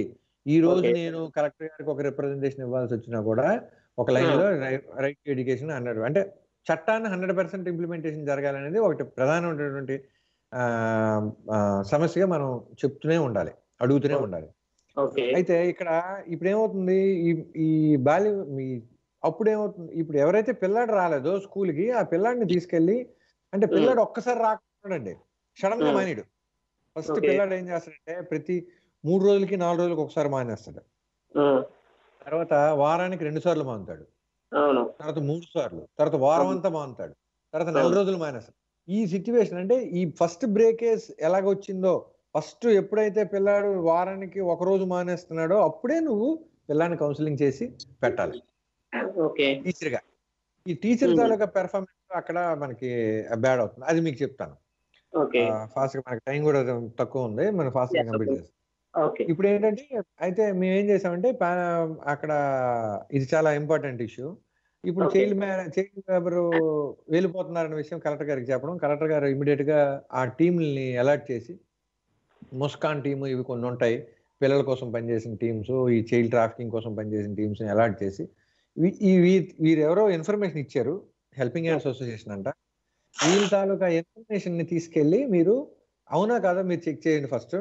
వీళ్ళు. ఎవరో ఇన్ఫర్మేషన్ మాత్రం మనం ఏ విధంగా యాక్షన్ తీసుకుంటాం అని చెప్పి చెప్పడం జరిగింది. వాళ్ళు. గ్రామంలోకి వచ్చి వాళ్ళు- చెక్ చేసుకున్నారు. చెక్ చేసుకుని ఇన్ఫర్మేషన్ హండ్రెడ్ పర్సెంట్ కరెక్ట్ అని చెప్పి చెప్పారు. చెప్పిన తర్వాత ఏం చేశారంటే కలెక్టర్ గారు ఇమీడియట్గా దీని మీద యాక్షన్ తీసుకోండి అని అన్నారు. గ్రామ గ్రామంలోని అన్ని కుటుంబాల దగ్గరికి వెళ్ళారు. మేము ఇచ్చిన లిస్ట్లో ప్రతి కుటుంబం దగ్గరికి వెళ్ళిపోయి అందరి దగ్గర కూడా వార్నింగ్ ఇచ్చి మీ మీద కేసులు పెట్టాల్సి ఉంటది. ఇటువంటి పిల్ల పిల్లల్ని చట్టం ప్రకారం చట్టం ప్రకారం పనిలో పెట్టడం నేరం అని చెప్పి. చెప్పడం జరిగింది. వాళ్ళ దగ్గర అఫిడవిట్లు తీసుకోవడం జరిగింది. కానీ అప్పటికే అడ్వాన్స్ తీసుకున్నటువంటి కుటుంబాలు భయపడుతున్నటువంటి కుటుంబాలు వల్నరబుల్ సిచ్యువేషన్ ఉన్నటువంటి కుటుంబాలు ఏం చేసింటే పిల్లల్ని తప్పనిసరి పరిస్థితుల్లోని ఆ డ్రైవర్ తాలూకా ఒత్తిడికి తలొగ్గి గ్రామ స్థాయిలో మేము చూసుకుంటాం మీకు ఎందుకు ఏదైనా అయితే మేము చూసుకుంటాం పోలీసులకి ఇన్ఫర్మేషన్ ఇచ్చినప్పుడు కదా అని చెప్పి వాళ్ళని మభ్య పెట్టి ఉమ్, పిల్లల్ని పనిలోకి తీసుకెళ్ళడం పనిలోకి అదే వలస తీసుకెళ్ళడానికి సిద్ధపడ్డారు. సిద్ధపడిన రోజు ఆ ట్రైన్ రైల్వే స్టేషన్లో శ్రీకాకుళం ఆమదలవలస రైల్వే స్టేషన్లోని మేము డెబ్బై రెండు మంది పిల్లల్ని మేము పట్టుకున్నాం. సో ఇక్కడ అది ఒకటి మనం పట్టుకున్నాము అనేది వాళ్ళు నేరం చేయలేదండి. పిల్లలు ఇక్కడ నేరం చేయలేదు మనం పట్టుకోవడం వాళ్ళ చైల్డ్ అంటే వాళ్ళ పనిలోంచి రిలీజ్ చేసాం. విడుదల విముక్తి కల్పించారు. ఎగ్జాక్ట్గా మనం అంటే మనం ఆ విధంగా అంటే మనం మాట్లాడుకోవడం బెటర్. పనిలోంచి అంటే పనికి అంటే వాళ్ళకి ఒక పని బందీ నుంచి విడుదల చేసాం. విడుదల చేసి ఏం చేసామంటే మనం నియర్ నియరెస్ట్ దీంట్లోని మనం పెట్టడం జరిగింది. మన ఆర్గనైజేషన్ తాలూకా హాస్టల్ ఒకటి రన్ చేస్తున్నాం అబ్బాయిల కోసం. అందులో అక్కడ పెట్టి డ్రైవర్ల మీద కేసు పెట్టారు ప్రభుత్వం. వాళ్ళు. డ్రైవర్ మీద నాన్ బెయిలబుల్ కేసులు పెట్టారు. డ్రైవర్లు మళ్ళీ ఆ గ్రామంలోని పలుకుబడి ఉన్న వ్యక్తులు కదండి? మా. మీద థ్రెట్నింగ్ వచ్చింది మమ్మల్ని కొడతామని మా కార్యకర్తలను చంపుతామని మేము మేము తీసుకెళ్ళిన మా వెహికల్స్ని గాలి తీసేస్తామని లేకపోతే మిమ్మల్ని కొట్టేసి ఇక్కడ సముద్రంలో పడిస్తే మీకు ఎవరు అడుగుతారని ఈ విధంగా భయపెట్టడం చేయడం చేయడం మొదలు ఇక్కడ మనం మేము దాన్ని అబ్జర్వ్ చేసి ఎవరు బ్లాక్ మెయిల్ చేశారు? ఆ గ్రామంలోని ఆ డ్రైవర్ తాలూకా ఇన్ఫ్లుయెన్స్ పడిన కొంతమంది వ్యక్తులు మాత్రం చేశారు. తల్లిదండ్రులు కానీ ఆ యువత కానీ మంచి పని చేశారు. ఇలాగ చేయాలి ఇలాగ మనం ఎప్పుడో చేయాల్సింది చాలా మంచి పని జరిగిందన్న విషయాన్ని వాళ్ళు ఆ వాళ్ళు గుర్తించడం మనం గుర్తించాం. వాళ్ళు. ఏ విధంగా మన మన పనిని అప్రిషియేట్ చేస్తాం బయటికి చెప్పట్లేదు కానీ అప్రిషియేట్ చేస్తున్నారు. మనకి. అన్న కాల్స్ చేస్తున్నారు. సార్ మీరు ఎవరికి చెప్పదు నా పేరు చెప్పదు కానీ చాలా మంచి పని చేశారండి. నేను ఎప్పటి నుంచో చేయాలనుకున్నాను నేను. మీరు మంచి పని చేశారు అని చెప్పి. చెప్పడం మొదలు పెట్టారు మొదలు పెడితే అప్పుడు మేము ఏం చేస్తాం? గ్రామంలోకి వెళ్ళి గ్రామంలో మీటింగ్ పెట్టి మా అప్పటికి మా సెక్రటరీ నరసింహమూర్తి గారు ఉండేవారు. మేమందరం వెళ్ళి గ్రామంలో మీటింగ్ పెట్టి చెప్పాం క్లియర్గా చూడండి మీరు మా మేము మేము మీ ఇంటికి వస్తాం. మీ పిల్లల కోసం. పనిచేస్తాం మీరు మాకు టీ నీళ్ళు కూడా ఇవ్వక్కర్లా. మీరు మీరు ఒక్క పైసా కూడా మా కోసం మీరు ఖర్చు పెట్టొద్దు. మీరు మీ చెప్పిన పనులు మీరు చెయ్యండి ఉమ్, మీ పిల్లల భవిష్యత్తు మాకు విడిచిపెట్టండి మేము చూసుకుంటాం అని చెప్పి చెప్పడం జరిగింది. అంటే వాళ్ళకి ఏంటంటే పిల్లల భవిష్యత్తు పిల్లల హక్కుల కోసం ఫైట్ చేసేటప్పుడు అండి పిల్లల తాలూకా ఇమీడియట్గా అదే రిలీఫ్ కూడా మనం చూడాల్సిన బాధ్యత ఉంది. అంటే ఒక పిల్లని హాస్టల్లో జాయిన్ చేయడం కానీ ఆ పిల్లాడికి స్కాలర్షిప్ రావడం కానీ ఆ పిల్లాడికి గవర్నమెంట్ స్కీములను అప్లై చేసి అప్లికబుల్ అయ్యేటట్టు చేయడం కానీ బాధ్యత మనం తీసుకునేటప్పుడు ఇటువంటి చైల్డ్ రైట్ అనేది మనం ఈజీగా చేయగలం. ఓకే. ఇప్పుడు ఏం చేసామంటే పిల్లల్ని బాధ్యత మాకు అప్పచెప్పాం మేము మేము చేదు గులికి లాంటి వాళ్ళు మీ. మీరు మీరు అవి తినేటప్పుడు చేదు అనిపిస్తుంది కానీ మీరు లోపలికి వెళ్ళిన తర్వాత శరీరానికి మంచి చేస్తుంది. ఇప్పుడు ఎవరైతే స్వీట్గా మాట్లాడారో ఎవరైతే మీకు డబ్బులు ఎర చూపిస్తున్నారో ఎవరైతే మీ పిల్లల్ని ప్రలోభ పెట్టి పనుల్లో పెట్టుకుంటున్నారో వాళ్ళు స్వీట్ లాంటి వాళ్ళు తినేటప్పుడు స్వీట్గా ఉంటే లోపల బాడీలోకి వెళ్ళిన తర్వాత హామ్ చేస్తుంది. అది మీకు. మంచిది కాదు అని చెప్తూ మీ మీద మీరు మా మీద పేడ నీళ్ళు చల్లియండి. మమ్మల్ని డిస్క్రిమినేట్ చేయండి. కానీ మీ మీ ఊరు వస్తుంది మీ పిల్లలంటే మాకు ఇష్టం. ఇక్కడ మా స్వార్థం కూడా ఉంది రేపు మా పిల్లలు ఒక పాఠశాలకు వెళ్ళి గ్రామం విలే స్కూల్కి వెళ్ళి సేఫ్గా ఇంటికి రావాలి అంటే మీ. పిల్లలు కూడా చదువుకోవాలి అనే ఒక. స్వార్థంతో మా పిల్లలు అంటే స్వార్థంతోనే మేము ఇక్కడ పనిచేస్తున్నాం అని చెప్తూ పిల్ల. అక్కడ ఉన్న కుటుంబాలతో మాట్లాడితే వాళ్ళతో ఒక అంటే ఇక్కడ గ్రామ పెద్దలు ఈ కుట్రతో ఉన్న వాళ్ళు నలుగురు ఐదుగురు ఉంటారండి ప్రజలందరూ ఎప్రిషియేషన్స్ వచ్చేసరికి వీళ్ళు కామ్ అయిపోయారు ప్రజలందరూ చప్పట్లు కొట్టి "ఇది మంచి పని అండి ఇది మేము ఎప్పుడో చేయాలి మా కోసం మీరు పని చేస్తున్నారు మా మా మీకేం అవసరం మీరు మాకు ఓట్లు అడగరు లేకపోతే మాకు డబ్బులు అడగరు లేకపోతే మా తి- మా మేము తింటున్న భోజనాలు మీరు అడగరు మాకు రేషన్ కార్డులు ఇప్పించారు మా పిల్లల తర- మా రోడ్లని బాగు చేయించమని చెప్పి మా తరపున మీరు కలెక్టర్ గారిని అడిగారు. మాకు. ఆరోగ్య ఆరోగ్యం సరిగ్గా అందట్లేదని అడిగారు. మా లేకపోతే మా మా తొలక పిల్లలకి ఇమ్యునైజేషన్ షెడ్యూల్ ప్రకారం జరగట్లేదని అడిగారు. అంటే మేము ఇమ్యునైజేషన్ డ్రైవ్ కూడా చేసామండి అది కూడా. పెద్దది ఇలాంటిదే. చైల్డ్ రైట్స్ కోసం అంటే ఈ ఈ చైల్డ్ ట్రాఫికింగ్ కోసం చేసిన డ్రైవ్ లాంటిదే. అయితే. ఈ అప్పుడు ఏం చేశారంటే ఎప్రిషియేషన్ ఎప్పుడైతే ప్రజల్లో వచ్చిందో అలాగే. ఒక ఈ కౌన్సిలింగ్లో ఈ మీటింగ్స్లో ఒక వ్యక్తి వచ్చి మాకు చెప్పాడు. ఇక్కడ ఒక పిల్లాడు ఉన్నాడు నా కొడుకు ఉన్నాడు వాడు వాడు ఇప్పుడు ఏడో తరగతి చదువుతున్నాడు పన్నెండు సంవత్సరాలు వాడికి. వాడు పన్నెండు సంవత్సరాలు వచ్చింది రెండో తరగతి పుస్తకం వాడికి ఇస్తాను. వాడు. తప్పు లేకుండా చదవగలిగితే. నేను ఈ గ్రామంలోని ఏ పిల్లాన్ని కూడా నేను పనిలో పెట్టను అని అన్నాడు. ఎప్పుడైతే వీడు పని ఇలా అన్నాడో అప్పుడు మాకు అర్థమైంది ఏంటంటే మనం ఇక్కడ కాన్సన్ట్రేట్ చేయాల్సింది తల్లిదండ్రుల మీద కాదు. స్కూల్ పైన. స్కూల్ పైన. ఎగ్జాక్ట్గా స్కూల్ పైన. స్కూల్ తాలూకా పని విధానం ప్రాపర్గా లేదు. స్కూల్ పెర్ఫార్మెన్స్ బాగాలేదని చెప్పి స్కూల్ మీద పనిచేయడం జరిగింది. స్కూల్ మీద పనిచేసి పాఠశాల టీచర్లు టైంకి రాకపోవడం అప్పటికి సిచ్యువేషన్.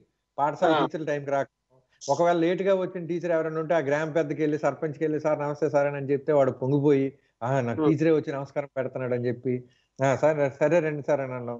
ఎవరైనా అడిగితే ఎవరైనా. కుర్రోడు దాన్ని నన్ను ప్రశ్నిస్తే నోరు మూసుకుంటారా నేను మెంబర్ని లేకపోతే నేను సర్పంచ్ని ప్రశ్నిస్తే నేను ప్రశ్నించాలి కానీ నాకు లేని బాధ బాధ నీకెందుకు? నోరు మూసుకొని నీ పని చేసుకోవాలనే సిచ్యువేషన్స్ అక్కడ ఉన్న. పరిస్థితుల్లోంచి. యువకులకి మనం వెళ్ళిన తర్వాత ఒక సంఘం ఏర్పాటు చేసి వాళ్ళకి ఒక బ్రాండ్ ఇచ్చి అంటే హెల్పింగ్ హ్యాండ్స్ తరపు నుంచి కానీ ఒక చైల్డ్ రైట్స్ యాక్టివిస్ట్గా వాళ్ళకి ఇచ్చి ఇది ఎస్ చైల్డ్ రైట్ యాక్టివిస్ట్ని నేను అడుగుతాను అనే ఒక ధైర్యాన్ని వాళ్ళకి నింపినప్పుడు ఇప్పుడు గ్రామంలోని ఇప్పుడు మనం అక్కడ పని చేయకపోయినా పర్వాలేదండి. ఆ గ్రామంలోని అక్కడ పిల్లలే ఆ పాఠశాల పని చేయకపోయినా తాళాలు వేయడం టీచర్ టైంకి Hmm. రాకపోతే తాళాలు వేస్తారు తాళాలు ఇప్పుడు తాళాలు వేస్తే డిఈఓ కంప్లైంట్ చేస్తారు మీరు రెండు Hmm. ఇన్స్పెక్షన్ కానీ అలాగా Hmm. డిఈఓ కంప్లైంట్ చేయడం డిఓ గారు వచ్చి ఒక నలుగురిని సస్పెండ్ చేయడం ఒక ముగ్గురు టీచర్లకి మెమోలు ఇవ్వడం ఈ సిచ్యువేషన్స్లో మిగిలిన జిల్లా మొత్తం ఇది వ్యాప్తి చెందడం ప్రతి Hmm. టీచర్ కూడాను గ్రామం చక్కగా టైంకి ఇన్ టైం అంటే Hmm. టైమింగ్స్ మెయింటైన్ చేయమని టైమింగ్స్ మెన్షన్ చేయమని చెప్పి యాక్చువల్గా ప్రీ స్కూల్ ప్రైమరీ స్కూల్కి ఒక టైం సార్ ఇక్కడ ప్రైమరీ స్కూల్ అనేసరికి నా ఊర్లో ఒక టైమింగ్ మీ ఊర్లో ఒక టైమింగ్ ఉండదు. మొత్తం. ఒకే టైమింగ్ ఉంటుంది. ఆ టైమింగ్ మెయింటైన్ చేయ యా, నీ- ఆ పది గంటలకి టీచర్ వెళ్తే స్కూల్ పది గంటలకే కదా అని అనుకుంటారు జనాలు. టీచర్ ఎన్ని. గంటలకు వస్తే అన్ని గంటలకే అనుకుంటారు. సో మనం ఆ, అక్కడ టైం మెన్షన్ చేయాలి. మెను మెను అనేది మెన్షన్ చేయాలి. ఇవన్నీ. చేసినప్పుడు గవర్నమెంట్ పిల్లలు స్కాలర్షిప్స్ ఇస్తున్నాయి? అవి అప్లై చేయాలి. ఈ Ah. ఈ రకమైనటువంటి సిచ్యువేషన్స్ అన్న తీసుకొచ్చినప్పుడు పిల్లలకి చదువు పట్ల శ్రద్ధ కల్పించగలగాలి. క్లాసులో. టీచర్ కూడా ఏ విధంగా ఎంత రెస్పాన్సిబుల్గా ఉండాలంటే ఇది చెప్పి యాక్చువల్గా మనం కన్క్లూడ్ చేయొచ్చు. పిల్లాడిని స్కూల్లో గెలిపించవచ్చు గెలిపించాలండి. పిల్లాడు. డ్రాప్ అవుట్ అవడానికి తల్లిదండ్రుల బాధ్యత కాదండి. నిన్న. ఒక పరిస్థితుల్లో అంటే ఒక నిన్న కూడా ఒక ఒక కాలర్ అంటే ఒక మన రేడియోలోనే ఒకరు మాట్లాడుతూ తల్లిదండ్రుల బాధ్యత పిల్లల విషయంలో చాలా ఉందని. అవునండి ఉంది. At the. సేమ్ టైం దాని పిల్లల కోసం పనిచేస్తున్న ప్రతి ఒక్కరి మీద ఉందండి. టీచరు ఒక ఒక ఒక క్లాసులో ఒక పిల్లాడు తొందరగా అర్థం చేసుకుంటాడు ఒక సబ్జెక్ట్ని ఒక పిల్లాడు స్లోగా అర్థం చేసుకుంటాడు. స్లోగా అర్థం చేసుకున్న పిల్లాడిని ఏం చేయాలంటే ఆ, ఆ, ఆ టీచర్ని ఆ వాళ్ళని వాళ్ళని కూడా డెవలప్ చేసుకునే పరిస్థితులు వాళ్ళ వాళ్ళు నేర్చుకుంటారండి బీఈడీలో వాళ్ళు ఏ. విధంగా ఒక డల్ స్టూడెంట్ని ఏ విధంగా వాళ్ళని మెరిట్ స్టూడెంట్గా చేయాలి అని. ఎందుకంటే ప్రతి ఒక్కడు మైండ్ ఈడు మెరిట్ ఈడు డల్ అనేది మైండ్తో రాడండి. వాడు బయటకు వచ్చిన తర్వాత ఆ మైండ్కి pra- చెప్పే ప్రాక్టీస్ని బట్టి ఆధారపడి ఉంటుంది. వాడి మైండ్ షార్ప్ అవుతుందా లేదనేది. సో. ఇక్కడ ఏం చేయాలంటే టీచర్ కూడాను ఒక పిల్లాడు చక్కగా అర్థం చేసుకొని కాన్సన్ట్రేటెడ్గా విని ఆ ఆన్సర్ చెప్పగలిగినప్పుడు ఇంకో పిల్లడు వినలేని టైంలో ఏం చేయాలంటే ఆ అబ్బాయిని కాన్సన్ట్రేషన్కి ఏ విధంగా తీసుకురావాలి? ఒక పిల్లాడు ఒక క్వశ్చన్ ఆన్సర్ చెప్పినప్పుడు వెరీ గుడ్ అని ఎలా కూర్చోబెట్టినప్పుడు ఆ పిల్లాడి తరకు కాన్సన్ట్రేషన్ ఎడ్యుకేషన్ మీదకి వస్తుందండి. ఆడికి ఒక క్వశ్చన్ అడిగి అరే నువ్వు ఇంతేనరా మీ నాన్న చేపలు పట్టుకుంటాడు నువ్వు చేపలు పట్టుకోపో నువ్వు దానికి తప్ప నేను పనికిరావనంటే ఆడు నిజమే కావాలా? మ్యాథ్స్ చెప్పారు కదా టీచర్ చెప్పారు కదా నేను చేపలు పట్టుకోవడానికి పనికి వస్తానేమో అని చెప్పి వాడు చేపలు పట్టుకోవడానికి వెళ్ళిపోతాడు. నాకు అదే కరెక్ట్ ఏమో అని అనుకుంటాడు. అలా. కాకుండా ఒక కష్టమైన ప్రశ్న చెప్పలేని టైంలోనూ వాడికి ఒక ఈజీ అంటే వాడి వాడు ఎంతవరకు ఆలోచిస్తున్నాడో వాడి నాలెడ్జ్ ఏంటో తెలుసుకున్న వ్యక్తి ఆ- నాలెడ్జ్ లెవెల్ వరకు ఒక ఈజీ క్వశ్చన్ వేసి శబాష్. వెరీ గుడ్ అని కూర్చుంటే వాడు ఎవరితో కంపేర్ చేసుకుంటాడు? ఆ క్లాసులో తెలివైన కూర అన్ని వెరీ శభాషణ కూర్చోమన్నారు మేషారు నన్ను వెరీ గుడ్ శభాషణ కూర్చోమన్నారు. కాబట్టి Hmm. నాకు వాడికి తేడా లేదు. నేను చదువుకుంటానని చెప్పి వాడు చదువు మీద దృష్టి పెడతాడు. నా ఆడికి పాఠశాల అంటే ఇంట్రెస్ట్ ఉంటుంది. ఏదో సంవత్సరంకి ఒకసారి పాఠశాల పిలుస్తుంది బడి పిలుస్తుంది రండి చేరండి రెండంత మాత్రాన పాఠశాల పిల్లలు ఎప్పుడు కూడా చేరండి పాఠశాల పిల్లల్ని ఆకర్షించబడాలి. పాఠశాల పిల్లల్ని పిలువబడాలి. పాఠశాల పిల్లల్ని అక్కడికి వెళ్తే నాకు ఆహ్లాదకరమైన వాతావరణం కల్పించబడాలి. టీచర్. ఫ్రెండ్లీ ఉండాలి. స్టూడెంట్ టీచర్ ఫ్రెండ్లీ డెవలప్ అవ్వాలి. డెవలప్ అయినప్పుడు ఆ టూ టీచర్కి అంటే పాఠ చాలా పాఠశాలలోని ల్యాబ్స్ ఉంటాయి. ఏ ల్యాబ్లో కూడా పిల్లాడు దాన్ని ల్యాబ్లో ఎక్స్పెరిమెంట్ చేయ చేసే పరిస్థితులు ఉండదు. ఎందుకంటే అది అయిపోయినా అది పోయినా నాకు గవర్నమెంట్ లేకపోతే డిఈఓ నా పై అధికారులు అది అడుగుతారు పాడైపోతాయి దాని దాని సంగతి ఏంటో అది అద్దాలను పెట్టి చాలా గుంచుతాను కదా అదే అదే అని చెప్పేస్తారు. సో ఇక్కడ Yeah. ఎక్కడ కూడా అంటే అదే అంటున్నాను ఇది రికరింగ్ ఫండింగ్. ఎక్కువ డబ్బులు అలర్ట్ చేయాలి గవర్నమెంట్ పాఠశాల నిర్వహణ కోసం. ప్రాక్టికల్స్ ఎక్కువ కండక్ట్ చేయాలి. పిల్లలు స్టూడెంట్ ఫ్రెండ్లీగా టీచర్స్ ఉండగలగాలి. పాఠశాలలో డెవలప్ అయినప్పుడు భారతదేశం ఒక పది సంవత్సరాల పాటు పాఠశాల కేవలం పాఠశాల మీద మనం. ఢిల్లీ చూసాం.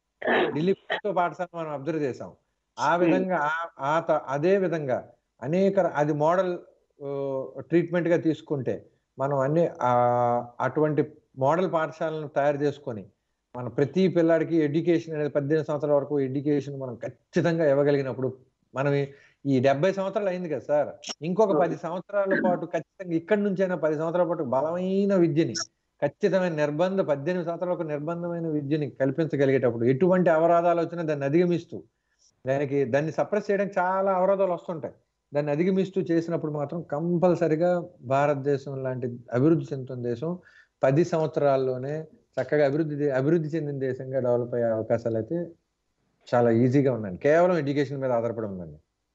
Yes correct Sunil garu. Exactly correct ya thank you thank you Sunil garu. మీరు విలువైన సమాచార సమయాన్ని మా కోసం కేటాయించి మాకు ఎన్నో మంచి మంచి విషయాలను బాలల హక్కులను మరియు బాల్య వివాహాలకు సంబంధించి తర్వాత విద్య ఎలా ఉండాలి అక్కడ పాఠశాలలకు సమయాలు టీచర్స్ ఎలా పాటించాలనే ఎన్నో విషయాలపైన మాతో కూలస్యంగా చర్చించి మమ్మల్ని అందరినీ మంచి ఇంప్రూవ్ చేసినందుకు మీకు ఒక్కసారి ప్రత్యేక ధన్యవాదాలు తెలుపుకుంటున్నాము. మళ్ళీ మీతో అవకాశం ఉంటే మరొకసారి ఇంటర్వ్యూ చేస్తామని మనసారా ఇంకా చాలా విషయాలు ఉన్నాయి సార్ ఇంకా యాక్చువల్గా అంటే అంటే మనం ఇంకొక అంటే మీకు అది మీరు ఆలోచించండి అది ఎంతవరకు సాధ్యం అసాధ్యమో వీలైతే. మనం ఒక ఒక రెండు మూడు ఇలాంటి యాక్టివిస్టులను కలిసి అంటే Yeah. కంటిన్యూస్గా షేర్ చేసిన దానికంటే ఒక ఇద్దరు ముగ్గురు యాక్టివిస్టులను కలిసి ఎక్కువ మంది కాలర్స్ మనం తీసుకొని వాళ్ళ తాలూకా ఆలోచనలు కానీ మనం పంచుకోగలిగినట్లయితే అంటే ఇది ఒక ఇది ఇది కూడా ఒక సోషల్ యాక్టివిటీ అంటే మీరు మీ- మీరు కూడా సోషల్ రెస్పాన్సిబిలిటీ ఉంది తరపున. అంటే మా తరపు నుంచి అర్జీలాగా కూడా మీరు పంపించండి.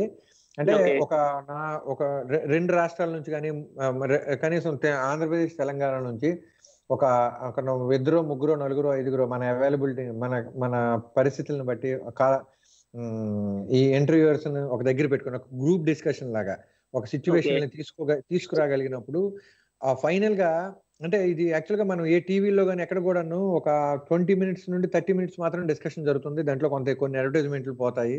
పోగా మిగిలిన సమయం ఫైనల్గా కన్క్లూషన్కి రాదండి డిస్కషన్. కన్క్లూజన్కి రాకుండా క్లోజ్ అయిపోద్ది. ఏంటి ఏంది ఏం చూసాం మనం ఇంతవరకు అని అనిపిస్తుంది. సో ఇక్కడ. ఏంటంటే మన డిస్కషన్ కంక్లూషన్కి అంటే మనకి ఇక్కడ మాక్సిమం టైం ఇక్కడ టూ అవర్స్ అనేది హ్యూజ్ టైం కాబట్టి ఒక డిస్కషన్ కండక్ట్ చేసి దాని కంక్లూజన్ యా.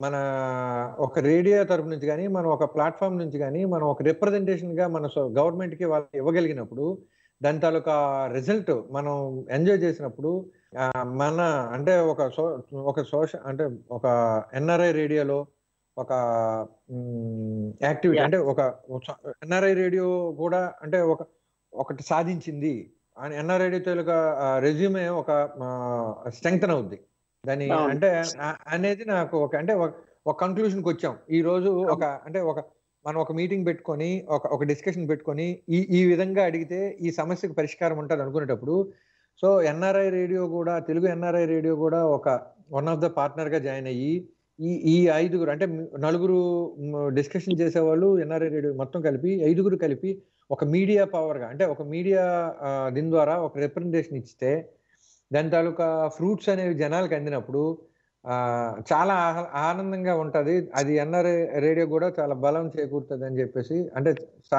నాకు ఒక ఒక చిన్న ఐడియా వచ్చింది. అది మీతో పంచుకుంటున్నాను. అది. వీలైతే అది అది అది ఇదైతే మాత్రం చాలా బాగుంటది. మిగిలిన దీని ప్రాచుర్యం కూడా పెరుగుద్ది అని చెప్పి నాకు ఆలోచన సార్. థ్యాంక్ యూ అండి. తప్పకుండా వీలుని బట్టి తప్పకుండా ఇదే ప్రయత్నం చేస్తామని మాటిస్తున్నామండి. యా మీ విలువైన సమయాన్ని మాతో కేటాయించినందుకు మీకు మళ్ళొకసారి ధన్యవాదాలు తెలియజేసుకుంటూ యా మళ్ళీ గారు. మీతో ఇంటర్వ్యూ జరిపే అవకాశాన్ని కల్పిస్తారని ఆశిస్తూ మీ నుండి సెలవు కోరుతున్నామండి తప్పకుండా, sir thank you Sesh garu. Thank you very much thank you. Telugu NRI TV. Thank you ఆత్మీయులందరికీ కృతజ్ఞతలు. థ్యాంక్ యూ అండి. Thank you Dilip garu. Okay friends మరి విన్నారు కదా? మరి సునీల్ కో సునీల్ గారు ఎన్నో మంచి మంచి విషయాలను మనతో షేర్ చేసుకుని ఎన్నో అద్భుత విషయాలను మనతో షేర్ చేసుకున్నారు సో సునీల్ గారితో మరొకసారి ఇంటర్వ్యూ మళ్ళీ వీలైతే తీసుకుందాం. సో ఫ్రెండ్స్ మరి సారీ వినయ్ గారు మీ షోని కొంచెం ఎక్స్టెండ్ తీసుకోవాల్సి వచ్చింది ఒక ఆరు నిమిషాల పాటు. I'm very extremely sorry. So friends మరి ఈనాటి పడమట సంధ్యారం కార్యక్రమాన్ని ఇంతటితో ముగిస్తూ మళ్ళా ఇంకొక మంచి కార్యక్రమంలో మళ్ళీ మీ ముందు ఉంటాడు మీ ఆర్జే శేషు అని తెలియజేసుకుంటూ మీ నుండి సెలవు కోరుతున్నారు మీ RJ Seshu signing off bye bye